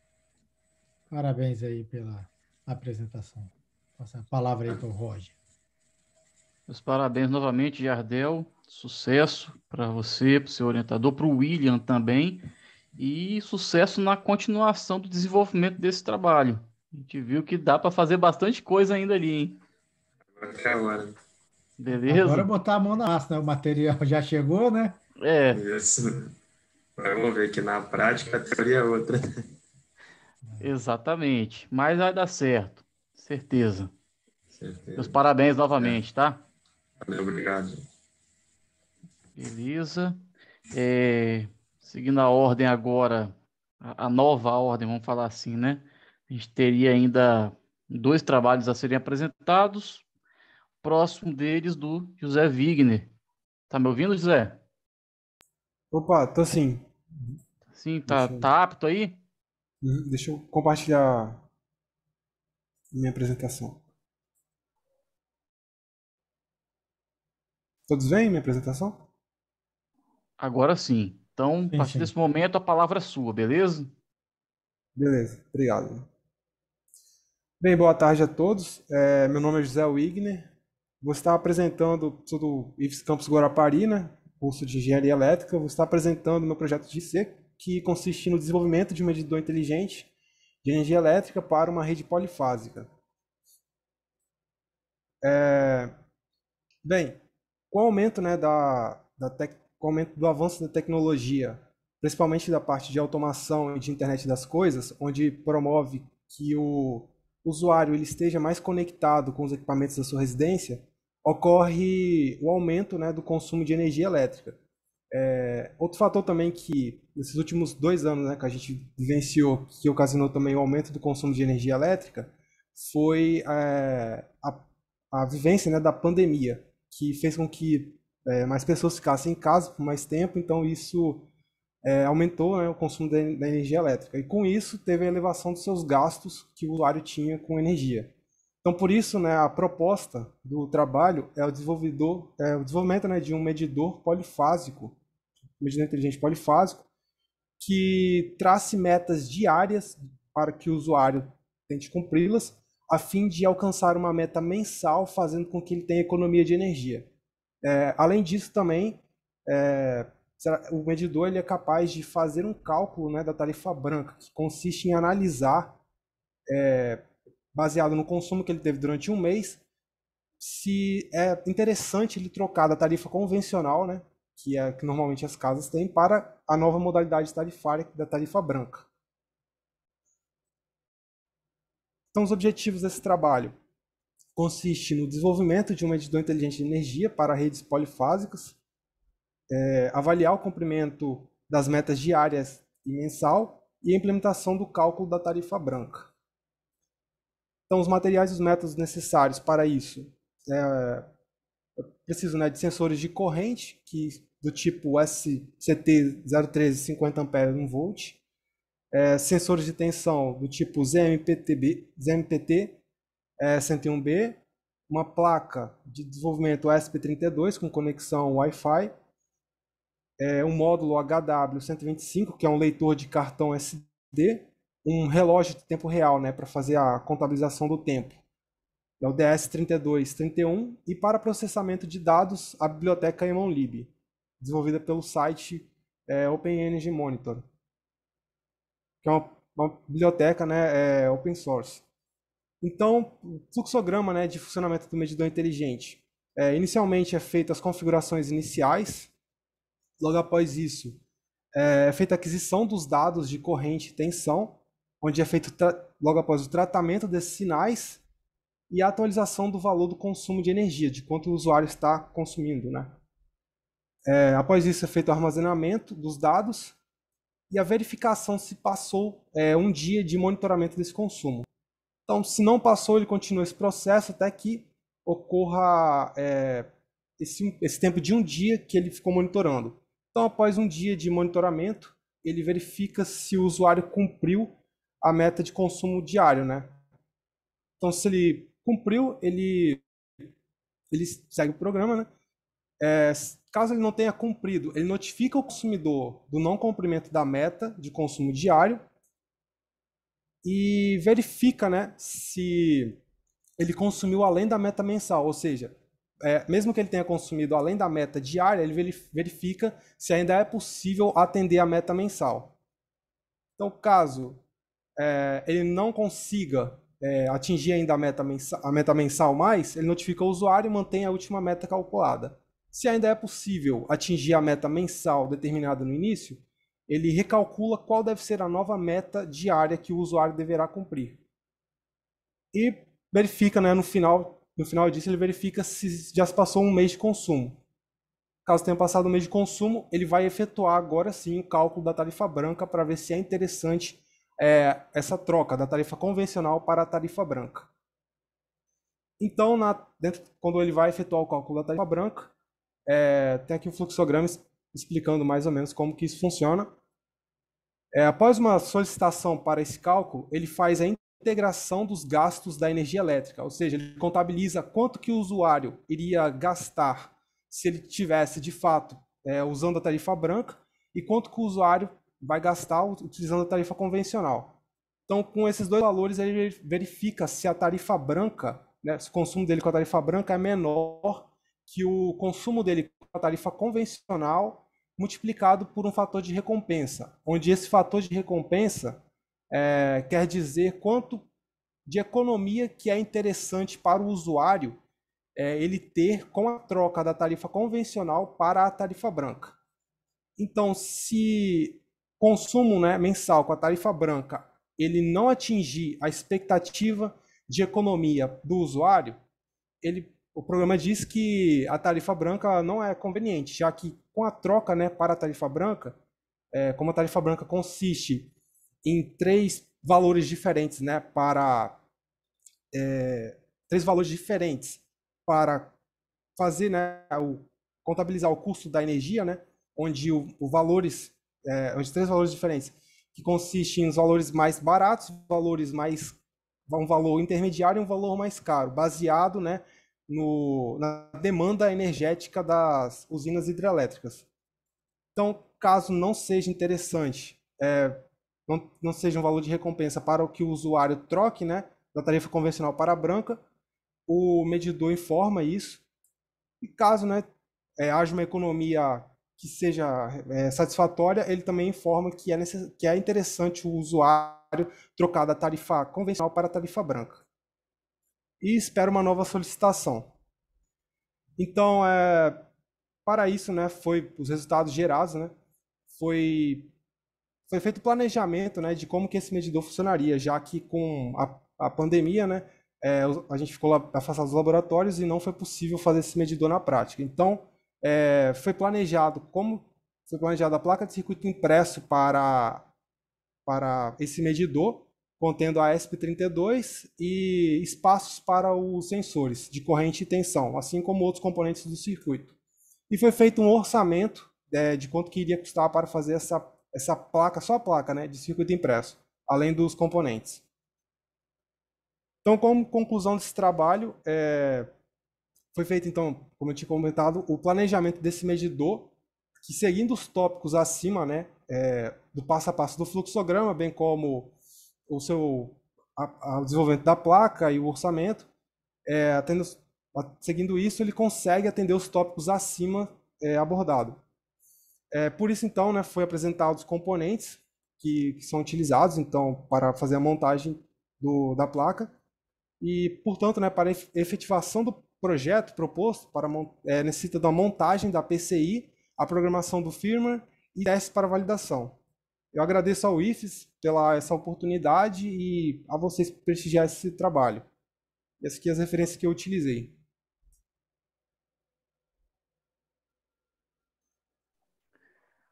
Ok, José. Meus parabéns aí pela apresentação. Oito minutos certinho. Durou. Você treinou, você treinou certinho para apresentar em oito minutos, hein?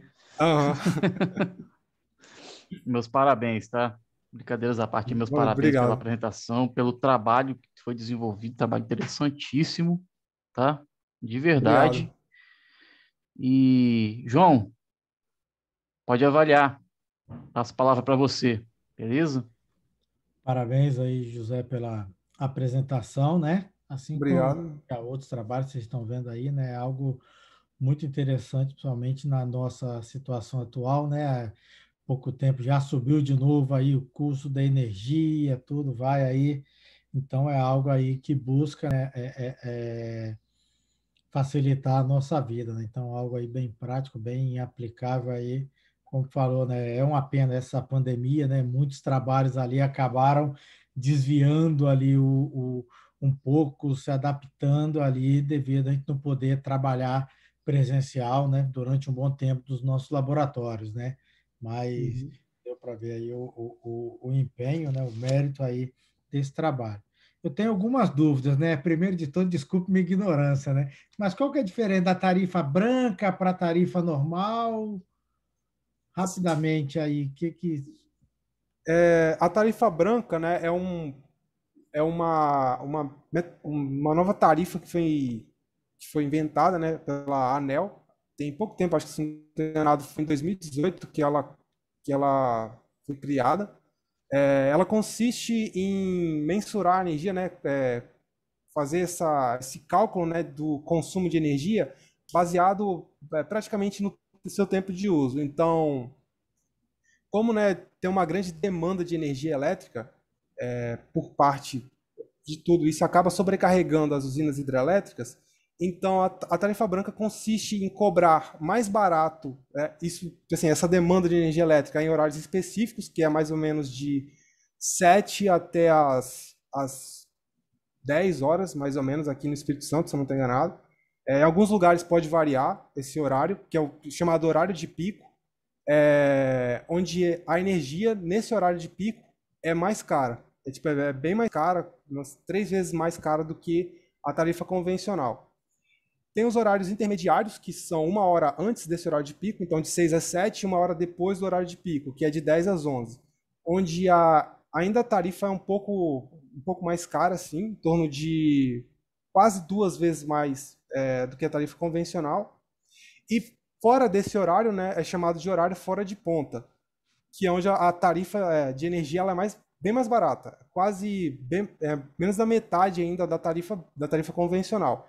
Então, se acontecer né, de, do consumidor ele conseguir é, agrupar o seu consumo de energia o máximo possível nesse horário fora de ponta, né, ele vai conseguir é, ter uma economia boa de energia, né? Porque, tipo assim, ele vai consumir mais no horário em que a, a conta de energia é bem mais barata do que nos horários de intermediário e de ponta.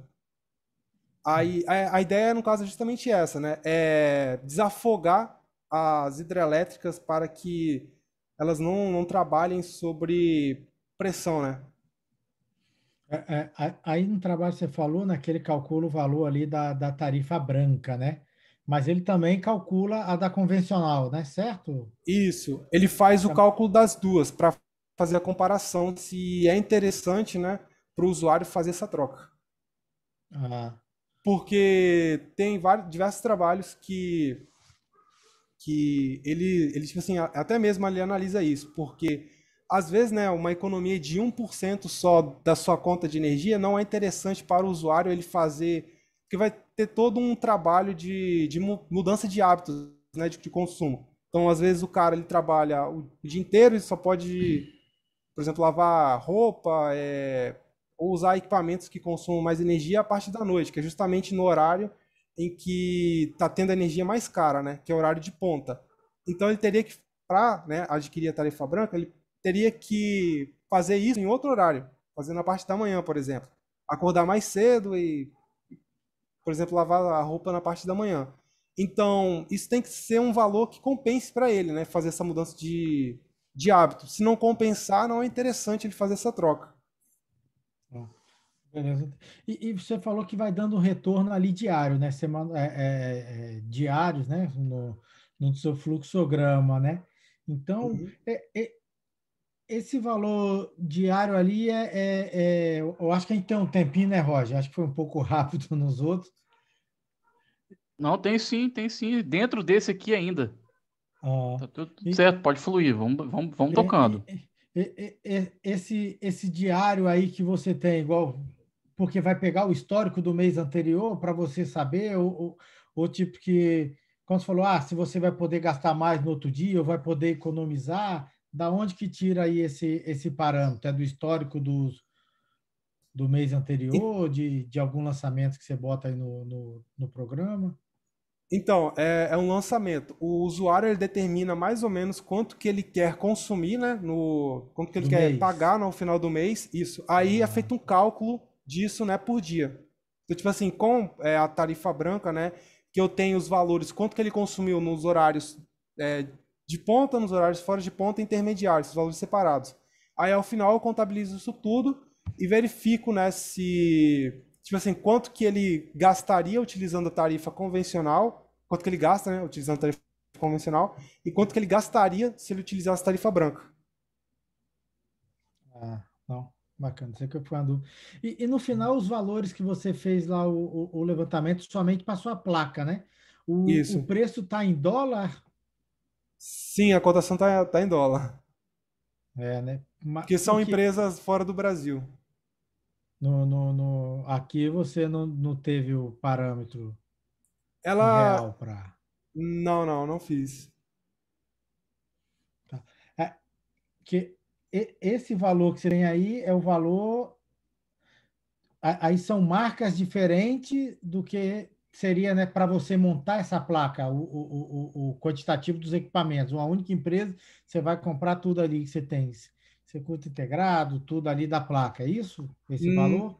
Na verdade, esse daqui é um orçamento só da placa impressa, não é dos componentes em si, para fazer só essa, essa, essa parte de, de, fazer as trilhas, né, a placa de fenolite, é, ele, ele fazer, né, de fato a placa e trazer furada para mim.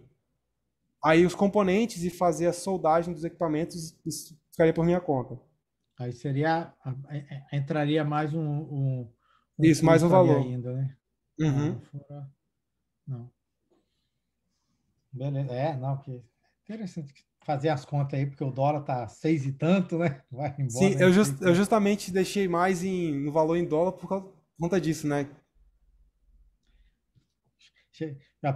Quando você fez aí um mês atrás, já era outro valor, né? Já era mais barato. É. Né? Uhum. Não, mas parabéns aí, bem, bem interessante mesmo aí, né? E é algo aí, né, que a gente usa no dia a dia, né?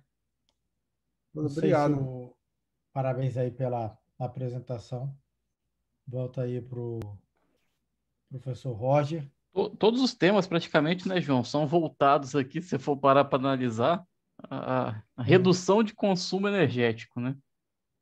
É, é, bem, bem, bem interessante, né? E o, o os trabalhos, não sei, acho que finalizou a, a, a a Maria Luísa chegou? Vai ter o dela ainda? É, você sabe? É, finalizar não finalizou porque precisaria da Maria Luísa para encerrar, mas até agora a gente não obteve contato dela. Não sei se ela já está apta a fazer a apresentação. Você conhece essa aluna, João? Está aqui que é do Campo São Mateus? É, não, não. Não, não, não conheço, não. Maria Luísa Carvalho, do é. Santos Récula de Jesus. É orientada do Jardel aqui, mas não, não sei. Não, que é, que é falando aí, né? Parabéns aí a todos aí que a gente vê, né? Que são, são temas ali bem, bem interessante, bem que nos motiva aí bastante ainda, ainda mais estar tá, tá trabalhando, cada um você acaba, nossa, que interessante seria, né? Essa parte aí do, do até mesmo você tem do, do ar-condicionado. Pô, será que dá para botar então aqui na minha casa, economizar uma energia? Sim. Esse aí para fazer o, o, o, o, a medição da bandeira, né? Você já fica Sim. pensando aí.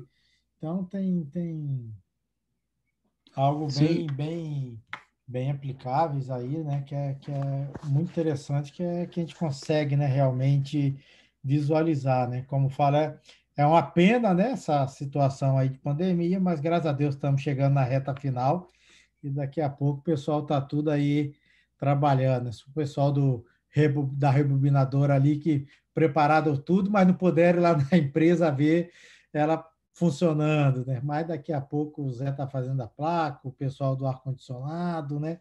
A, a, do biogás já vai estar tá trabalhando lá na, na, na, na SAI, lá junto lá de, de Linhares. E, e, e, e, aí que interessante, saiu do papel, né? Que aí é o que enche os olhos aí, apesar dos vários problemas aí que vão surgir a mais.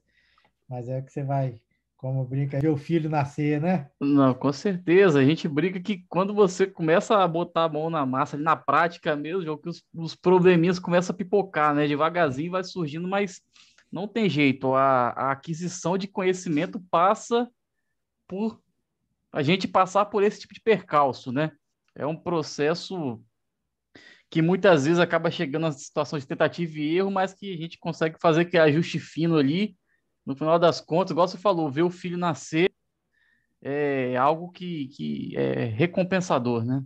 É, aí é, é... Essa, essa, parte, não sei aí do, do, do, dos alunos, né? Então, pelo, pelo que eu vi na apresentação, né, eu creio que eles devem devem estar dando continuidade a esse trabalho agora deles, né? Não sei se nenhum teve ali, é, é porque o tempo é muito curto, né? Colocando ali como trabalhos futuros, né? Tipo, ah, vamos agora dar continuação. O pessoal do, do, do ar-condicionado que falou, agora chegou o material, a gente vai começar a montar, né? Então, creio que eles devem estar aí dando continuação. Os demais aí, né, também aí vão estar trabalhando aí, que é, que é, que é interessante, que é a hora que você começa a linkar tudo aí. Mas parabéns a todos os alunos aí, então, excelentes apresentações, excelentes trabalhos, né? Parabéns a eles aí, os orientadores deles.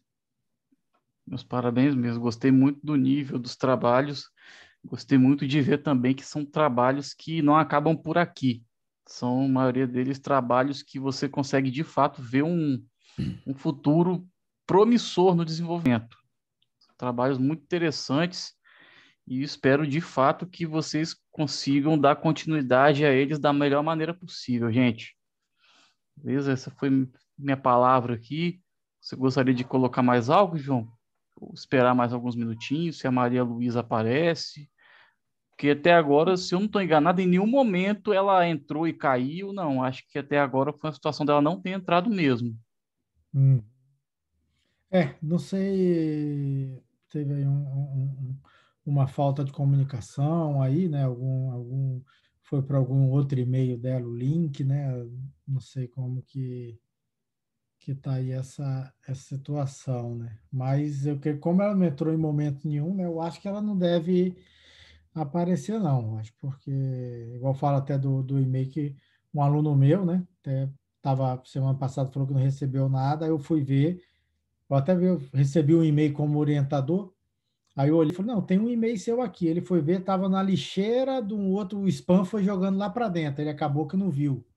Aí eu que mandei para ele o link da sala dele e tudo, né?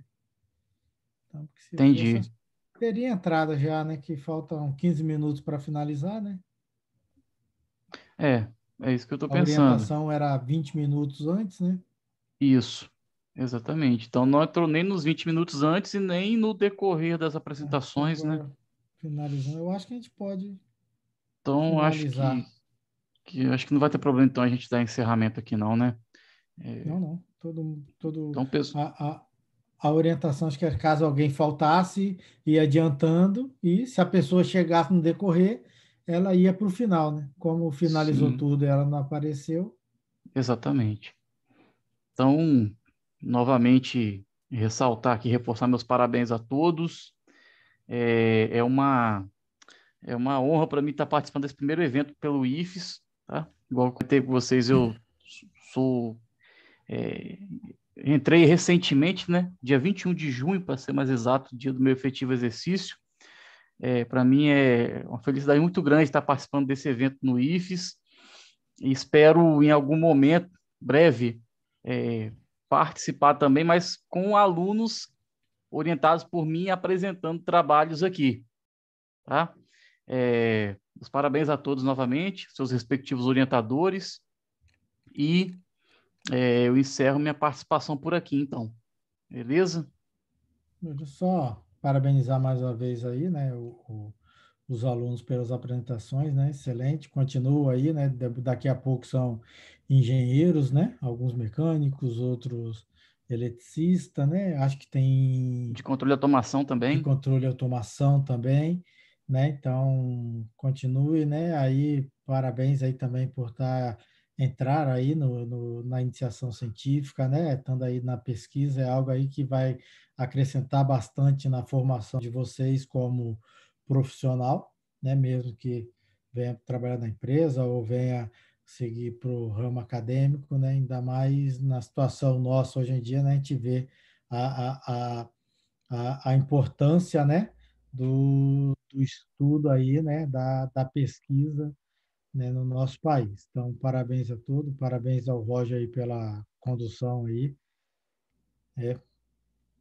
Até mais aí. Boa semana a todos. Valeu, João. Abraço a você, abraço a todos. Pessoal, até a próxima, hein?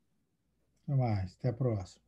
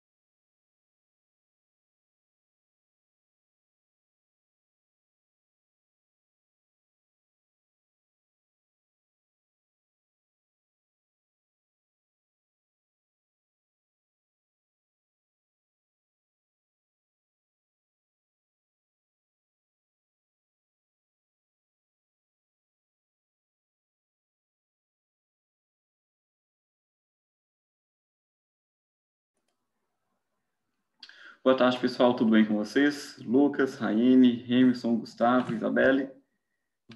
Chamo, tudo tarde. Boa tarde. Boa tarde. Quem não me conhece ainda, sou o professor Cristiano, sou professor aqui do campus São Mateus, é, no, no curso de Engenharia Elétrica, e vou acompanhar aqui vocês, hoje como mediador da sessão D3 né, da jornada de integração do IFES, mais precisamente da jornada de pesquisa. Aqui, então, a gente vai falar sobre um pouquinho de engenharia. Os alunos vão apresentar os trabalhos que eles desenvolveram ao longo de um ano aí de bolsa. É, são cinco trabalhos né, que estamos planejando aqui para essa sessão. Alguns estudantes ainda estão chegando, mas eu vou apresentar de forma bem geral o que é, quem são esses alunos, quais são os trabalhos.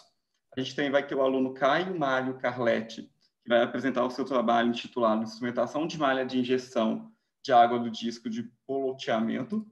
É, ele é um aluno da Serra. Também aluno da Serra, a gente vai ter o aluno Remison de Araújo Nascimento, que vai apresentar o trabalho intitulado Instrumentação da malha de manipulação da taxa de alimentação de minério de ferro no disco de pelotamento.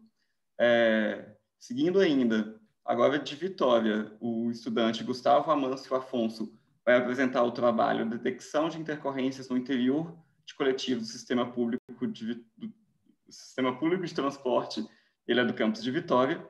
Ainda do Campo da Serra, temos o aluno Wellerson Oliveira da Silva Valeriano, com o título do trabalho Implementação do controle da granulometria através da manipulação da rotação do disco de pelotamento.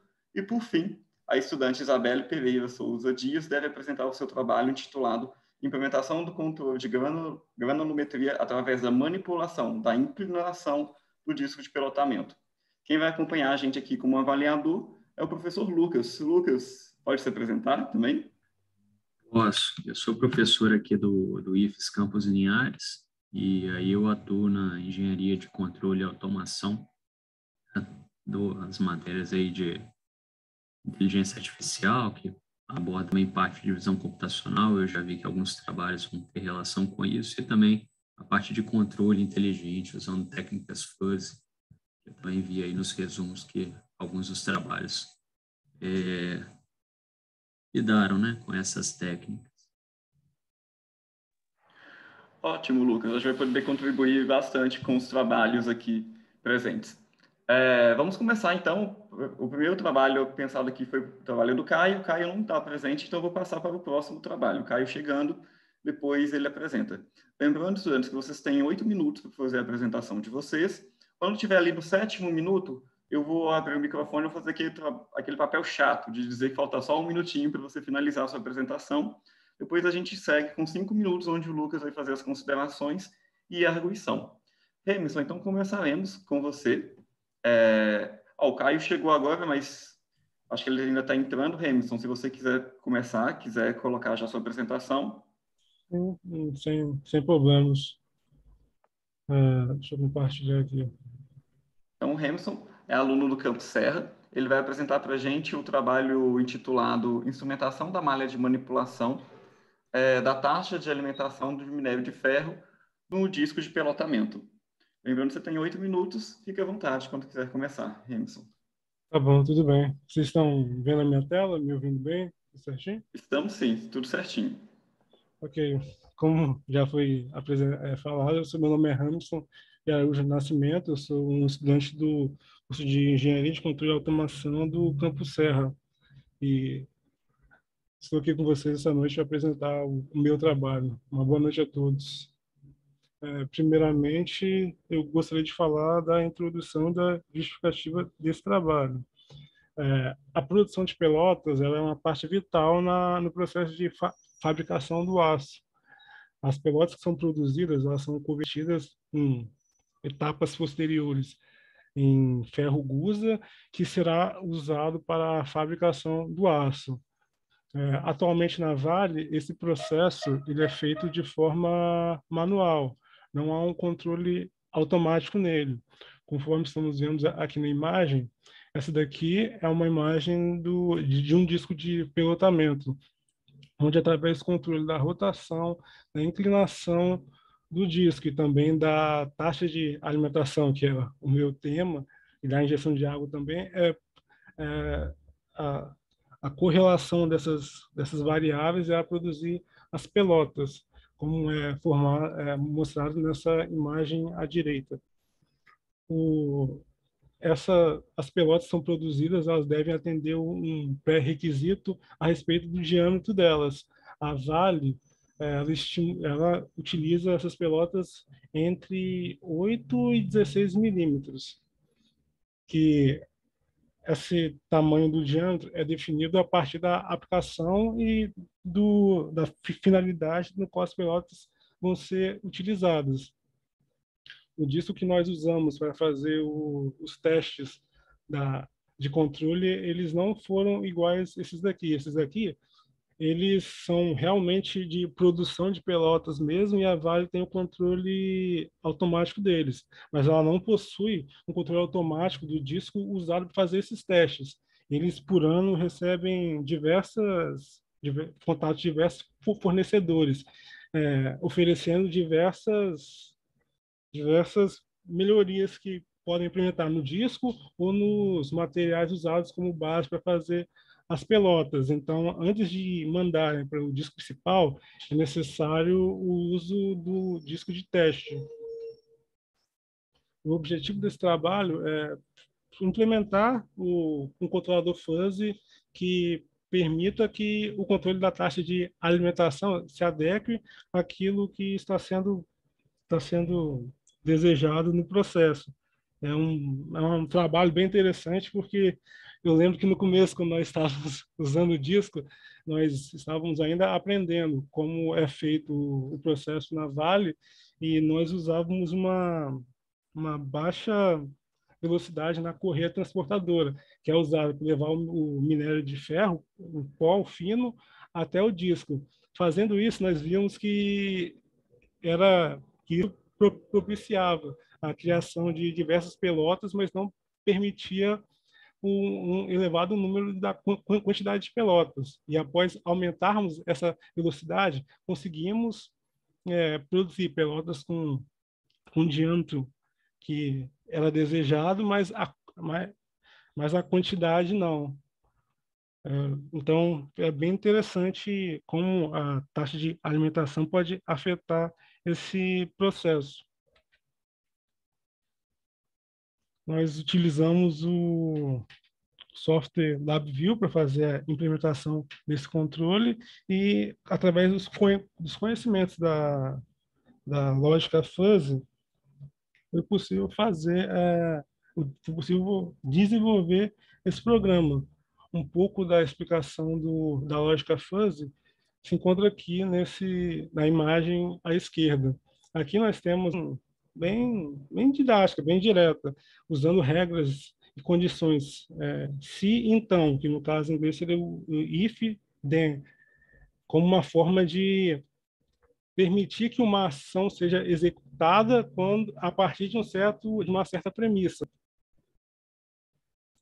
Criamos essas regras fuzzy para o para a taxa de alimentação, creio que foi em torno de não lembro, mas uns de 10 mais ou menos, ou até mais, de cabeça não lembro precisar o número exato, e que, que essas regras que foram criadas, elas é, interagiam com, com esse processo de, do fusificador, que ele recebia a, os, a entra, os sinais de entrada das variáveis que, queria, que queríamos controlar, e, as, e fazia uma correlação com as regras que criamos na etapa de, da interferência fuzzy, para, através disso, gerar um sinal que seria enviado ao disco. À direita, podemos ver é, a representação do, da, do output que, nós, que foi feito para ser enviado ao controlador, ao, à planta, no caso, ao disco, gerando assim um, um controle mais processo da da taxa de alimentação para o disco e ajudando, claro, a produzir pelotas de maior e melhor qualidade. Né? É, foi bem interessante fazer esse trabalho e dentre aqui eu destaquei alguns resultados e discussões que mais me chamaram a atenção. Primeiro, foi a parte do estudo e, aplicação do controlador fuzz, né? O estudo de, do, da, da, disciplina de sistemas supervisório também foi muito importante na produção desse, desse, desse projeto, assim também como o entendimento do, da, do método de, de operação que eles trabalham na Vale, e também o quanto foi possível é, aumentar o, a qualidade no processo, né? visto que antigamente era feito de forma totalmente manual. E aqui eu também destaquei a importância do, do estudo e do, do estudo e da pesquisa por trás de todo o projeto, que o LabVIEW era, era um dos, dos tipos de supervisórios que não são muito conhecidos, é, em geral, pelos estudantes, pelos estudantes, e que, através dele, foi possível montar um programa bastante complexo e capaz de atender às nossas necessidades. Assim também como um estudo do, do, do, funcionamento de sensores, motores, inversores e dos mais diversos dispositivos elétricos. Emerson, você tem mais um minuto. É, finalizar então, queria agradecer a, a todos que fizeram parte desse projeto, a pessoa da FAPS, da Vale, ao meu professor orientador, Gustavo Maia, e é isso. Obrigado, Hamilton. É, só deixar anotado aqui para o pessoal que tem assistido, o Hamilton não conseguiu ligar a câmera dele, na verdade ele está com um desktop, né, Hamilton? Mas já foi justificado. É, mas eu passo agora a palavra para o Lucas, poder fazer as considerações sobre o trabalho e a arguição. Obrigado, Cristiano. E obrigado, Hamilton, né, pelo, pela apresentação isso, aí do trabalho. Isso, o nome é diferente, Hamilton. É, eu achei muito bacana, cara. E aí, só para eu entender, o... vocês trabalharam com um simulador no LabVIEW ou não? O LabVIEW ele já mandava o sinal para o atuador no, no disco de teste? Nós usávamos o, usamos o LabVIEW para enviar sinais ao, ao Hill, um, um dispositivo é, que permitia a conexão com a parte do computador supervisório com a planta. E através do, da utilização de inversores nós conseguimos mudar o sinal do, do, do supervisório até a planta. Entendi. Aí eu, lá no LabVIEW vocês já diziam qual que era o, a taxa de alimentação, né? E quais Isso. que foram as entradas para esse controle aí? O que, que vocês estavam o, pegando de informação? Nós usamos o erro da, que, entre o diâmetro que nós, que nós criamos da pelota e o que era encontrado lá, é, a taxa de crescimento das pelotas, é, que era importante perceber é, a tendência delas ao, ao crescimento, a proporção né, dos tamanhos, é, das faixas de tamanho onde elas estavam, porque ele me falei, eles trabalham apenas com, com faixa de 8 a 16. Então é possível, uhum. é, é importante ter o controle né, do diâmetro que elas apresentam dentro dessa faixa. Entendi. E aí o supervisor já dava esses sinais. É isso? Sim, aí já pegava no LabVIEW. Isso, tivemos que desenvolver algumas algumas etapas anteriores, mas era possível ter acesso às informações através do supervisório. Ah, bacana. A última perguntinha que eu tenho, que eu fiquei curioso, foi como é que vocês chegaram nessas regras? Foi tentativa e erro? Vocês chegaram a entrevistar o operador lá que faz o controle manual? Como é que foi feito? Os dois. Os dois. Primeiro, conversamos com o operador, ele chegou a ir até o IFES, a, a planta, o disco de testes que encontra lá, fizemos algumas alguns testes com ele, com ele tentando entender a, o pensamento que ele tinha por trás de cada ação e no que isso poderia resultar. Aí depois disso fizemos, depois disso fizemos as regras e fomos tentando aperfeiçoar. Com o tempo percebemos que algumas regras não funcionavam de acordo com o que a gente queria, que nós queríamos e implementávamos algumas mudanças. Entendi. Bacana, cara. Parabéns novamente aí pelo trabalho. Obrigado. desculpa o nervosismo. Nada que é isso.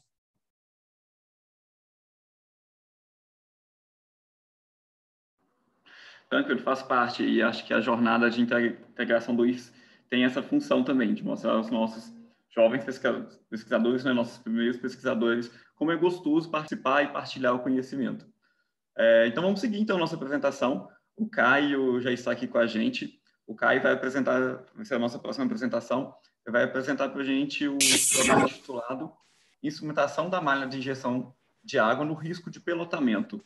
O Caio também está sem a câmera, porque está apresentando de um desktop, mas quando quiser, Caio, pode colocar aqui para a gente a apresentação.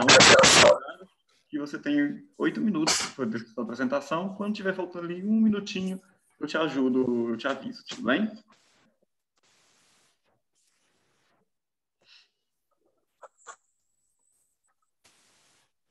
Tudo certo? Caio quando você quiser.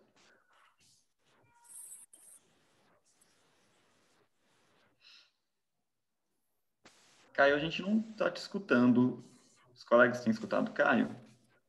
Não, também não estou ouvindo, não. Não, também não.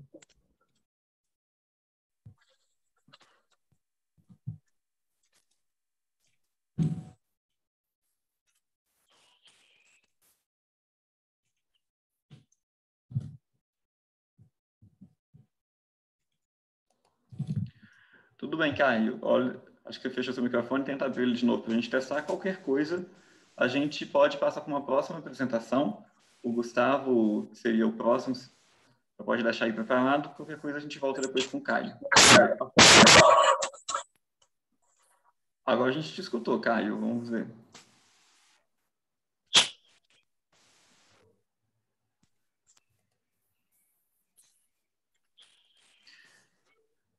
Vamos fazer então assim, Caio, tira o seu microfone, volta um pouquinho. É, vamos passar para o Gustavo, para a gente continuar aqui na nossa dinâmica. Depois você apresenta, Caio, sem problema algum, tá?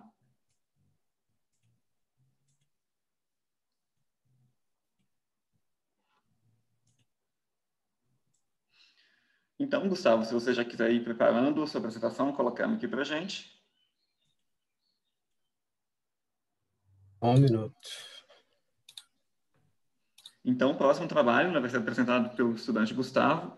O Gustavo Amâncio Afonso é estudante do IFES no campus Vitória e vai apresentar para a gente o trabalho intitulado... É. Aqui, para mim, está um pouquinho diferente, então eu vou falar o, o nome que tem aqui para mim, Gustavo, e depois você tipo, lê seu certinho para poder localizar aqui para o Lucas. Aqui, para mim, está o título Detecção de Intercorrências no Interior de Coletivos do Sistema Público de Transporte, é, acredito que ao longo da pesquisa você deve ter desenvolvido esse nome melhor, então você lê aí, Lucas, fique atento a essa mudança de nomenclatura. Com você, Gustavo, você tem oito minutos. Bom, primeiramente, boa tarde a todos. Meu nome é Gustavo. Eu vou apresentar uma aplicação de inteligência artificial para detecção de anomalia, intercorrência, no ambiente de transporte público via sistema de monitoramento. Esse trabalho foi feito sob supervisão e orientação do professor Douglas Almon Frei, aqui de Vitória também. Bom, a segurança dentro do transporte público é um tema bem recorrente é, atualmente, né? E sempre foi. É, isso tem a, a, tende a agravar mais ainda, tende a aumentar é, com o aumento do uso desse tipo de transporte que, segundo o Fórum Internacional de Transporte, vai aumentar 2,3 vezes até 2050. Ainda em algumas estatísticas, a Associação Nacional de Empresas de Transportes Urbanos é, fez um levantamento que teve 53.479 ocorrências de assaltos no transporte público ao longo, dos, ao longo de 19 anos aqui no Brasil. E com o advento de novas tecnologias, foi possível, é, ainda está em fase de pesquisa, mas a criação de um sistema inteligente que possa, que possa garantir a segurança dos passageiros desse tipo de transporte. Certo? O objetivo desse trabalho é justamente criar elaborar um sistema inteligente capaz de garantir a, a segurança dos passageiros do sistema público de transporte, principalmente daqui da região da Grande Vitória. É, sendo assim, o sistema será baseado no método de redes neurais convolucionais, o que é um método que facilita reco o reconhecimento de imagens e reconhecimento de padrões em imagens, né? Bom, a gente desenvolveu o, a rede neural em Python, utilizando a biblioteca TensorFlow. Aí dá para ver, um, nessa imagem, dá para ver um, um pequeno fluxograma, né? Que é, representa o funcionamento básico, assim, né? Do, da rede neural. Eles pegam, ela pega exemplos normais e anormais, treina o modelo e esse modelo, esse treinamento vai sendo aperfeiçoado através de métricas é, que fazem a realimentação aí, que no caso foi o loss, que é o erro, e o AUC, que eu vou explicar mais para frente. Os, alguns métodos utilizados no processo de treinamento foi o cross-validation, para minimizar a chance de conveniência de algumas imagens no conjunto de treino. O oversampling, que é um método de balanceamento, né? É, porque a gente vai ver mais para frente, tem um, um, grande desnível, um grande desbalanceamento entre uma, algumas classes, e a estratificação, que preserva a proporcionalidade das classes no, em relação ao total. Algumas métricas foram é, avaliadas. A acurácia, que é a quantidade de classificações certas em relação ao total analisado. A AUC, Area Under the Curve, que é a melhor combinação entre é, precisão e o recall. O recall vai nos dar a taxa de verdadeiros positivos, ou seja, as classificações corretas, e a precisão vai indicar para nós a quantidade de falsos positivos, ou seja, a quantidade de é, exemplos que a rede detectou assalto, que na verdade não é. A construção do conjunto de dados foi feita da seguinte forma: foi fornecido a nós 26 gravações de diferentes veículos, e foi, essas gravações foram classificadas, foram transformadas em imagens, né, primeiramente, frame a frame, e resultando em 113.520 imagens.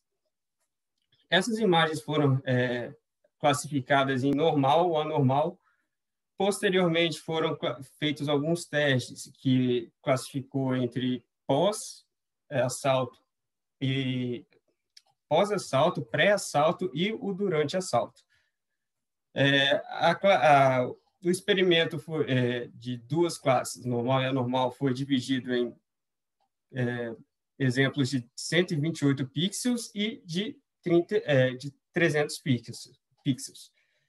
E, para completar, é, o, o dataset, o conjunto de dados original teve que ser reduzido devido ao estouro de memória que ocorreu durante o experimento.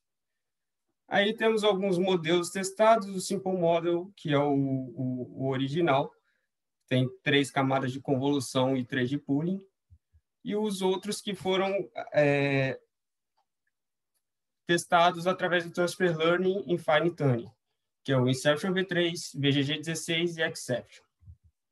Aí temos o, o conjunto de dados para três classes, e o conjunto de dados para duas classes. Vemos que o conjunto de teste, é, o, a classe anormal, na realidade, não foi alterada, né? Porque já há um desbalanceamento bem grande aí.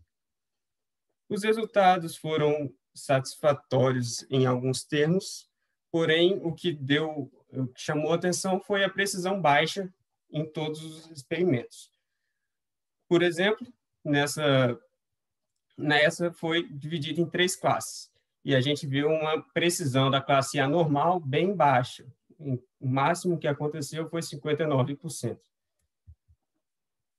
Mudando para duas classes, 128 pixels de resolução, a gente percebe um aumento é, de pra, razoável na precisão da classe anormal, de chegando a 67% o Simple Model levou vantagem nessa, nesses experimentos. No resultado com 300 pixels, é, de novo, o Simple Model levou a vantagem, a não ser pelo, pela AOC, que a VGG16 também levou vantagem. E a gente percebe uma alta razoável na precisão da classe positiva, classe anormal, chegando a 75,98%. Para finalizar, os resultados mostraram que essa pode ser uma boa alternativa para ajudar nesse quesito que é a segurança, certo? O modelo reconheceu bem as situações de assalto, reconheceu bem as situações também que não era assalto. O único fator ali foi é, justamente a taxa de falsos positivos, que foi elevada. Então, esse é um ponto de atenção e que, para trabalhos futuros, podem ser desenvolvidos outras, outras, outras técnicas, como análise da informação temporal, é, que pode ajudar nesse quesito. Bom, é isso.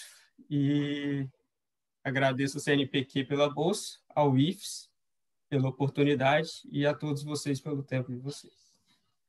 Obrigado, Gustavo. Oito minutos certinho, cara. Parabéns. Vou passar então a palavra agora para o Lucas fazer as considerações dele como avaliador. Parabéns aí pelo trabalho. Eu achei muito interessante é, e fiquei muito curioso também. Esse, esses bancos, esses vídeos, né? Esse banco de vídeos aí, ele está publicamente disponível? Como é que vocês coletaram esses vídeos? Bom, é, eu entrei no processo, no projeto já em andamento, certo? Sim. Então, essa parte da coleção, da, do, da coleta de dados, não fui eu é, quem fiz.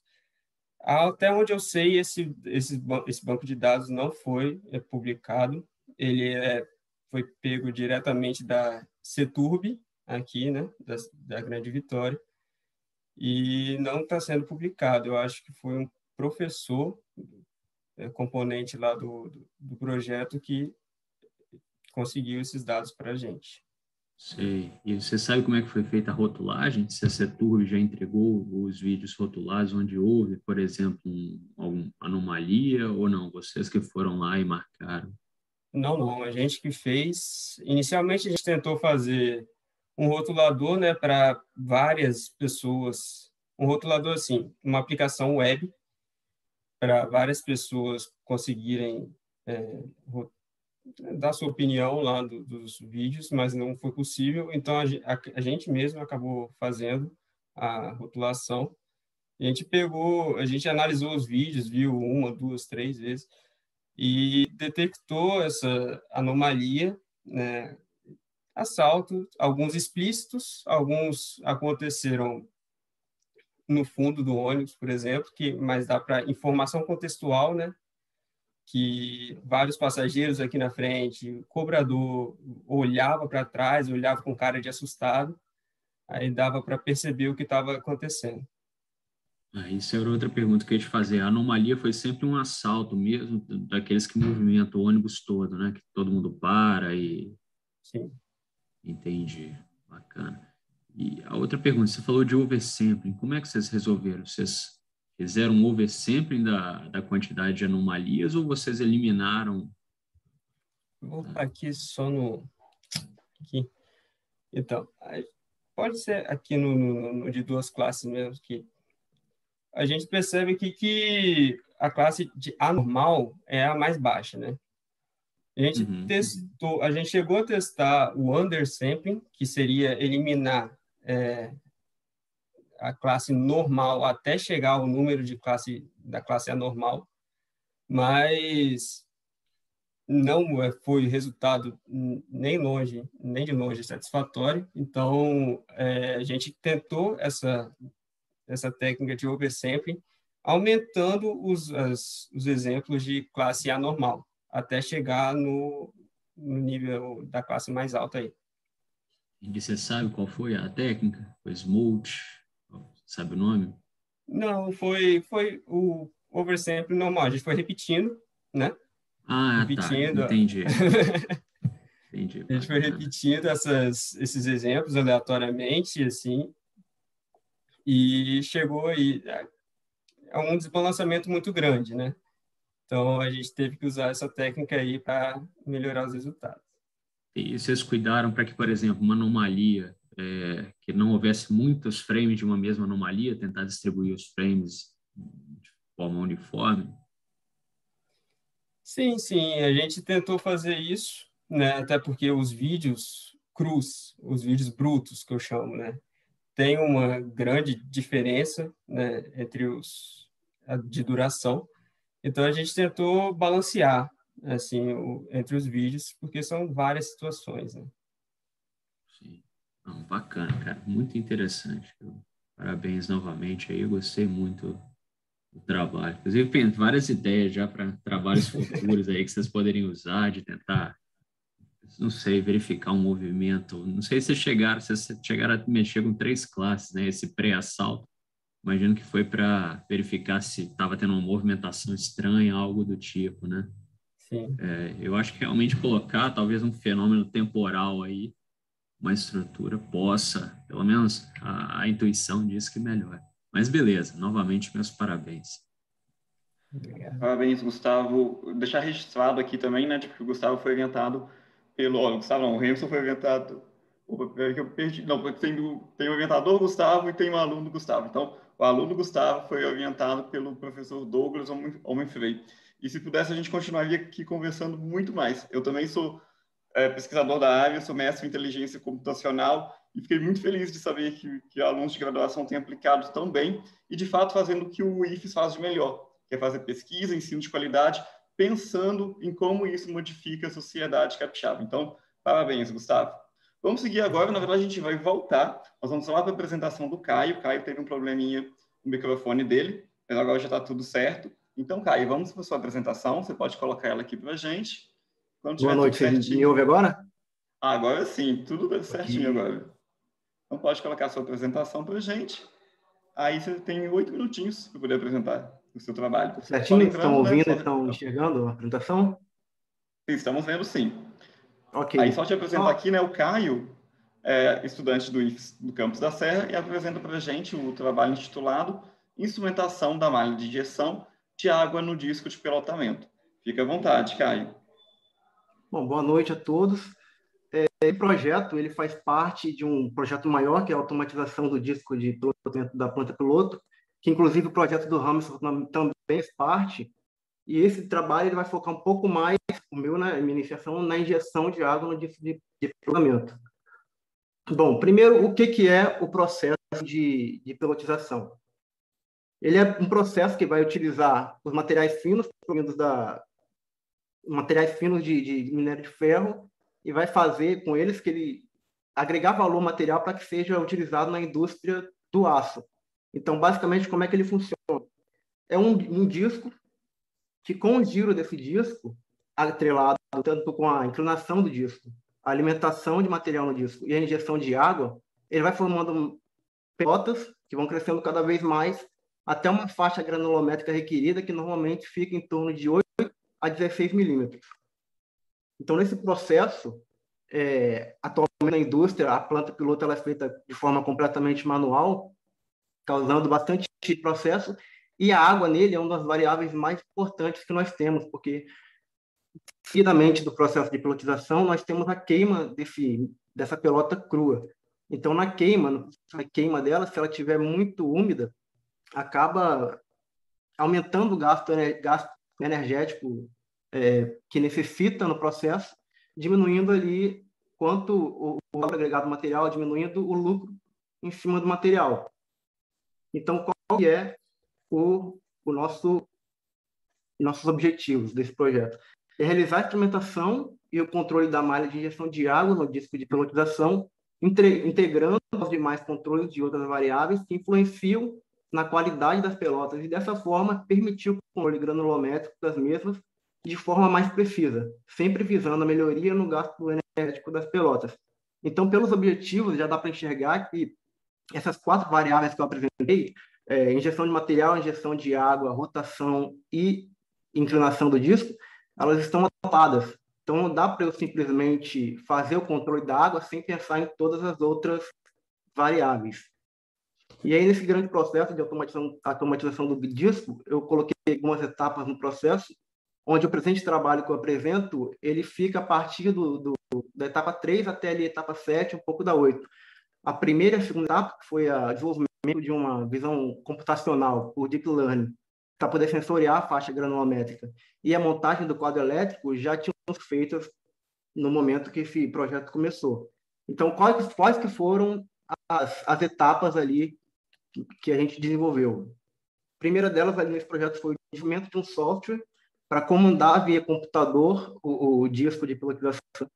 Seria ali, no caso, a interface homem-máquina, para e a integração entre o NMRIO, que o Ramson apresentou já também, e o computador.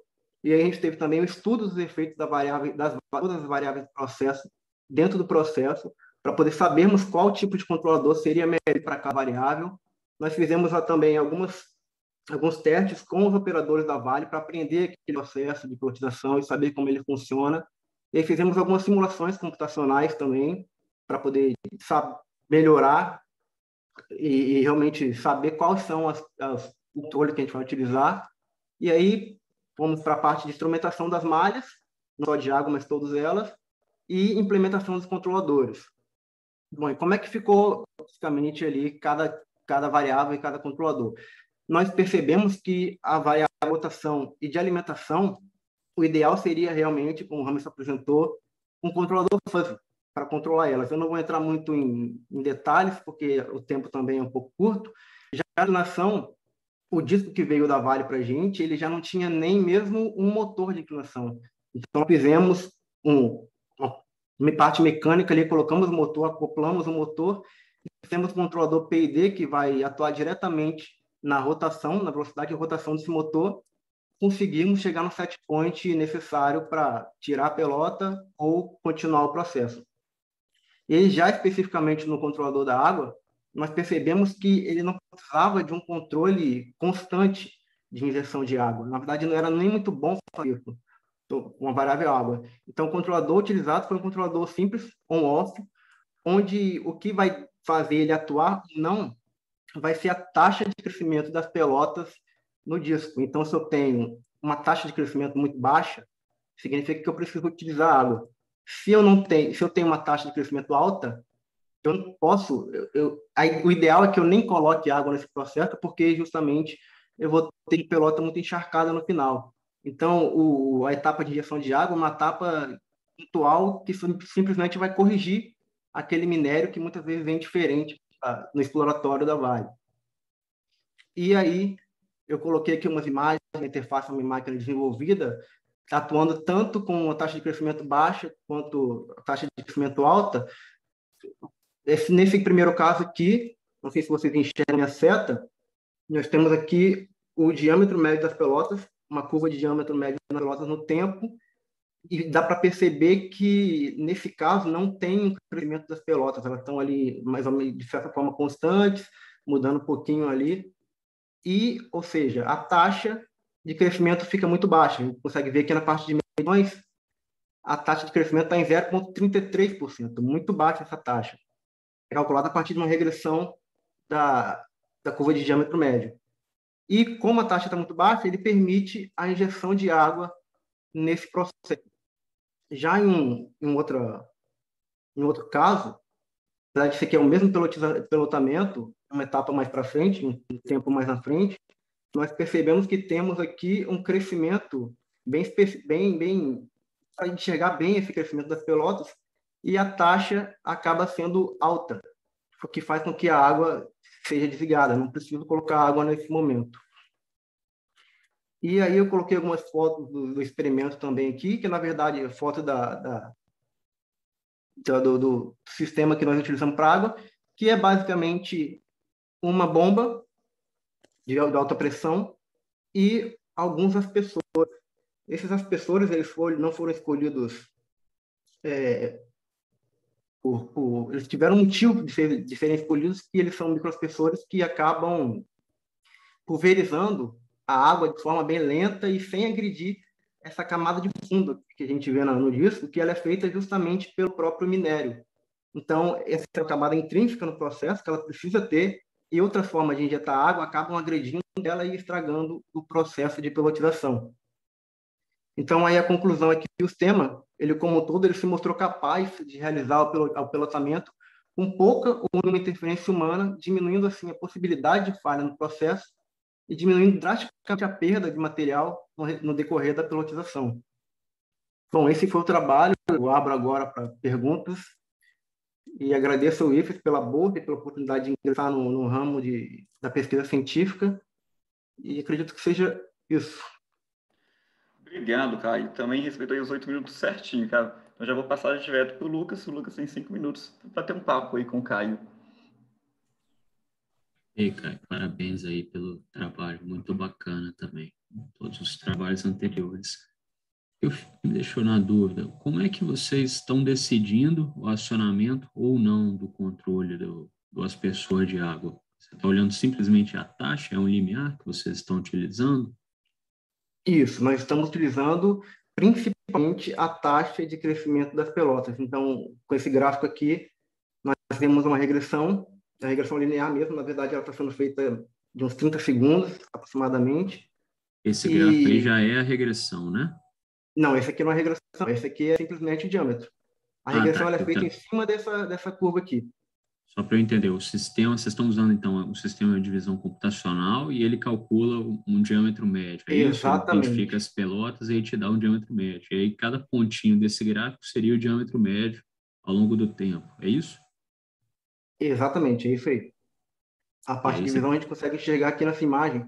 Estamos usando uma IOLACT para poder fazer a, a, segmentação, medição das, pelotas. E aí sim conseguir sensoriar foi uma etapa crítica do processo fazer essa todo esse sensoriamento de cada de cada pelotinha, né? É, é, tô vendo, inclusive tem algumas pelotas ali que fiquei até curioso saber qual que é a eficiência do, desse sistema aí de visão computacional. Depois eu vou procurar saber. Mas aí, aí aqui embaixo, nesse gráfico, vocês calculam a, a regressão, né? Aí tem uma taxa de crescimento. E aí é um valor fixo da taxa de crescimento que usa para então, acionar o controle. Sim, sim. Nesse caso eu coloquei, existe um valor fixo ali, se ele está abaixo desse valor, ele tende a colocar água. Existe uma outra forma também que nós estamos utilizando em paralelo para ligar ou não essa injeção de água, que é, a, a gente consegue ver aqui, ó, a umidade da pelota, na verdade a umidade do material que está entrando. Porque no uhum. nós percebemos que existe um delay ali relativamente grande entre eu colocar, injetar água e o material crescer. Então, se eu tivesse simplesmente colocando a taxa, ele acabava encharcando o material, dependendo do caso. Então, nós temos, medimos ali a umidade antes de começar o tratamento e colocamos ele no processo que ele também vai fazer essa compensação. Isso ele já está fazendo, ele já olha a umidade, olha a taxa e aí já verifica se é Isso. aciona ou não. Isso. Bacana. Bacana. E curiosidade, esse nesse gráfico aí do diâmetro médio, aqui nesse ponto mínimo ali, né? Ele teve um acionamento. Você sabe por que, que ele começou a crescer a, o diâmetro médio? Um...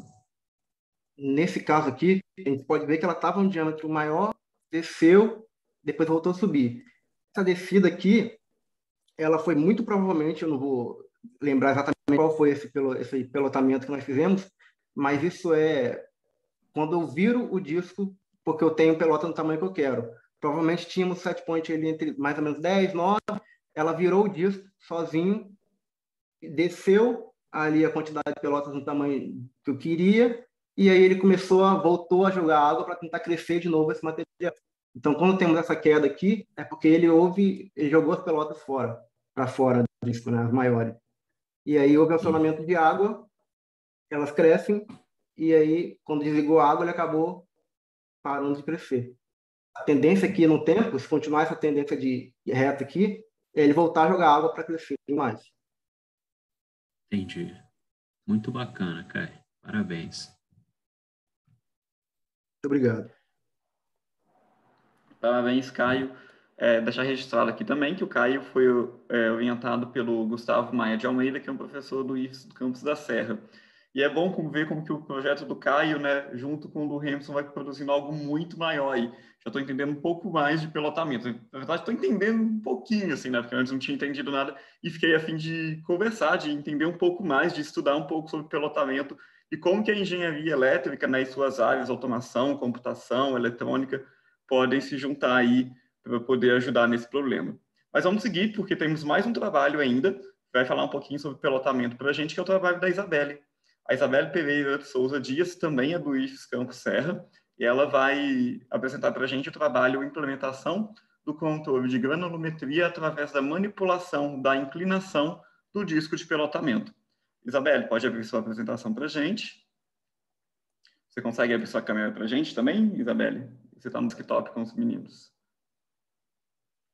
Peraí, deixa eu tentar aqui para ver se está na câmera. Consegue ver? Beleza. Conseguimos, sim. Então, você fica à vontade, Isabelle, você tem oito minutos. Se estourar o tempinho, eu te aviso aqui, ok? É, tudo bem. É, então, esse é outro projeto, né, que faz a parte do projeto de pesquisa do sensoriamento e automação do disco de pilotamento. É, o meu plano de trabalho foi a implementação do controle da granulometria através da manipulação da inclinação do disco de pilotamento, e o professor orientador foi o Gustavo Maia de Almeida. Aqui um pouco sobre a introdução, né, justificativa. É, primeiro, o conceito básico, né, que já foi até ressaltado algumas vezes agora, que é o, sobre o processo de pilotamento, né. Ele pode ser entendido por esse fluxograma que está na tela, e o pilotamento é um processo de aglomeração com o objetivo de agregar a parcela de finos de minério em feras, o que a gente chama de pelota. É, e aí a qualidade adequada desse, desse, dessas pelotas, é, do, então, do produto final, vai depender do sucesso de cada uma das etapas. Aí, ao final, é, essa qualidade vai acabar dependendo das variáveis de granulometria, é, da, do minério mesmo, né, e dos insumos, da umidade de alimentação à água, é, dosagem do aglomerante, a rotação e inclinação é, do disco do, é, de pilotamento e entre outras coisas. Atualmente, a produção dessas pelotas é uma etapa fundamental para o processo e essas, essas pelotas são produzidas pelo disco de pilotamento. E a manipulação desse disco de pilotamento, ele é feita totalmente pelo operador. Então, automaticamente não é, não é um sistema automatizado. E o que isso acaba aumentando a ocorrência de falha, né, por erro humano, ou acarretando um desperdício de matéria-prima e o que leva a uma perda de qualidade do produto final. Então, qual é o objetivo do, desse trabalho? Ele é realizar o sensoriamento e automação do disco de pilotamento, onde, através da detecção, medição e análise das pelotas real, é, realizada pelo protótipo de visão computacional, é, serão tomadas decisões que vão é, fazer a manipulação do ângulo de inclinação e assim é, controlar os diâmetros e a granulometria das pelotas dentro do disco de pilotamento, utilizando é, sistemas de controle inteligente. Então, falando um pouco do, sobre os materiais e os métodos, o disco de pilotamento consiste em um disco de movimento né, rotativo e ele é ligeiramente inclinado. E ao ser, ao ser utilizado o minério, ele rola em espiral lá dentro de, desse disco, e de, aí de acordo, isso vai depender então, de acordo com a inclinação e a velocidade angular, o grau de, de alimentação, é, as pelotas vão ser, serem produzidas de tamanhos diferentes. Aí foi estudado o processo de fabricação de pelota pelo disco de é, pilotamento, foi estudado também o controlador fuzzy, o software do LabVIEW, para a gente poder desenvolver um algoritmo de controle. E, além disso, foi utilizado é, um, o protótipo de visão computacional com o intuito de realizar o controle dos diâmetros das pelotas dentro de, do disco, né? Que é isso que vai é, ser lá a entrada para o nosso controle. É, aí, através desses sinais é, enviados pelo sistema de visão com, é, computacional, a gente tem uma malha de controle para a inclinação do disco de pilotamento e que foi, que foi desenvolvida com a ajuda também do inversor de frequência, um motor redutor e sensores de fim do curso e, e também um sensor de inclinação. Então, aqui um pouco, focando mais na lógica fuzzy, é, o controle foi feito usando essa lógica e essa lógica é uma técnica que meio que emula o raciocinamento humano em sistemas do controle, ele introduz a, a estrate, aquela estratégia de tomada de decisão em processos complexos e ele é ref, frequentemente esse o a lógica fuzzy é referida como sendo um controlador inteligente, né? Por, por fazer toda essa questão, né, de levar em consideração é, o quão inclinado, por exemplo, quão inclinado está, se está muito inclinado ou pouco inclinado, por levar é, isso em consideração. Aí, a fusificação é a conversão das variáveis de entrada do domínio de números reais para um domínio fuzzy, que então, então o que é isso? É a atribuição de valores linguísticos para graus de pertinência entre 0 ou 1, um, por exemplo, 0 não sendo inclinado e 1 um sendo bem muito inclinado. É, aí depois a gente também tem a defusificação, né, que transforma o resultado obtido em algum valor é, clássico, que vai ser o que a gente vai colocar como output depois para o nosso sistema. Aí um pouco aqui sobre os resultados é, e discussão deles, né? Aí dessa forma, é, com esses controladores projetados, é, é, através de uma determinação de fusificação das regras de controle e do método de, é, de fusificação, é, tivemos assim regras, né, bases que foram utilizadas no baseadas, foram criadas baseadas no erro de, de do, do, diâmetro das pelotas de minério e a proporção do, das pelotas de minério. O erro do diâmetro era, ou seja, era a, porcentagem de diferença entre o tamanho referido e o tamanho é, obtido, era considerado positivo quando a porcentagem obtida estava abaixo do, do, do, nível requerido e negativo quando a porcentagem obtida estava acima do requerido. E zero quando a porcentagem obtida estava dentro do requerido, né? Então, assim, para a gente tentar balancear lá o erro, né? Quando tivesse o erro, quando tivesse pequeno, a gente aumentava, quando tivesse grande, a gente diminuía é, a inclinação e, e, e tudo mais. Aí já a proporção, da, da a proporção das pelotas de minério era considerada positiva quando as pelotas tinham uma porcentagem menor que 10 milímetros negativa quando as pelotas tinham uma porcentagem maior que 16 milímetros. E zero quando a porcentagem estava igual ao requerido, que a gente queria lá. Aí, ao final, é, foi demonstrado que a utilização do, do, do controlador fuzzy era capaz de, de elevar o nível de qualidade do produto e aumentar um pouco a confiabilidade do processo, por ter essa questão toda automatizada, né? E, a, e isso também reduz drasticamente o desperdício da matéria-prima na produção. Aí, um pouco da conclusão, é, atualmente não existe nenhum, no mercado, não existe nenhum disco de pilotamento uh, de laboratório que consegue alterar a inclinação do disco de forma automática e, o, de, e ele é somente controlado pelo operador de forma manual. Aí, na automatização dessa função, é, a gente pode controlar a inclinação de um sistema de controle, como foi desenvolvido aqui nesse trabalho. Aí, eu gostaria, então, de agradecer a CNPq, né, é, e o IVES pela oportunidade de, dessa, de participar dessa pesquisa científica. Ok, e aqui as referências. ok, obrigado pela sua apresentação. E passo a palavra para o Lucas para a arguição.